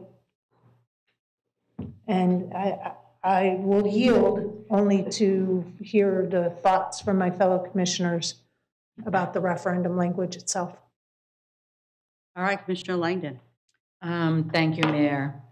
I am never one to wait on something um, that should be done today. However, um, I want to make sure we structure this thing, that whether it's a bond issuance, there are so many different ways to structure a bond issuance, and they all have a direct impact on debt service, um, different ways of structuring the payments. Um, They can be even throughout the, the life of the issuance, or it can vary, less now, more later, more now, less later. All have strategic implications. And, and I just don't feel that we as um, a team have really looked at all the different ways we can do this and, and what the impact might be. Um, because again, I think it's important that we minimize debt service. And if we can minimize or even eliminate the need to rely on a millage rate increase, then I, I want to take a look at those options. Um, I, I just don't feel we've, we've really looked at or discussed as a team a lease purchase. Again, there are different ways of doing that that have implications on debt service cost and, and that kind of thing. So um, I really feel that looking at the language of this referendum question is premature. I agree with my fellow commissioners on that. Um, and we do have a workshop coming up that might provide us with an opportunity to look at that. Um, City Attorney did a great job of sort of analyzing which options are possible and um, what some of the issues might be with them. But but obviously, she didn't include a financial impact. That's not her role. So uh, I'm just feeling that looking at referendum language tonight is premature. Um, and I'd like to wait until we can have deeper discussions on options. Okay. um, Mr. Stokes. Yeah, um, i- i- you know, I sort of echo Commissioner uh, Langdon's position. I- Until, and, and and Commissioner McDowell's, w- i- we need to, to me, focus on the structure of the funding options. You know, how do we do this? It it is, is the best thing to do uh, uh, two bonds in a referendum as envisioned, the 50 and 35? Would it be better to do a general obligation bond for 85 million or 100 million? Would it be better to do a lease purchase? It's like just recently, um, the county just did a new medical examiner's building. They did it with a lease to purchase. It has to go, in our case, would go to referendum. Public would have to vote on it, so there's no problem there. But at the same time, um, it's the structure of how to do this that's important. When we talk about our outside advisors, financial advisors, does that mean, is that our bond counsel? It- Are that, are they underwriters? I mean, there are professionals, third-party professionals who are experts at structuring debt instruments like this. and giving advice as to how to best get this project done. I feel like we're putting a little cart before the horse and, and, and, and I know that there's this August deadline, but quite frankly, we need to get this right. It's a huge ask. And if there's any way humanly possible to do this without asking people to give themselves a property tax increase, then by God, we should find a way to do it. And we don't have, in my opinion, this commission doesn't have the expertise to do it.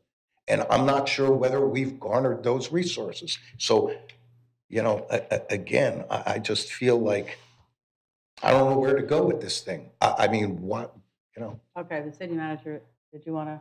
Yeah, just for a little bit of history, we did this because we've already had prior conversations about the bond language. Mm-hmm. If we were to wait and not bring you anything, you would say, well, we didn't like this, why wouldn't you show us earlier? When you talk about going out to get the answer of how to get it bonded and the different ways of getting it bonded, the first question they're gonna ask is, how much do you want to borrow? What's the answer to that question? We don't know that yet.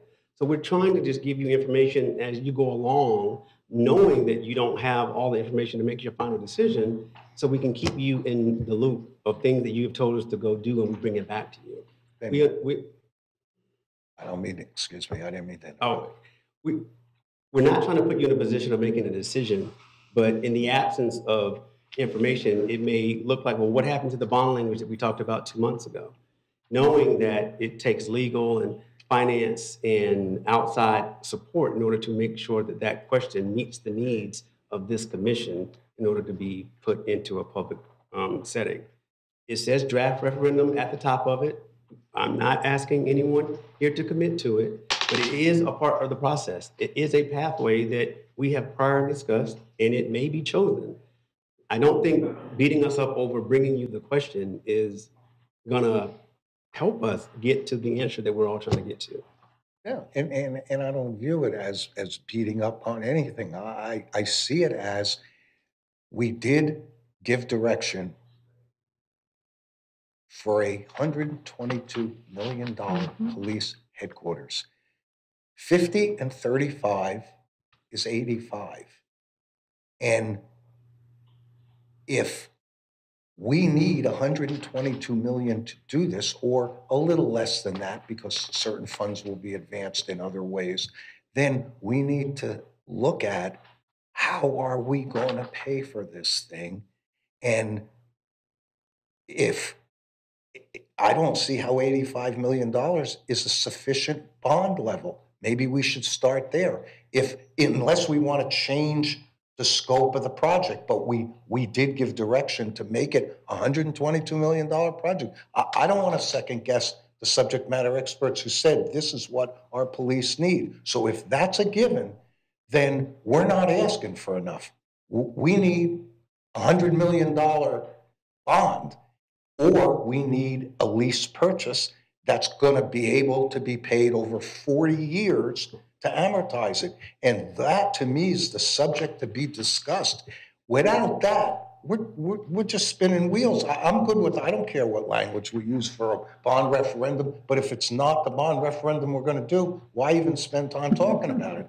We really need to answer that question. We're, we're in, in the information staff supplied us just yesterday, it indicated that if we needed to go beyond 85 million, it would require taking that 35 million of millage rate up higher.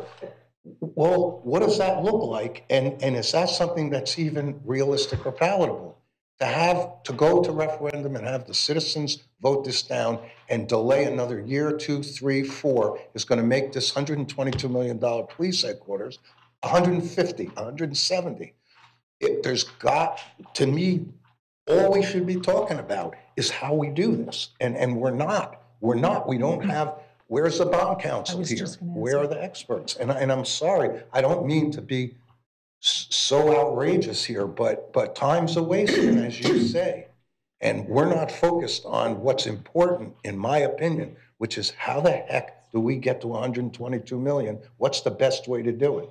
And, and that's what I'd like to hear everybody talking about. Commissioner McDowell? Yeah, um, by no means am I chastising you bringing the language because that's what we asked you to do. But things have changed since we, we made that ask. We've had a few other conversations. We had a town hall, and I have to tell you, the town hall, even though I was not in attendance, was extremely beneficial. I got to hear from the citizens, and I got to hear staff's answers. And I, when I heard staff's answers, I went, wait a minute, where did that come from? We didn't even talk about that. And it just shows how fluid everything is from day to day, week to week. I agree. We have to iron out how are we going to pay for this? How much of the bond? What kind of bond? We already gave direction for the 122 building. I made that motion. And after I made that motion, I, I was pleased to make that motion and get the support from my fellow commissioners. But afterwards, I went, Deb, of all people, you made a motion to do something and you don't know how you're paying for it. I was kicking myself. I was beating myself up for, for four days over that. We got to figure out how we're going to pay for it because at the end of the day, if we don't get our messaging straight and we don't get that answer like that, those citizens are not going to vote for this. And that is what we have to focus on. What are we going to do to get the citizens and the voters to say yes to that bond referendum? And, and I really think focusing on the financial part of it is what our biggest next step needs to be sooner rather than later. And if that means we have to schedule a, a special meeting every 10 days to get caught up to speed, so the citizens are caught up to speed and we're fully transparent and they know what's going on, they know that this is fluid, then that's what we have to do. Get the bond counsel in here, get the PFM people in here so that we can ask them these questions, so they can give us a presentation, so they can explain it to us, which ultimately explains it to the citizens. Okay, Commissioner Langdon? Um, Thank you, Madam Mayor. A- And again, I, I have to react. I'm not beating anyone up. I have enormous respect for staff and the difficulty of this task. And I know you gave us exactly what we asked for at the last meeting. But this is a huge project, and the dollars are huge, and it has far-reaching impact um, on our taxpayers. And so I need to make sure, and I want the community to know that we have explored every single option for how we structure this thing before we ask them for a millage rate increase. Um, I, I think we owe it to our taxpayers to do that. Um, and after we gave that direction, I wasn't comfortable. I'm not a bond expert, I'm not a financial wizard, but you know, I, I did some additional homework and I, I learned a little bit more. Not that I really grasped everything I was reading, but what I took away from that is there are a lot of different ways to skin this cat. And it has direct implications on the overall cost of the project um, and, and what we need to ask for and how we need to structure it. Um, and yeah, I, I do think we need to look at our capital project list, and, and we haven't had an opportunity to do that, that yet. I know staff took a first stab. I've, I've gone through and I identified some other things that I would put in the want category rather than the need category. Um, so I just, I think it was unfair of us to ask staff to come back with language, and I apologize for that. Um, but we need to do the work before we can put that statement together. That's it. All right, uh, just some comments from me and a question. Um, We talk about uh, the millage rate increase uh, as if it would be, you know, a whole lot of money. I think initial, our initial conversations were based on a $100,000 taxable assessment. That's not market value or what your house is, is worth. I, I think I have this right, it would be $26 a year. So um, it, that's, I don't want getting out there like the ad valorem increase millage rate is, like- millage rate increase would be like the end of the world, all right? That's, that's really a, uh, to me, a manageable amount of, of money. Um, I, I just also want to caution the commit, the, this commission from waiting too long for things because I'm, I'm thinking about Warm Mineral Springs, how there was a $9 million uh, budget and by the time there was any action taken, it was twice as much money. I don't want to see that happen to here, okay? Okay, good. I'm Glad to hear that's not going to happen. I had a, a question about uh, bonding. We had, we voted for a road bond some years ago, and for people who don't know that, if it's on your tax statement, it's forty-six dollars uh, for a road uh, bond, because we had to fix all the roads in the, in the city. And the people approved that. That's why you have such nice roads in the city. Um, But that's on every single lot, not just um, those who have a house on it. It's every single lot is says forty-six dollars. I, I was just, had a question, could that be the same situation here? Because if we're talking about ad valorem, it would only be for those who have a house. Um, Where, uh, because it would be on, well, no, let me put it this way. Yes, but the biggest impact would be for those who have a house on it, let me put it that way, because undeveloped land wouldn't be, have as much of a taxable value as, as a house. So I was just curious if that could be done the same way. Um, I was having a conversation with somebody and they asked that question, so I thought I'll bring it up and just see if that could be thrown out there. Mayor, that is, that is not available here, and it's, it's referenced, I know, albeit briefly in my summary chart. That would be a special assessment. Um, And a special assessment has to inure a specific benefit to the property paying the assessment. Case law has examined general government buildings and even police buildings and determined that that provides an equal benefit to everyone in the public and not a special benefit to the property. Therefore, a special assessment is not available legally. Okay, thank you for clarifying that. All right, I knew you'd give me an answer for that one. All right, that's great. Um, But I do, I do, there is a need to to do this. Uh, This building was um, done with a bond, and I remember that, and I still remember the numbers. You know, only 1,200 people voted the bond for this building and the police building. 1,200 people, that was it. It was a, a special election in August. Um, Well, no, let me, 1,200 people voted, 800 voted yes. Okay, we didn't even get everybody to vote for this building. But if those 800 people hadn't approved this, we wouldn't be sitting in this nice building here, and the police wouldn't have had their nice building. You would be having these meetings still out there on North Port Boulevard. Uh, And some of us remember those buildings and going to City Hall there. Uh, So this is definitely something that's needed. I want to, I want to see it done. Um, It's, it's necessary. We are a growing city, and we're only 30% built out.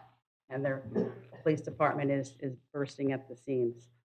So however this has to get done, I, I want to see it done. Um, And that's all I have to say about that. Vice Mayor? Yes. You know, in, in response to, to the mayor's comment about the amount of, of property tax increase that would be involved here, you know, uh, the reality is, even if it were a couple of hundred dollars for the year, or a, a, a segment of our citizenry probably wouldn't break the bank, but that's not the issue, in my opinion. The issue is that property owners under this present approach of combination of surtax and millage rate to pay puts a property owner in a position of having to pay twice.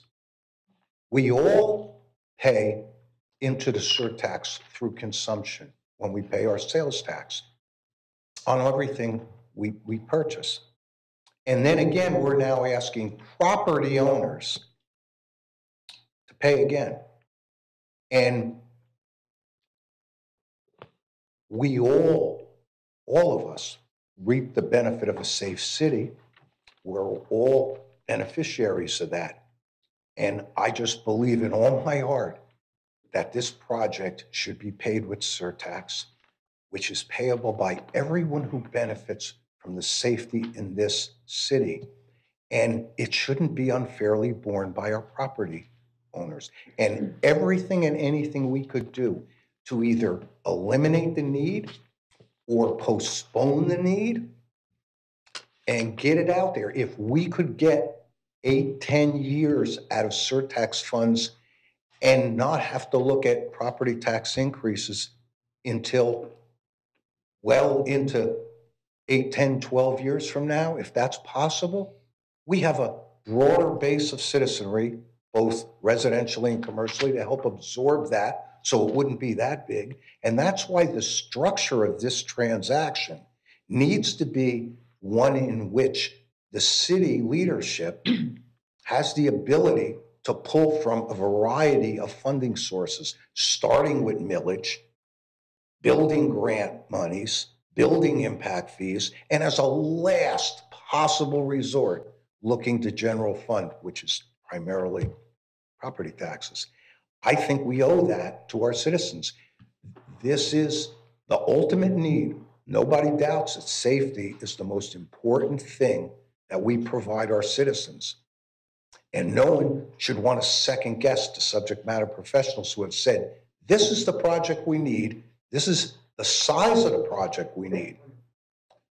But how we pay for it should be borne by everyone who benefits. And that's all I'm saying. And I don't believe we have really attacked every ability to look. I mean, I'm sorry, I, I, I look at that surtax list and you can not touch police, not touch fire, not touch public works, infrastructure, and yet I can come up with $80 million worth of surtax money. If I can do it, and, and again, it's subjective, but I think every one of us needs to do that. And that's what the meeting on, on the first is all about. And that's the next spot to st- start, if you ask me. Uh, You know, um, unless somebody's got a better way, we could talk about structure, lease versus bonding. I mean, but who's here to advise us on that? Which is better to do? Why wouldn't we just lease this thing? Lease to purchase. So much better in so many ways, unless there's some subject matter experts out there who could speak to us and tell us why that's a lousy idea. Okay. Um, Commissioner McDowell?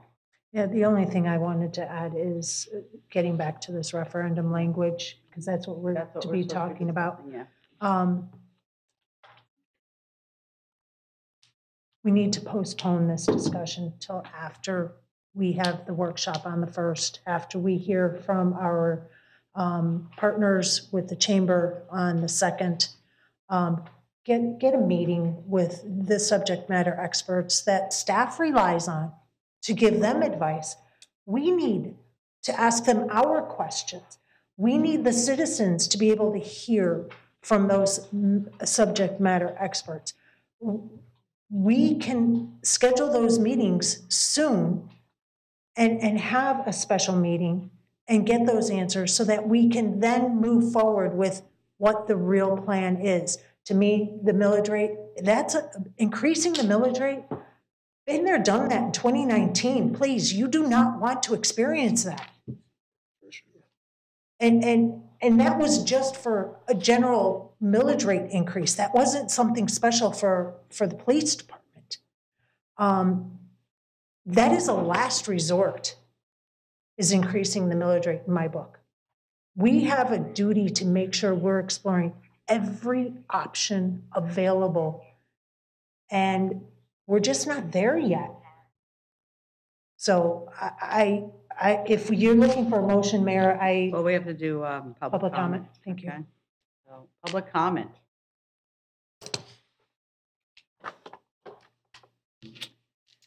Jill Luke, I am a, I am opposed to the drafting of a referendum at this point in time for the funding of a potential police department station for a few reasons. First, the topic is not fully vetted with all potential funding sources being laid out on the table. Second, this question holds two questions within it, not one.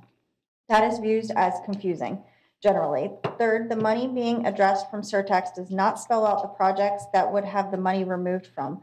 Price Boulevard Phase Two does not hold $50 million in it, so other projects would be affected too. If surtax is brought to the citizens in a list of potential projects for their approval, The opposite needs to occur in a situation such as this. The citizens have the right to know which projects they would be approving to be removed. Fourth, I don't know as the question going on the ballot in August is even legal. The state has made ballot questions outside of November elections void as they tend to avoid the full voting public. The school board had to face this with their March questions. I'll add, it's not time. This will have to be addressed when all avenues have been vetted and not before. The, the last couple of years has seen a lot of change and added expenses to the budget voiced as not kicking the can down the road. There are times when slowing down to avoid hardship is, in, is the wisest thing to do. Thank you. In person, we have Joe Pazzola, followed by Mick McHale. Do you, do you want them over there? Down over here? the other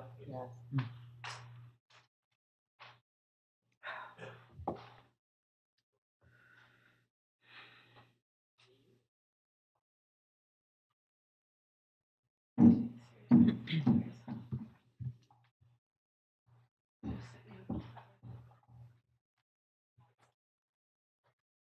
Thank you very much, folks, for having me here. I appreciate it. I understand what you're all saying.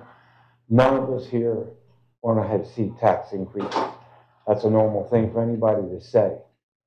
But in reference to the police department, if you look out and want to buy or purchase land and put a, uh, let's say, a water facility up, some people use it. A dog park, some people use it. A police department, we all use it. We all need it. Uh, I'm, I, again, I'm not in favor of a tax increase, but we have to look at our uh, officers. We have to look at the size of our city that's growing in leaps and bounds. You got to come up with a way to pay for this in some way to help our citizens, keep us safe, which all of these police officers and yourselves are doing. I commend you on that. Uh, again, keep the taxes down if you can. But remember our police officers. We need them. Thank you so much. Thank you.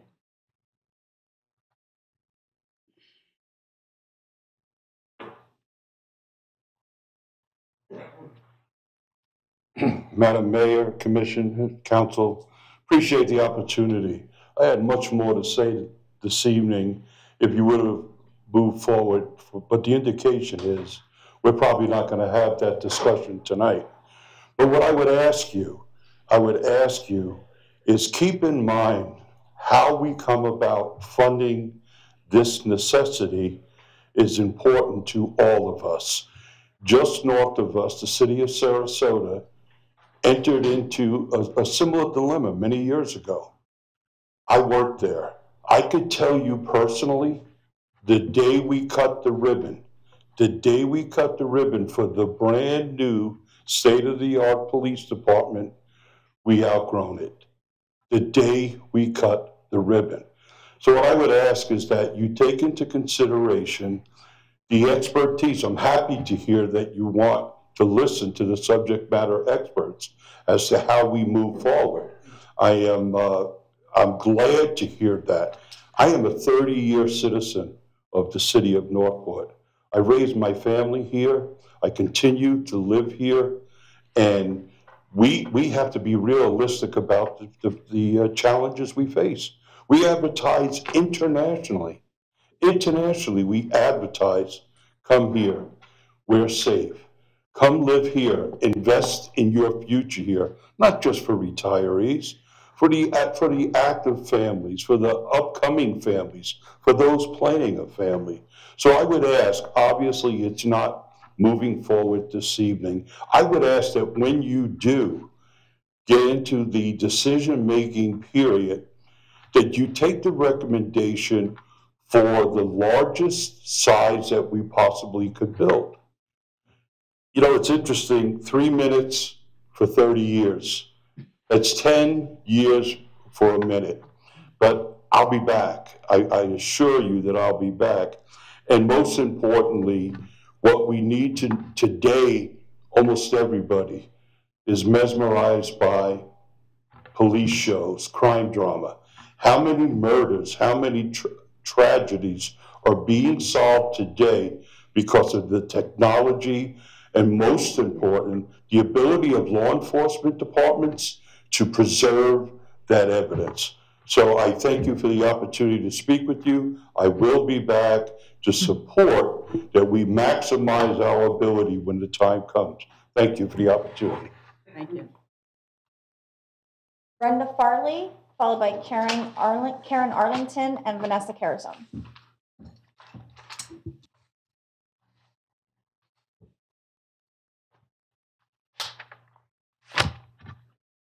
I'm Brenda and a full-time disabled senior citizen of North Port.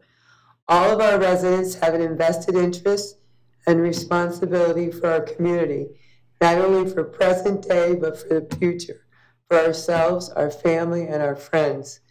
We've paid nearly a million dollars, to my knowledge, for firms, contractors, consultants, architects to evaluate the North Port Police Department and it recommended the best options and cost effectiveness to bring its present day condition and outgrowth to a level where history won't repeat itself again.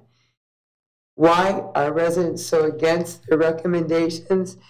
They're going by what they read solely in the newspapers, by hearsay, by their own interpretation of the words being used. Please think of the long-term value of what the North Port Police Department is requesting. Inflation will only continue to increase and the cost of today's prices to the city would be locked in. This is a money saver to do now than to revisit this outgrowth in a few years and the cost then. Don't let history repeat itself by scaling back. Current residents need to vote approval for this request, and I hope I inspire them to do so. It takes courage to go forward, and let's show we have the strength to do just that as a community. Remember, our non-informed taxes include the fire and rescue and road and drainage, solid waste, stormwater utility. We have little to no say about that. However, North Port is like the biggest growing city. We're advertising it in Florida. And with this, we need to keep it at the highest current level of law enforcement, safety, and crime prevention, which we all depend on, we receive it, and we expect it. And with that, thank you. I will always be there to support our police department. We need them and without them, our city would fall apart. So thank you for your time. Thank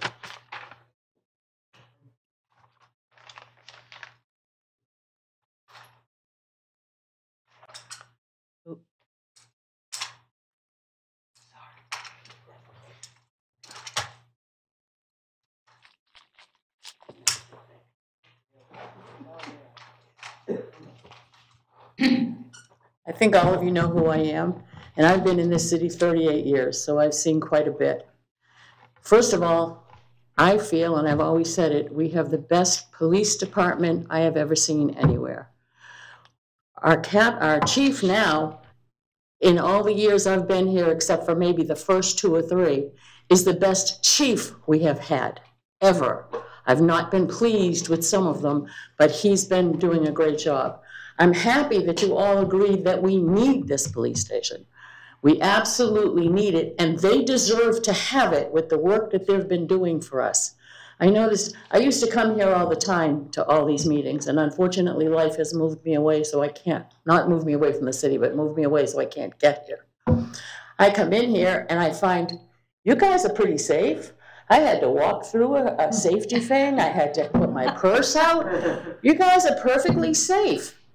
I feel that the rest of us are that safe in the city. I can walk at night and I don't worry about it. I can put things out in my yard at night. I don't worry about it.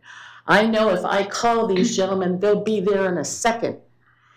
They need this stuff. Bottom line, we need it. Find a way. Uh, look at we're my husband and I live on Social Security, but if they have to raise the tax a little so that my home is safer, so this city is safer, and so they, we- we keep this police department that services us so well, and they have everything they need to do it, then I'm willing to scrape up the difference in my tax money if that's what I have to do.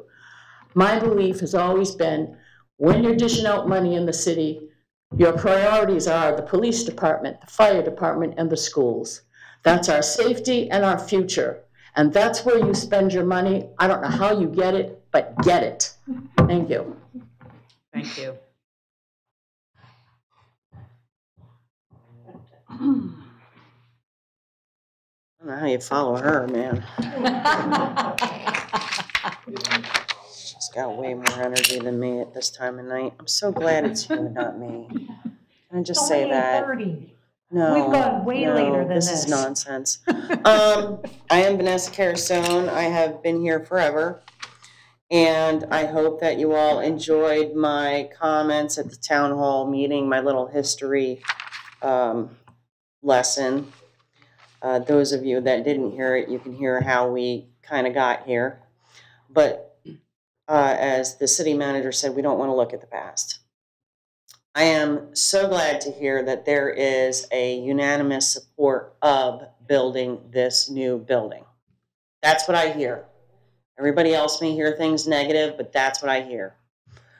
What I hear is that it's a question of how we get there. So I jotted a few things down. First and foremost, I would hire an auditor. I would get an auditor to come out because finance department is up to their gills in the new budget and have them review several of the funds. For instance, using the half cent sales tax, the surtax, the public service fee, the interest that's gained off of all of these little fund balances and all these other projects that are being held in bank accounts, interest is being earned off of that. How much is that? Uh, economic stability fund, the contingency funds that are on projects that have not been used that will go back into the general fund or they'll go back into surtax, but then can be shifted. Um, the uh, there's a few other uh, taxes that could be analyzed and utilized, and then you take that all together and you've got your number. All right, so that's that's one thing. Uh, you can also go back and reduce the fund balance policy. Those limits are at 20%. It is not necessary to be 20%, by the way. 18, 15 to 18% would work. You take whatever that 2% is and you utilize the rest of that money in fund balance that it's going to save you to go towards this. Um, the vote, by the way, you can do this in a special election, supposedly. Uh, and if that's the case, then you need your language put together in September, October. That way you can get it to the supervisor of election in November, and that should give you plenty of time. But if you have to have language now, make it very basic, make it very general that says that the balance of 122 million um, that would be utilized from and then using all those different tax funds. I don't know if you can do that legally. That's why we hire the big, big guns. Number one, one thing, if you don't do anything tonight, please vote on the design. Vote for the design, full funding, 100% at a fund balance. Get it done, get it done tonight because it's going to take three to four years to actually get this accomplished. By that time, we will be behind the eight ball. Thank you. Thank you. Okay, that's all, okay. All right, so uh, where are we? Does anybody want to Yeah, I do. give direction, make a motion, okay? Yeah. Ex-Commissioner Carusone brought up a point that I apologize for not, I added in my notes. And if there is one thing that we should approach tonight, or at least have a good, healthy discussion on, is the design aspects of this. I mean, It's not on the agenda. Not on the agenda. Ah, so we can't It's discuss only it. what, what we, what's on here. Well, that's true. Commissioner, uh, Commissioner, uh, Vice Mayor? Can I, can I try a first motion? Absolutely. It's, it's very basic. Um, We have a workshop scheduled for Monday, the 1st. Um, I'd like, and we can change this. Um, I'd like to see about changing it to a special meeting, that way then motions can be made instead of just consensuses. I, I really think we, we've got a lot of decisions that need to be made, and they're time sensitive, and conversations spark motions, and I really think that Monday's workshop should be a special meeting. So if I can make a motion to change Monday's meeting from a workshop to a special meeting. I'd second that. Okay, I have a motion on the floor by Commissioner McDowell to change the April 1st scheduled workshop to a special meeting. I have some comments. Uh, And that was seconded by Vice Mayor. Yes. We can discuss now, though, Yes. correct? Mhm. Yes. Um, I- We've talked a lot about needing a more complete analysis of different bond structures versus different ways of doing lease to own. I- just don't think there's enough time between now and Monday to do that.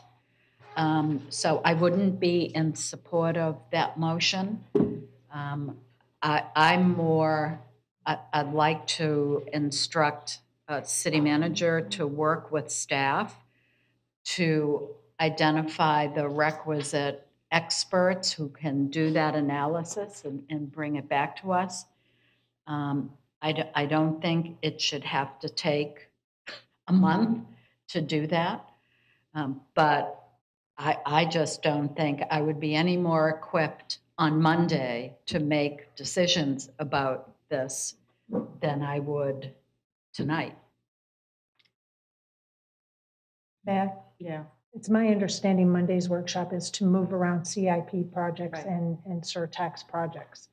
While I would not be in favor of moving surtax projects until after we have the discussion with the chamber, I would be in favor of possibly changing around some CIP projects. And to your point, Commissioner Langdon, absolutely, we're not ready for other people to come in and help us with the bonding things that were brought up today on Monday. We know that's in the future, but I'm just talking about Monday's commission mm, workshop to be a meeting, so that way then we can give some general direction, so they can start with that piece of that puzzle, and also potentially give direction on how to fund the hundred percent design plans that we already gave motion, uh, made a motion and approval for. That's all I was looking for. Um, Workshops, workshops are good, but if decisions have to be made, they have to be made then, timely, and that cannot happen at a workshop. Okay. I have a question. Sure. What, what are the implications of that in terms of Legal? notification Yeah, and that and that kind of thing? We're, Are we okay with agenda hasn't even posted yet. has. Actually, It's posted, but we may amend it prior to. Okay. just posted. When did it post? It posted During between this- our first meeting today and this meeting. That's why. I sent out the email. All right, you can just change it to a, if, Special if- if meeting? we vote for that, you can, okay. Yeah, Uh, Vice Mayor? yeah. Yes. I mean, the biggest reason, I, I do think that the vast majority of what we'll discuss uh, on the first w- will be, would lend itself to, to the workshop, but, but I do think we really need to take a hard look at, at the, the funding of the, um, uh, the design aspects, because it's a year out from that. I mean, this is, it's time sensitive. I mean, the, the the longer this project gets stretched, one way or the other, I believe we're going to do this. One way or the other, we'll figure out how to fund it. But the design aspects of this do need to get done.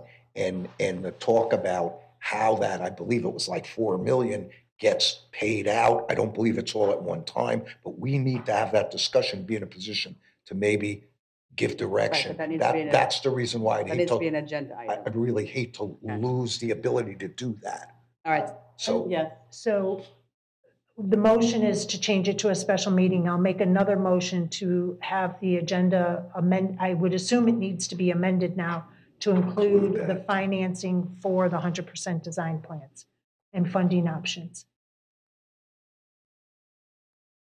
So let's take the motion that's on the floor, call the question, and see where it lands.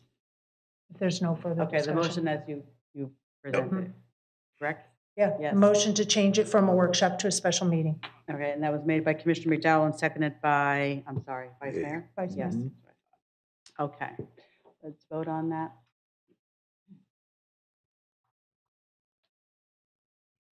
That passes four to zero.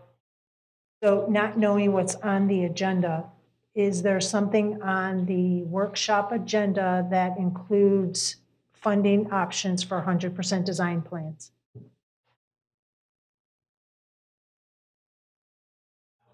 Will staff and city manager be prepared by Monday to have that discussion? Because you had mentioned it at the introduction of this, that you needed that um, approval, funding approval? Yes, Commissioner. So in our memo that we outlined, we don't have another source to pay for that other than fund balance. So our opinion is not going to change between now and Monday. So at this time, then, we would need to have the agenda amended to include that discussion. Is that what I'm hearing? Is that what you want? Yes, ma'am. Okay. Um, I will make a motion to have city manager or city clerk amend the agenda to include funding discussion on getting the North Port Police Headquarters to 100% design plan. I'll second it. All right, we have a motion made by Commissioner McDowell. City Clerk, Clerk, can you repeat that for clarity? To amend the April 1, 2024 agenda to include funding discussion regarding the North Port Police Department headquarters to 100% design plan. All right, and that was seconded by Vice Mayor. Any further discussion? No. All right, let's vote.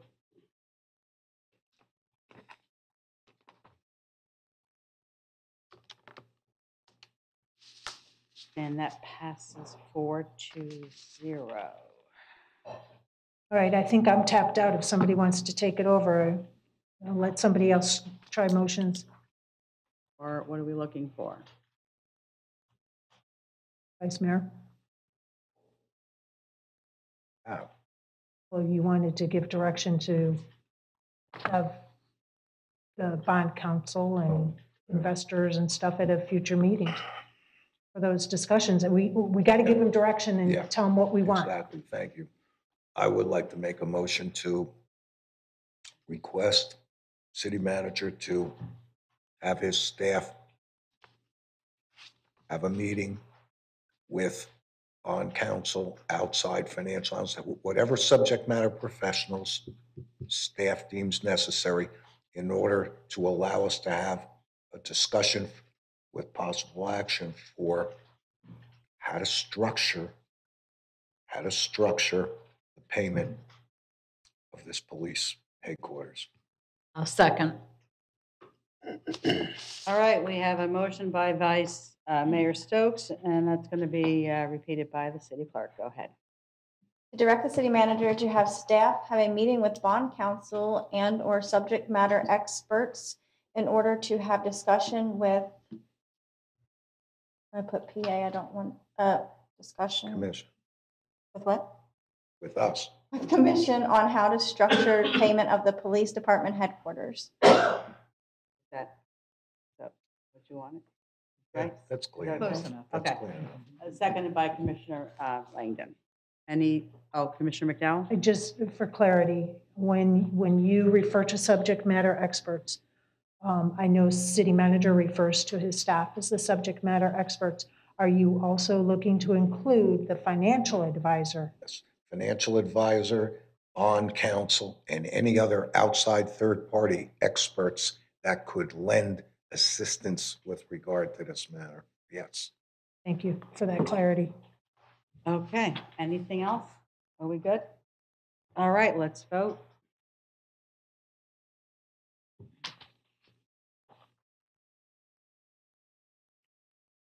And that passes four to zero. All right, anything else on that? We Do we need to give a motion to table the discussion on the referendum? Or is it just going to kind of hang out there? Well, it's discussion and possible action, so if we don't, we're not taking action on the Action. referendum, do we have to do something? Just want to make sure they bring it back at some point. I'm sure they will. Right. Okay. All right, uh, any public comment, city clerk? Oh, okay. But, Hang on, we they're have- oh, conversing okay, before you adjourn. yeah, well, we have. I know. reports.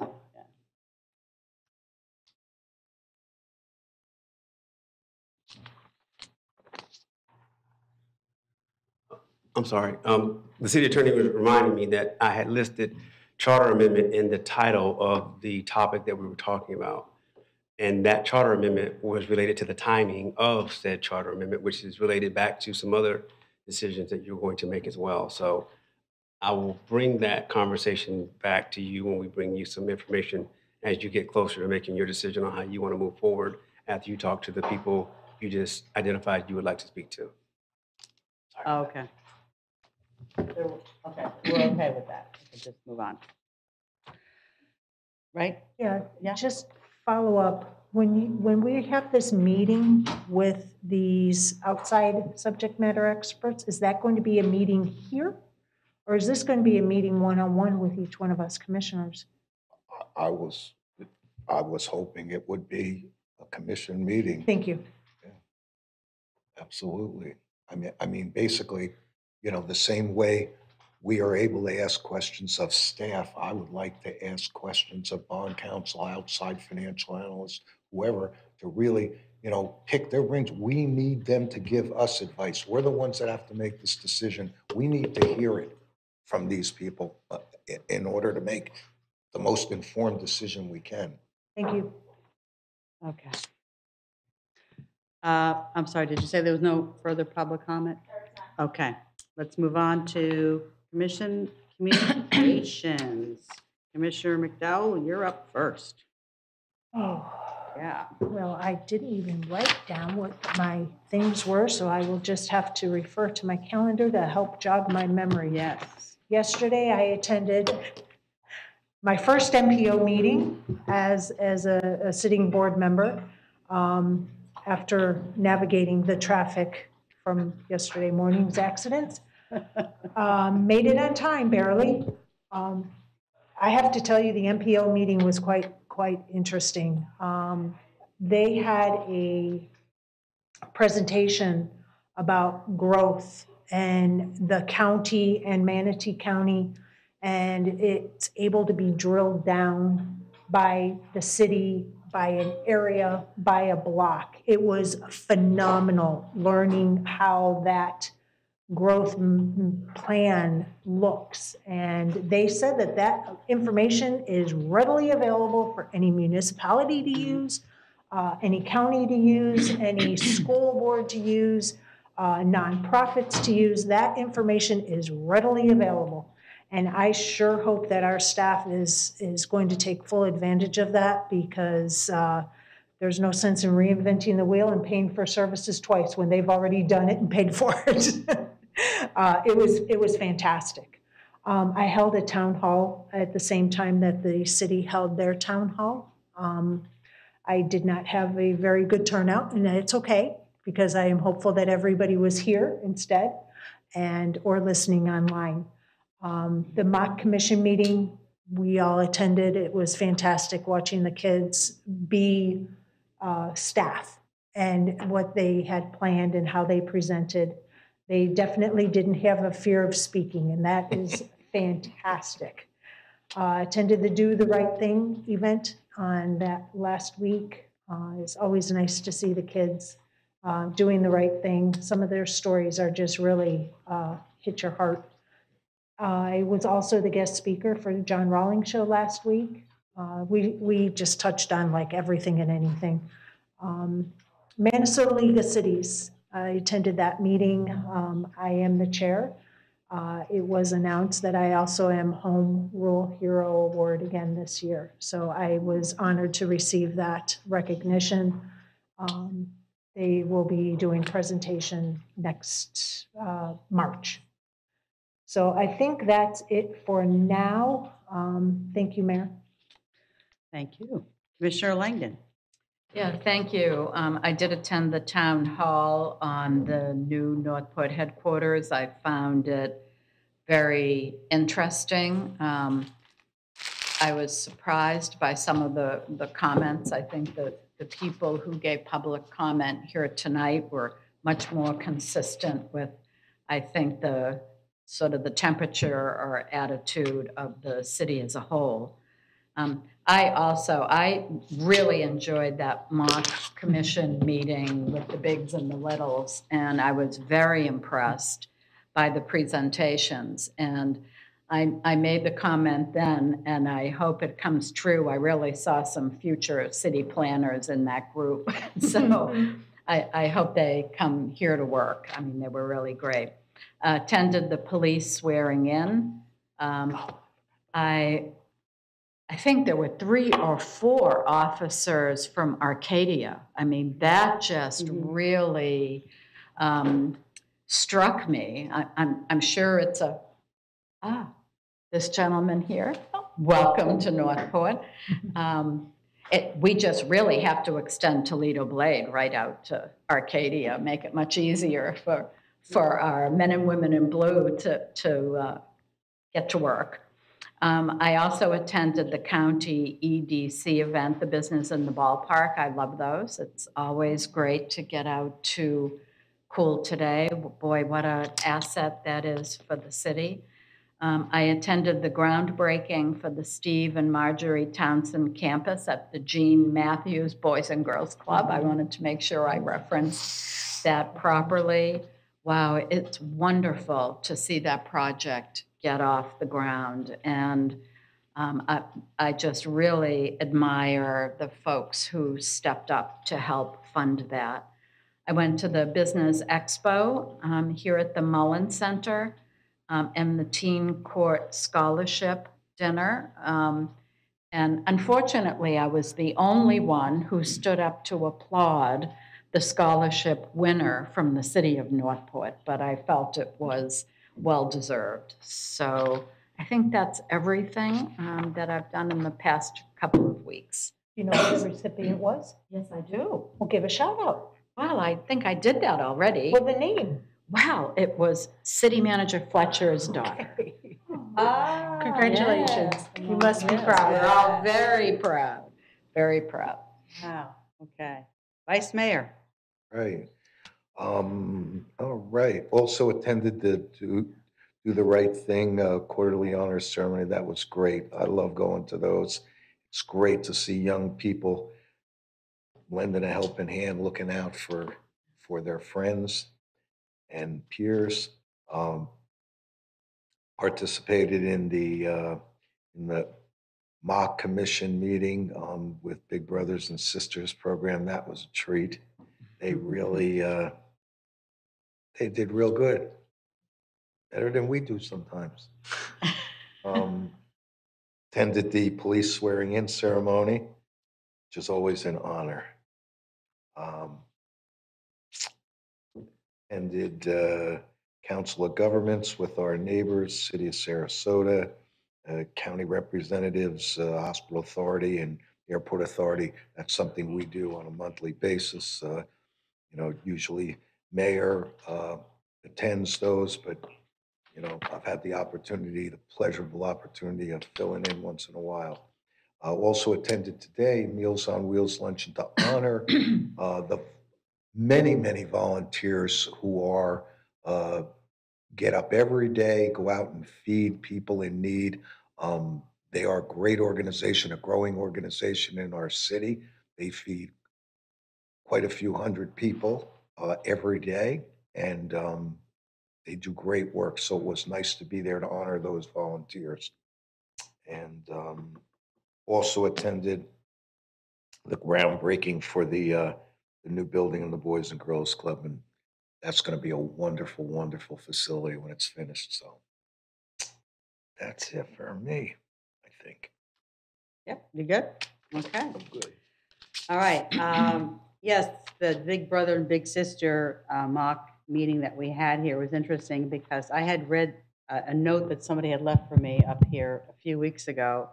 uh, Was, I hope you have a wonderful day. Thank you for all you do. Well, that girl was, was there. And uh, I said, okay, now I know who the mystery writer was. Dakota Hines. I told her I'd give her a shout out. Um, I told her just go on the, on our website and fast forward all the way to the end. So there you go, Dakota Hines. I said it two times now, all right? So, but she was such a sweet girl. Um, This morning, I had conversations at the Foxtail Coffee. Is that called a coffee house? I don't even know. Coffee, or just Foxtail Coffee um, in Wellen Park, and, and uh, it was great talking to people um, that have just wonderful things to say about North Port, and I just love hearing that. Uh, again, as someone who's been here for 30-something years, and it wasn't always that way. Um, and I hate to say that, but now people are like, you know, it's just so great what's happening here. And also these other things that, I- that I, uh, I attend. I, I went to the Reading Festival in Venice, that's at Blalock Park, which is known as the Monty Andrews Tree Arboretum. But um, again, as soon as I, I tell people I'm from North Port, and uh, I really don't tell people I'm involved with politics, because I'd like for them to, uh, just to give me their honest feedback, and that like, oh, you know, the great things happening there. We're hearing a lot about North Port, and I just love to, to hear that. Um, yes, I went to the Boys and Girls Club groundbreaking, uh, and that again was really interesting because I remember when that was um, building, old building was the um, Biscayne Church. Yeah, I remember that. Um, I went to the Habitat for Humanity Rocking Around the Clock sock hop. Yeah, um, that was really a lot of fun. I actually bought myself like a, a 50s costume. I don't, that's not me, but I did that. And uh, Jill's rubbing off on you. well, speaking of the, the devil, yes, they, they said I, uh, they said I could have two tickets, and I said, I know just the person I'm going to give that other ticket to. Yes, so, uh, former Commissioner Jill Luke was there and dressed, of course, up. I didn't even recognize her. She had a red, red wig. Yeah, and I wa- I walked right by her when I got there, because I didn't even know it was her. It's, it's so funny. Um, uh, Probably most of you heard that uh, Hugh Culverhouse is funding the 211. We had talked about the We talked about 211 being defunded by the county commissioners, and he's going to fund that for two years. Uh, Hugh Culverhouse, for those who don't know, you should Google him. He's a, he's a big player in Sarasota County, owned a lot of land, and there's actually along the Legacy Trail, there's the Culverhouse Nature Stop or something, and, and that's, his family um, owned that, that land uh, there and um, had to give it up for the railroad. That's how far back they go in the 1920s. So lots of history with his family. So I was really help, uh, really happy to see that. I don't know what's going to happen after two years, but like to see the, the county step up to the plate again and, and fund that for our residents. It's uh, really, really necessary and, and needed. Um, I think that is it for me. Yeah. So, um, charter officers, uh, city manager. Uh, Nothing, Madam Mayor. Okay, city attorney. Nothing, Mayor. Oh, city clerk. Boy, okay. Boy, not even, okay. So, so it is, ah, 8:59. Ugh. I hate, I, I hate these odd times. I, you know, I hate to sound like Monk. I don't know if anybody knows that show, but I love that show. You're just No, spoiled. I don't know what it is. Okay, 8:59, this meeting is adjourned. Garbage pile. Yard waste is a separate pickup. So what happens if I use all my uh, bulk pickups already? Good question. So you can have more, but you just have to pay. It's going to be 1650 a cubic yard, and that's length times width times height divided by 27 is one cubic yard. Any questions? Of course, let us know. Give us a call, 941-240-8050.